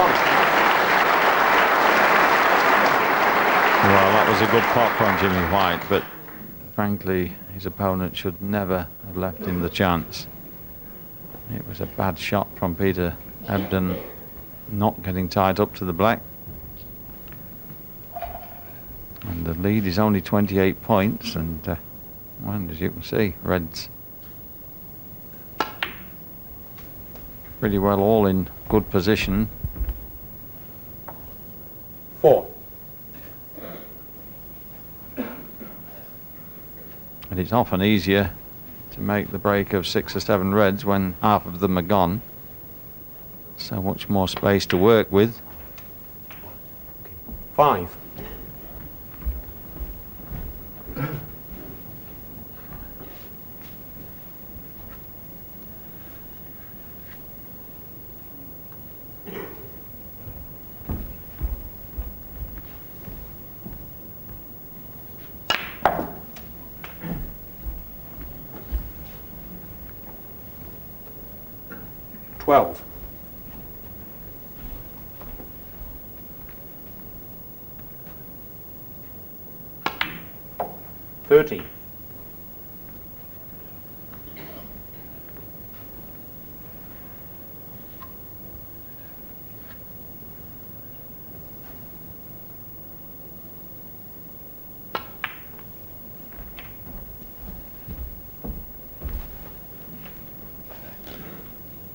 Eighteen. Jimmy just losing his way a little. He's still on a choice of reds, but not uh, quite how he would like to have been.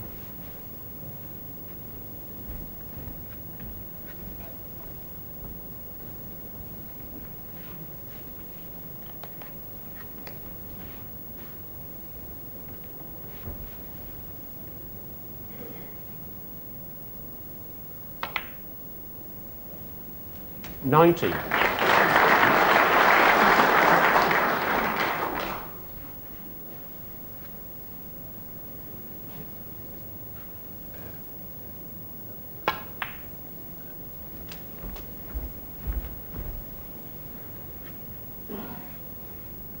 Twenty-four.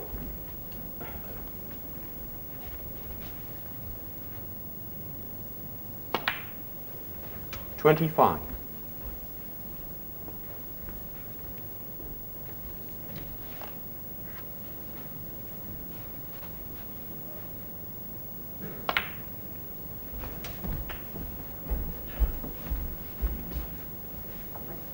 Can't see any problems with the next Thirty-one.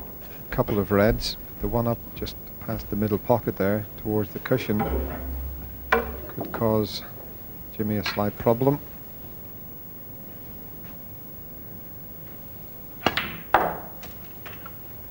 Thirty-two.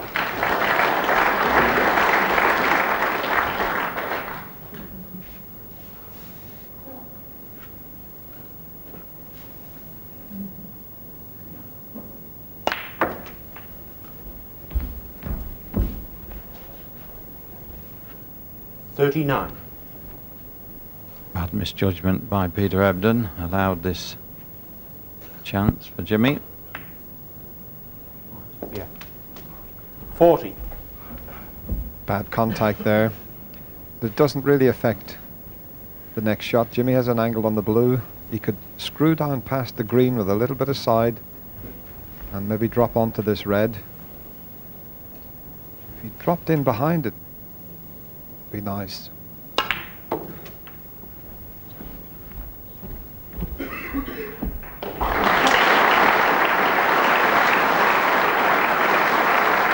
Forty-five.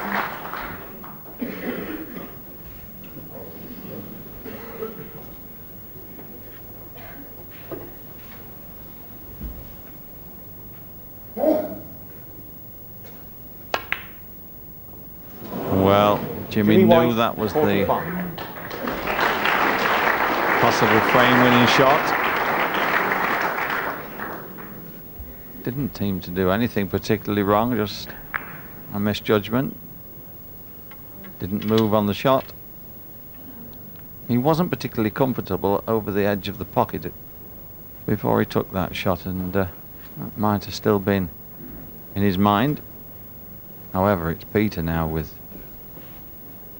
chance to, uh, well, it's a difficult red, but it's certainly a chance.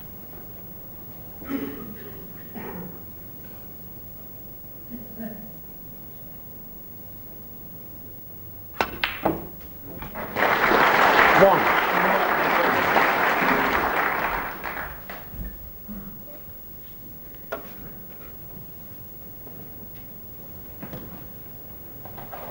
So he's just come back far enough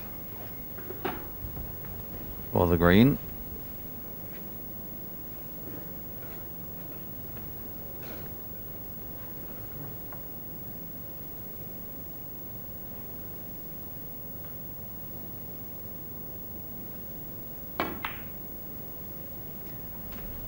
And the brown may not be a problem for Peter Ebdon. It's the right side of the table for him, being right-handed. Four.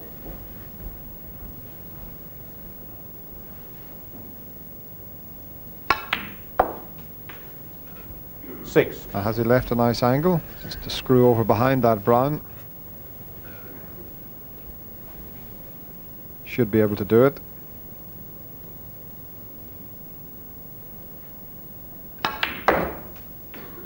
Nine.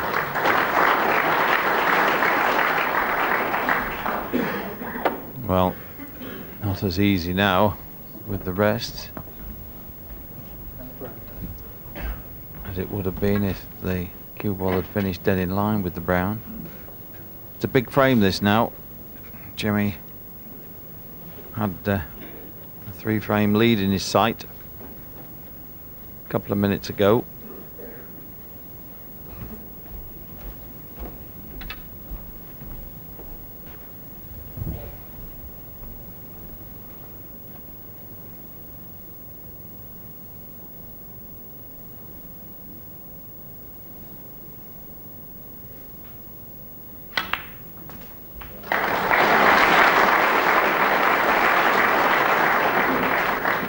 So once blue and pink, but he's just slightly the wrong side of the blue, but probably got enough angle not to uh, cause him too much trouble.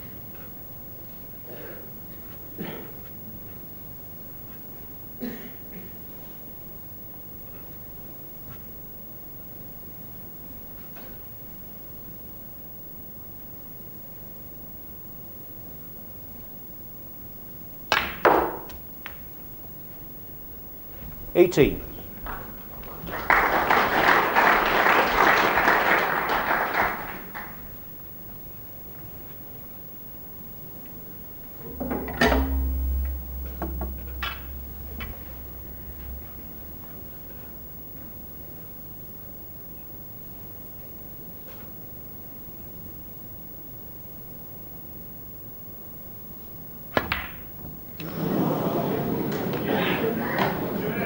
Peter Ebdon, 18. Well, Quietly, thank you, gentlemen. in the final analysis in this match,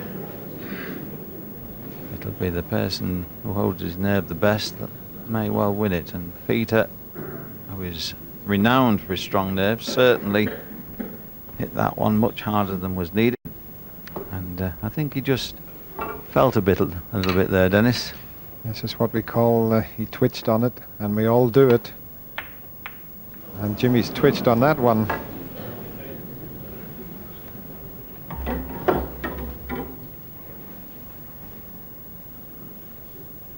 Well, what's going to happen next? Does he clip the pink in? Settling himself down. Looks at the scoreboard. He's got to take the pink on.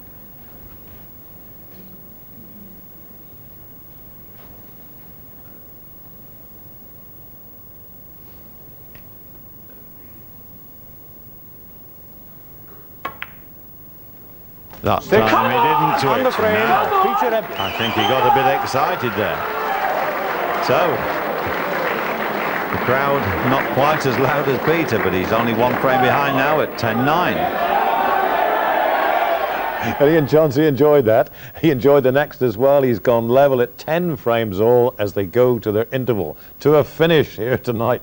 Don't miss it. Just time, as I promised you, for our first look at shot of the championship. Lots of prizes. The big prize, the trip down here Sunday and Monday. Hotels, tickets, everything paid for. It's the Unmistakably, Peter Ebdon shouting out the stories so far of his Embassy World Championship match with Jimmy White tonight here. One that's already enthralled the Crucible and hopefully you at home. 10 all in this programme to a finish. It's already a classic. As for the news about Ronnie O'Sullivan and the inquiry into his alleged assault on a snooker official, that is still going on in a hotel here in Sheffield, even this late hour. You'll have news of it in this programme as soon as we get any news at all. But action on the table. Jimmy White and Peter Ebdon. What a match this has become. 10 frames all, as I said. They shared the next two, 57 by Ebdon and 90 by Jimmy White. That takes us to frame 23 as we join it with commentators Ray Edmonds and Dennis Taylor. White is on a break of 44.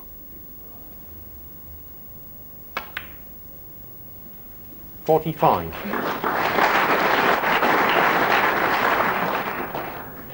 Needs one more decent split after potting the blue. The angle's there.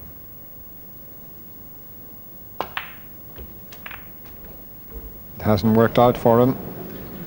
He's not going to kill the frame off. That little smile tells you what Jimmy thinks of the outcome of that shot.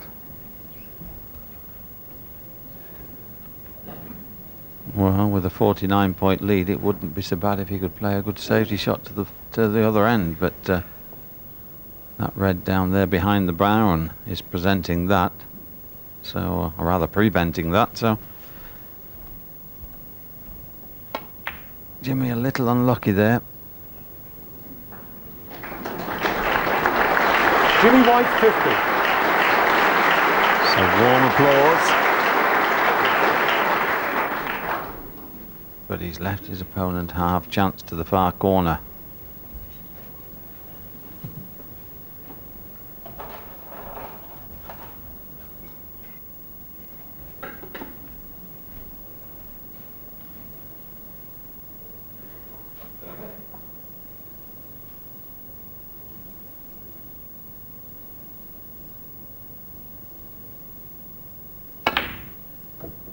One.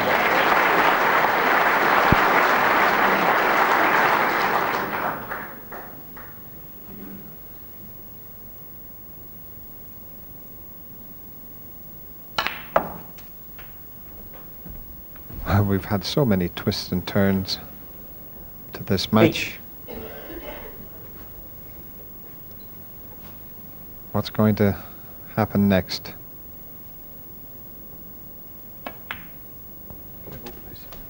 Nine. Now he can just drop onto the red there, the front one of the little triangle, and when he pops that, it will open the other two up for the left corner pocket.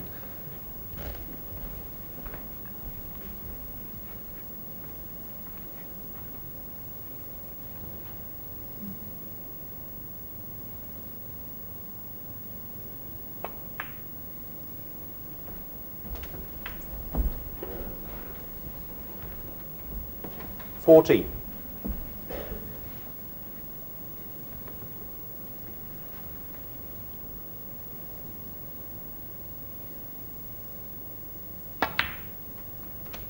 Fifteen.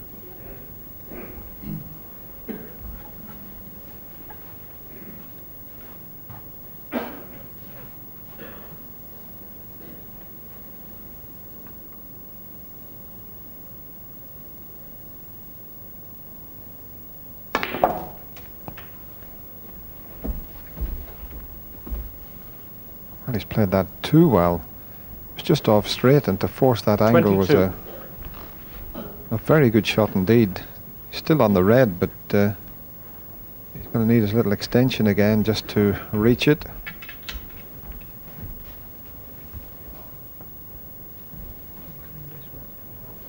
If I can get it out there.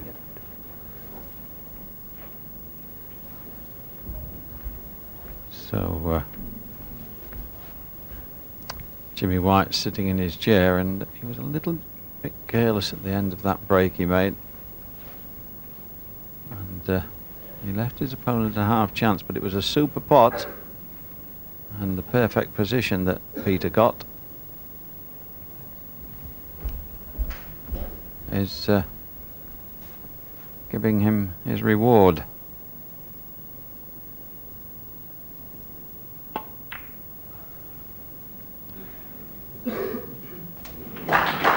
Twenty-three. The red nearly didn't drop, but worse. And you don't very often see Peter Ebdon show any sign of emotion, but I think that red has blocked the black. He shows emotion when he wins a frame, but not when he has a bad kiss or a bad shot.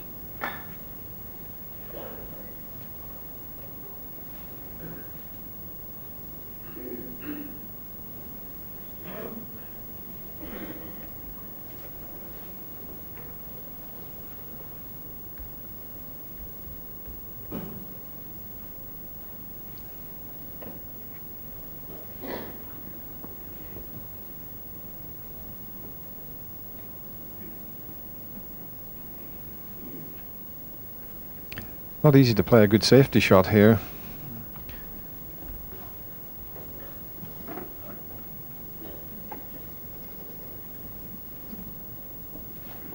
Peter doesn't want to knock any of the other colours safe because he's behind. Is he taking the green on and trying to move the red, I wonder? Brave shot at this stage.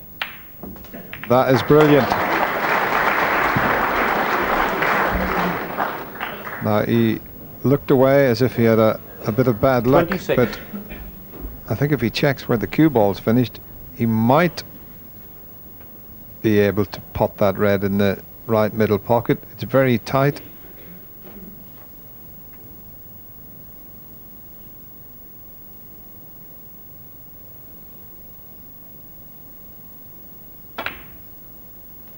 Well, Twenty-seven. That was an amazing shot he took on in the green. And if he does manage to win this frame, uh, I don't know what reaction we'll get from Peter.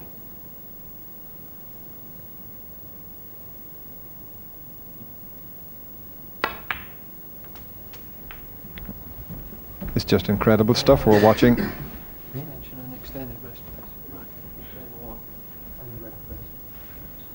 Thirty-two.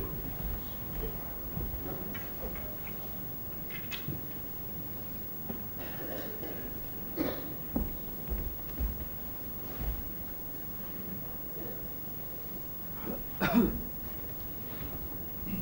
sure Jimmy thought he'd got a little bit of a reprieve when that red covered the black.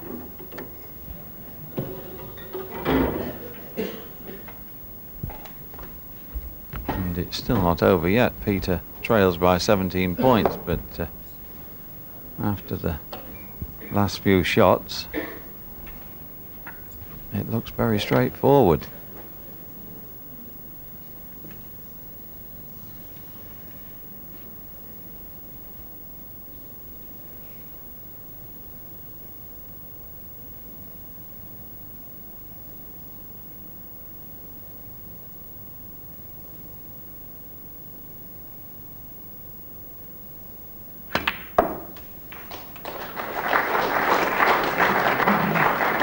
Thirty-three.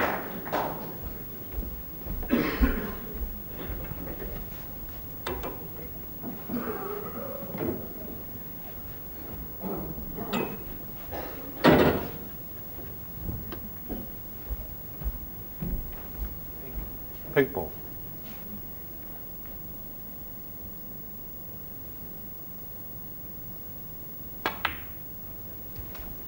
If he does manage to clear up here, you, you won't see a better clearance under such pressure. 39.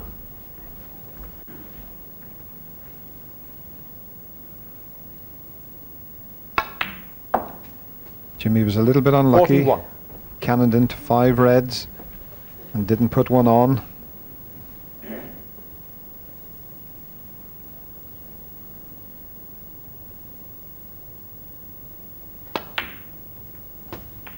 Forty-four.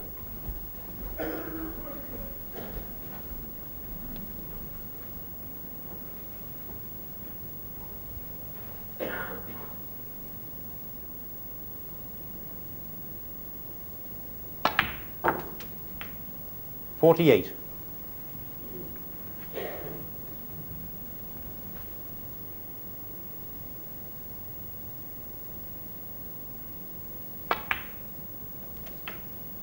Fifty-three. So doesn't need the black, just the pink.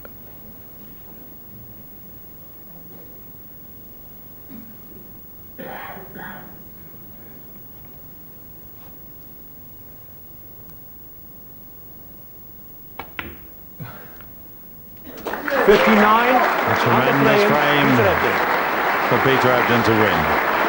Jimmy White a little unlucky, but Peter Ebdon now just wants one more. 12-11 in front.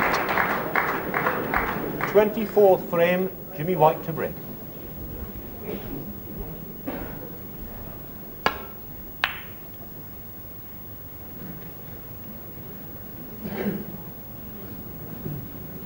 And that's the worst break-off shot that Jimmy White has made in this match. And he knows it.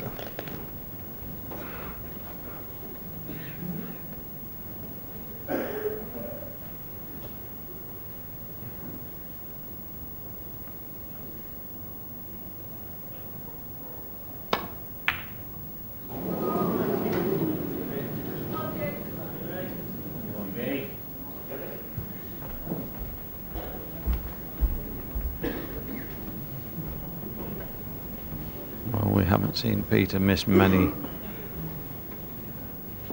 potable balls this evening, or for that matter throughout this match.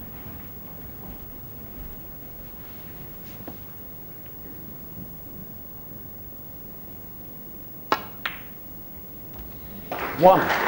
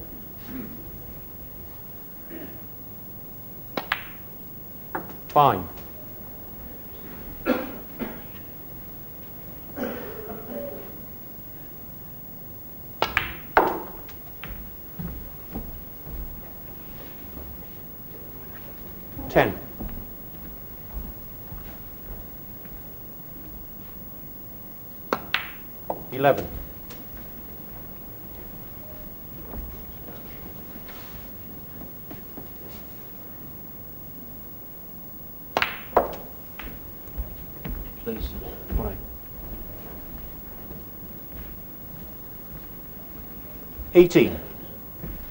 And suddenly, Ray, you can hear a pin drop in the Crucible Theatre. Everyone's enthralled by this encounter. Nineteen.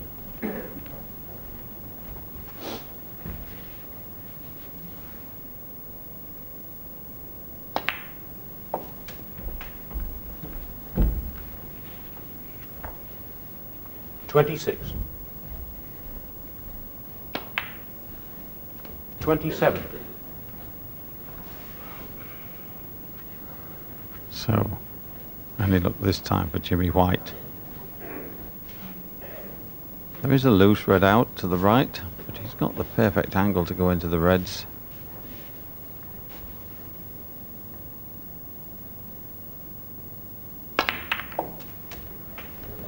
that's not bad. That's not bad. 34. Might just be a little bit awkward cueing, Ray. Got the easy red in the middle pocket, but he's hampered slightly.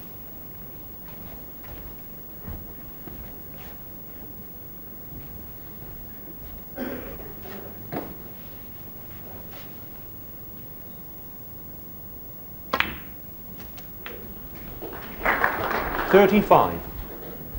Please.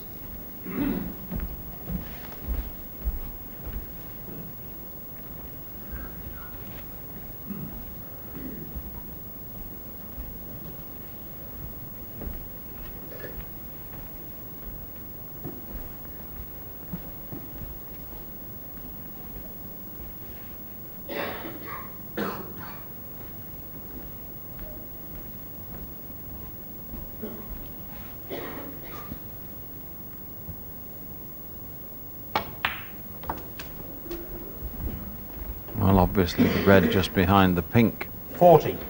We'll go to the left.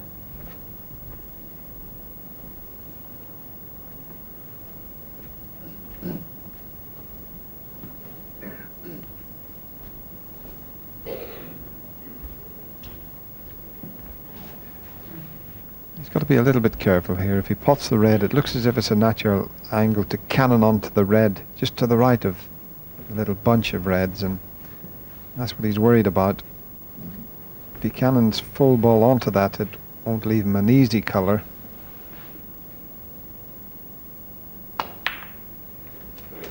Forty-one.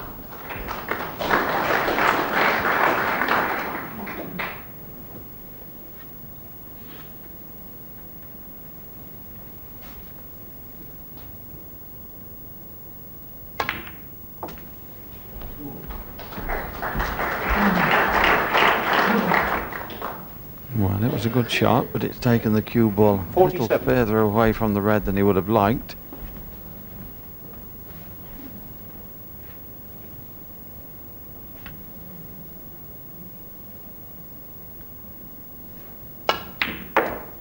Forty-eight.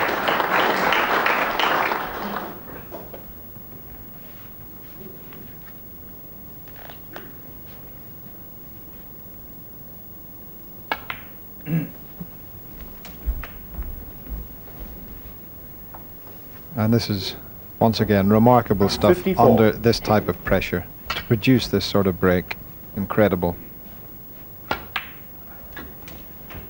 55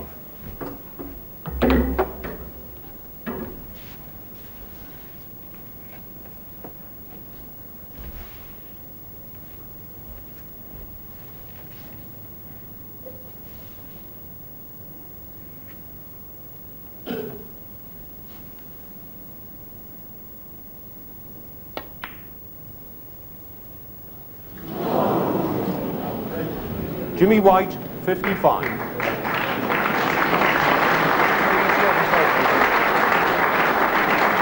Well, it was always going just to the far angle. A little bit slower, he might just have fallen in, but worse to follow. He's got perfect on the red.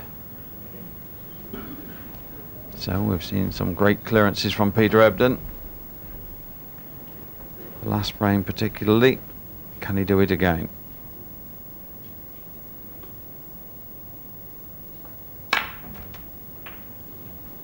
One. Well, the adrenaline's really pumping in Peter Ebdon. He overscrewed that by some 18 inches. Wanted to be on the blue. To be able to pot it and move the four reds. He's still going to take it on, but it's not as easy a pot. Blue ball.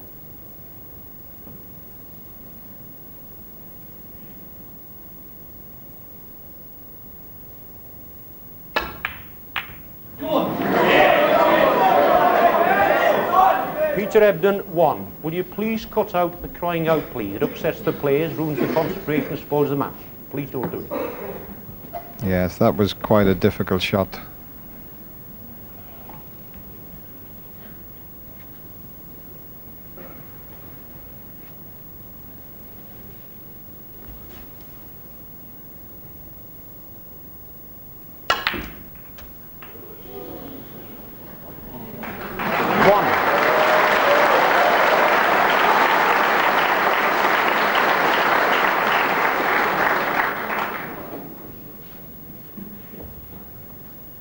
This was really a wonderful.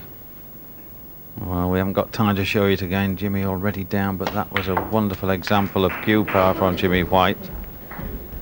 And now 61 points in front, 59 on the table. Seven.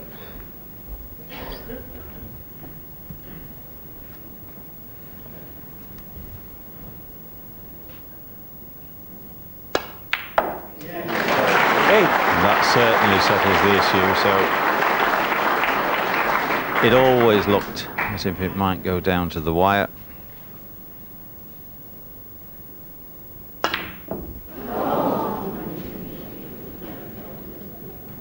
Well, 62 points, 51 on the table. Jimmy White, eight. He should have done enough really to earn that final frame. He had 12 all, and like in the first round, Jimmy White is down to the last round to survive in the Embassy Championship of the World. Peter Ebdon to break. This decides it.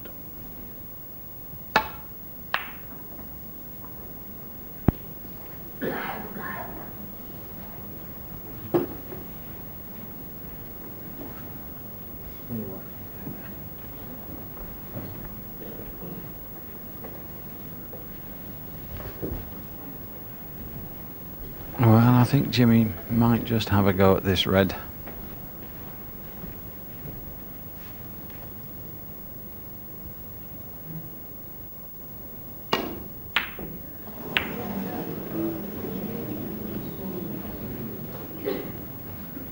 But in these situations, it comes down to a battle of nerve as much as anything else. Both these plenty both these players have got plenty of it. They're uh, they've both got good records in tight situations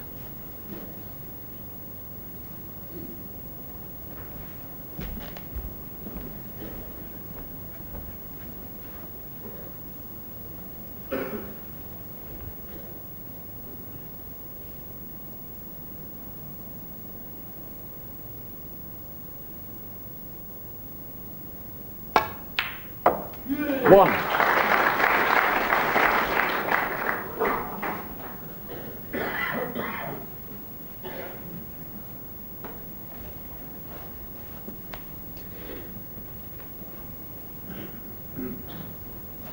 Peter Ebdon's had many close battles, but certainly not as many close battles at the Crucible Theatre. Certainly not as many as his opponent, Jimmy White.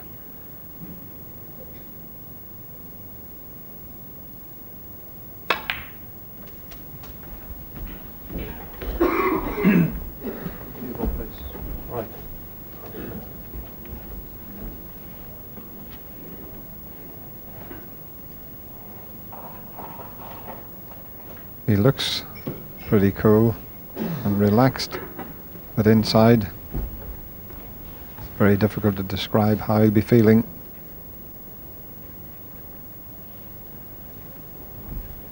Seven.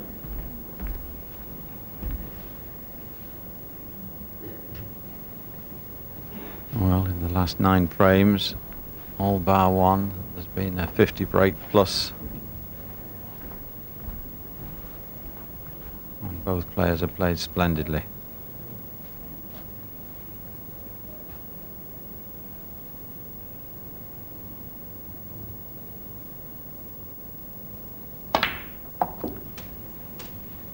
Eight. either player would give a lot to get a 50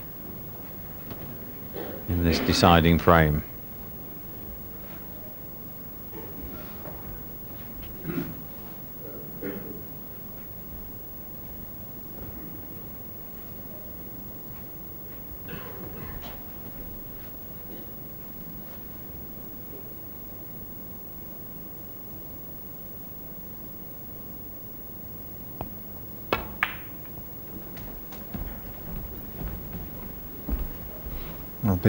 Side of the blue there, he's had to leave 30. a little bit longer range pot.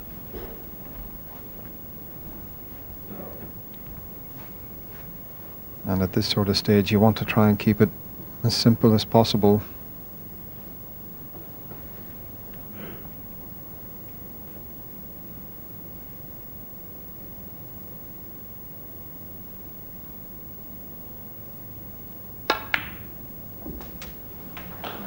14.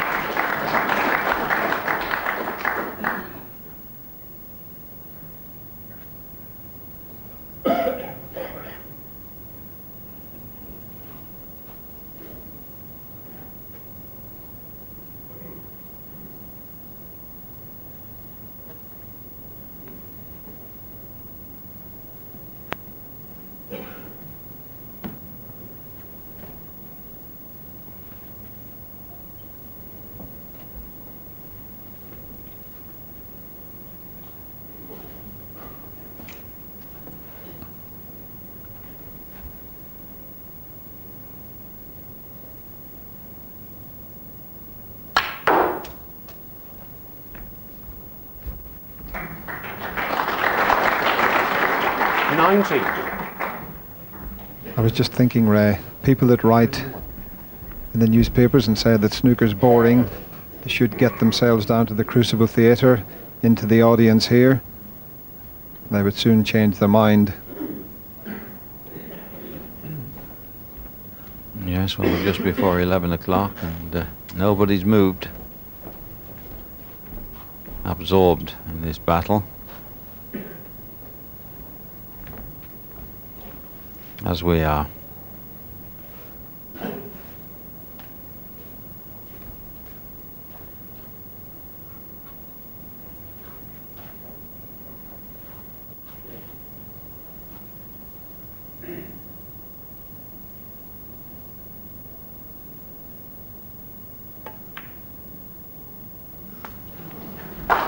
Twenty.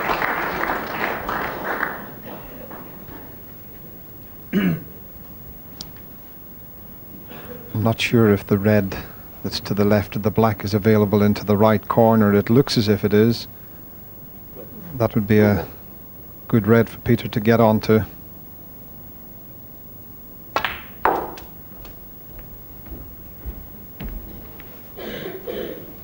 This will open the black up into both corner pockets.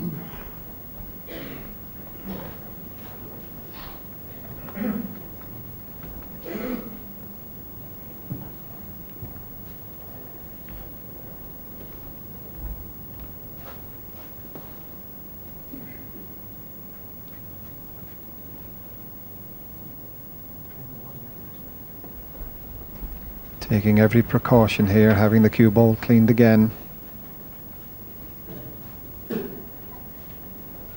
And the red just in front of the pink is also available into the left corner, so this is a decent chance here.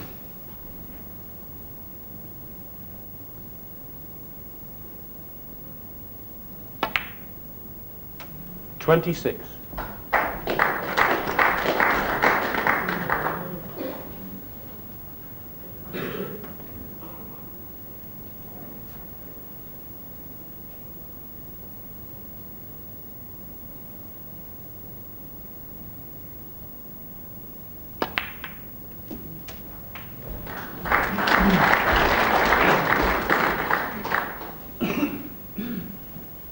Thirty-three.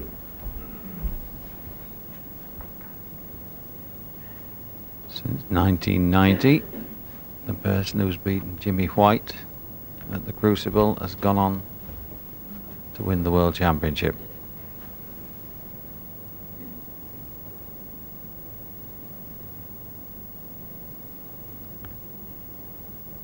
Five times, of course, in the 34. final.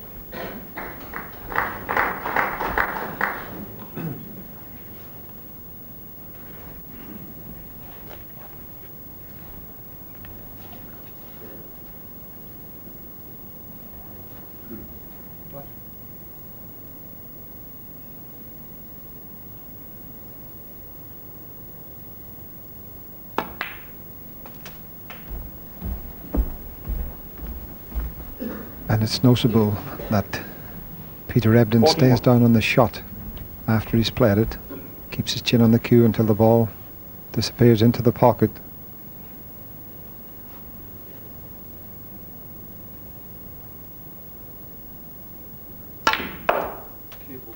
Forty-two.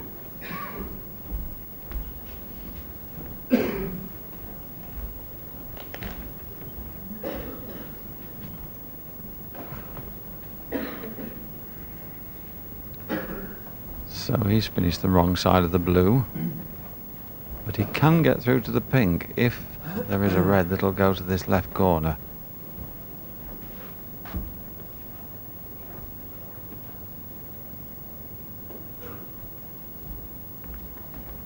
I think the red at the top there, just to the left, will go. But uh, Peter having a good look to see if the pink would be in the way, where it would spot. And it looks to me as if it won't go on its own spot for sure. Pink. Pink ball.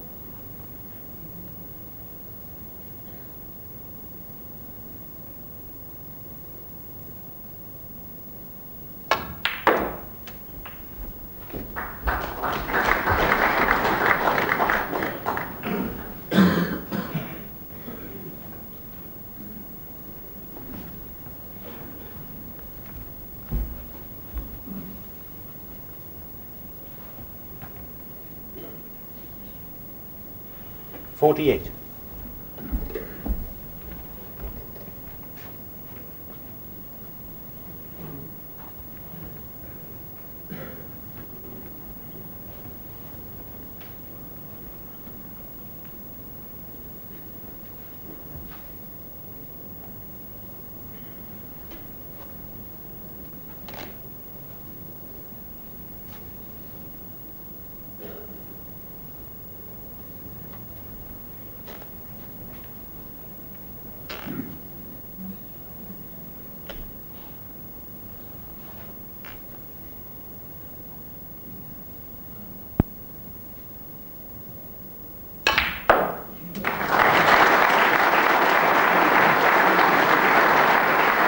Forty-nine.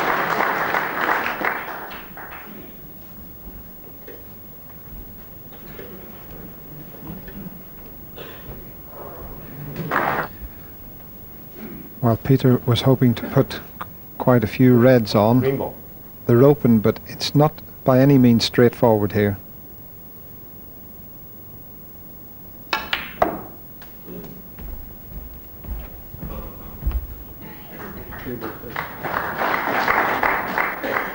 Fifty-two.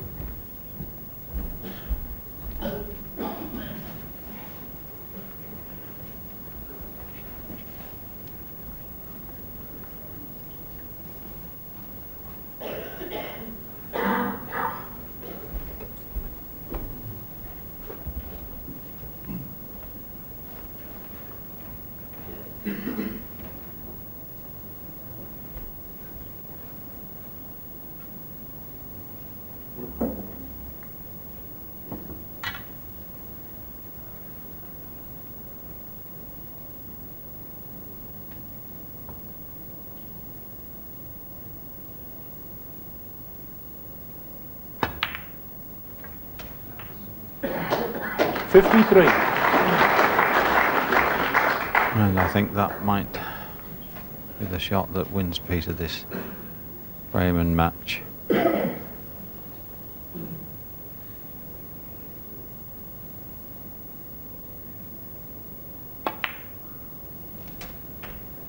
Yes, Ray, that one little cannon he played there has opened everything up. This is a brilliant performance. Sixty.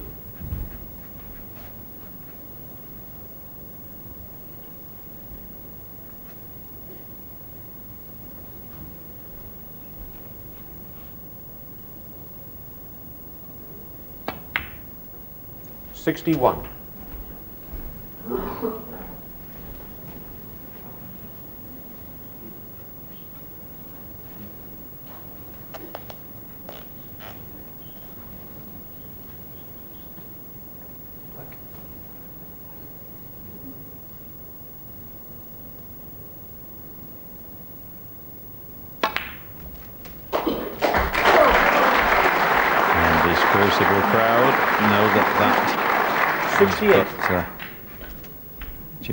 At the snooker's required stage.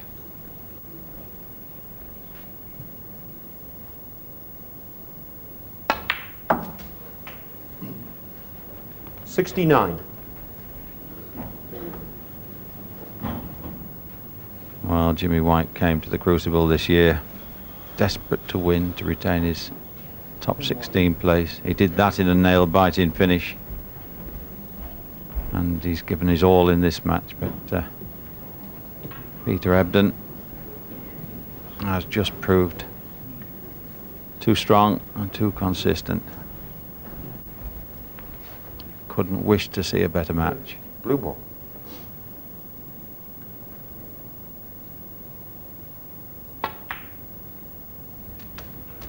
Yes, Red, virtually come down to the toss of a coin.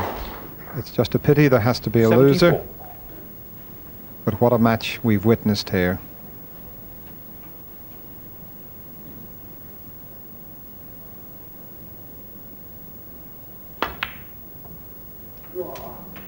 Seventy-five.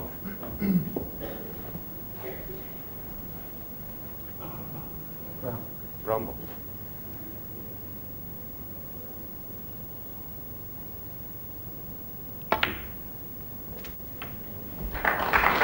So Peter Ebdon going on to play Steve Davis. And Seventy-nine. Intriguing to see how much this has taken out of him. He's now relaxed. He knows he's through.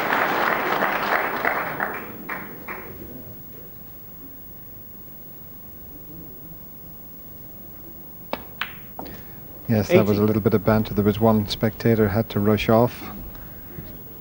And Peter said, why now?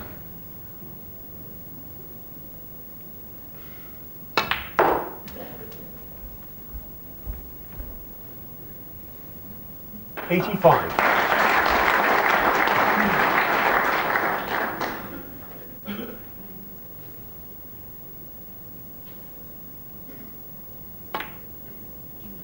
Eighty-six.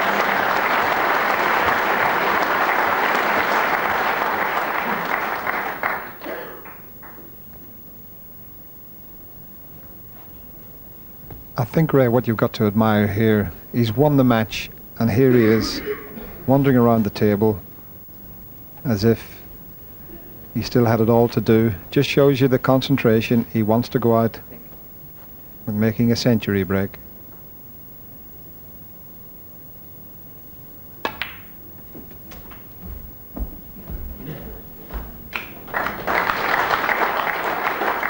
Ninety-two.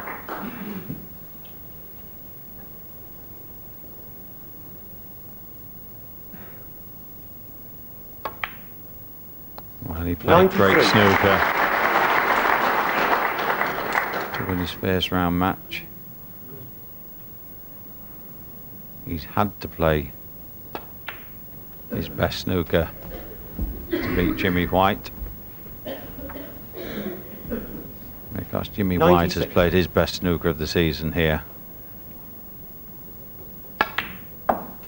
98.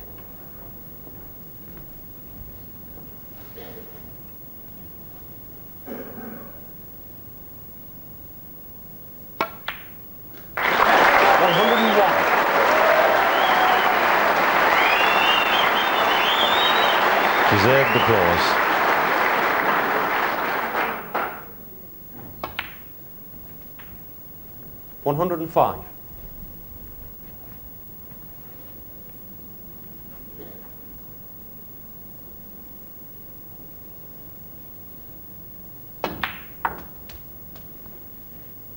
One hundred and ten.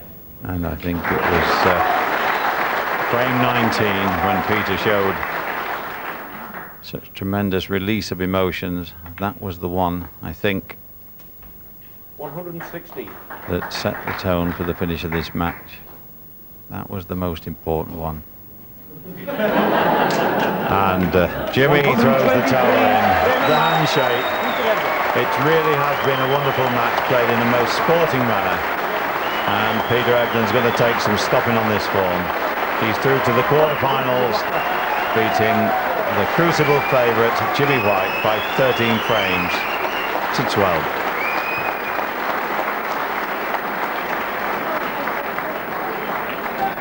One of the great matches here, and it's Peter Ebdon versus Steve Davis in the quarter-final. As for Ronnie O'Sullivan, the inquiry at the hotelier in Sheffield has just ended. There's Ronnie O'Sullivan, and it's been going on for hours now with the disciplinary committee. of the WPBSA. And although no official statement has yet been uh, released, there's Geoff Foulds, part of the disciplinary committee. I can actually tell you, and I've just been told by Geoff Foulds, that Ronnie O'Sullivan will be allowed to continue in the Embassy World Championship, which means he plays John Higgins, the joint second favourite, tomorrow morning at 10.30. No other details, fines, anything else, but Ronnie O'Sullivan has not been banned. And I'm just hearing something else. He has had a two-year ban, but it's suspended for two years. A two-year ban, but suspended for two years. But it means he does play tomorrow. He plays John Higgins tomorrow morning here at 10.30. So we're down to the last eight, the Embassy Championship World, and that includes O'Sullivan. See you tomorrow.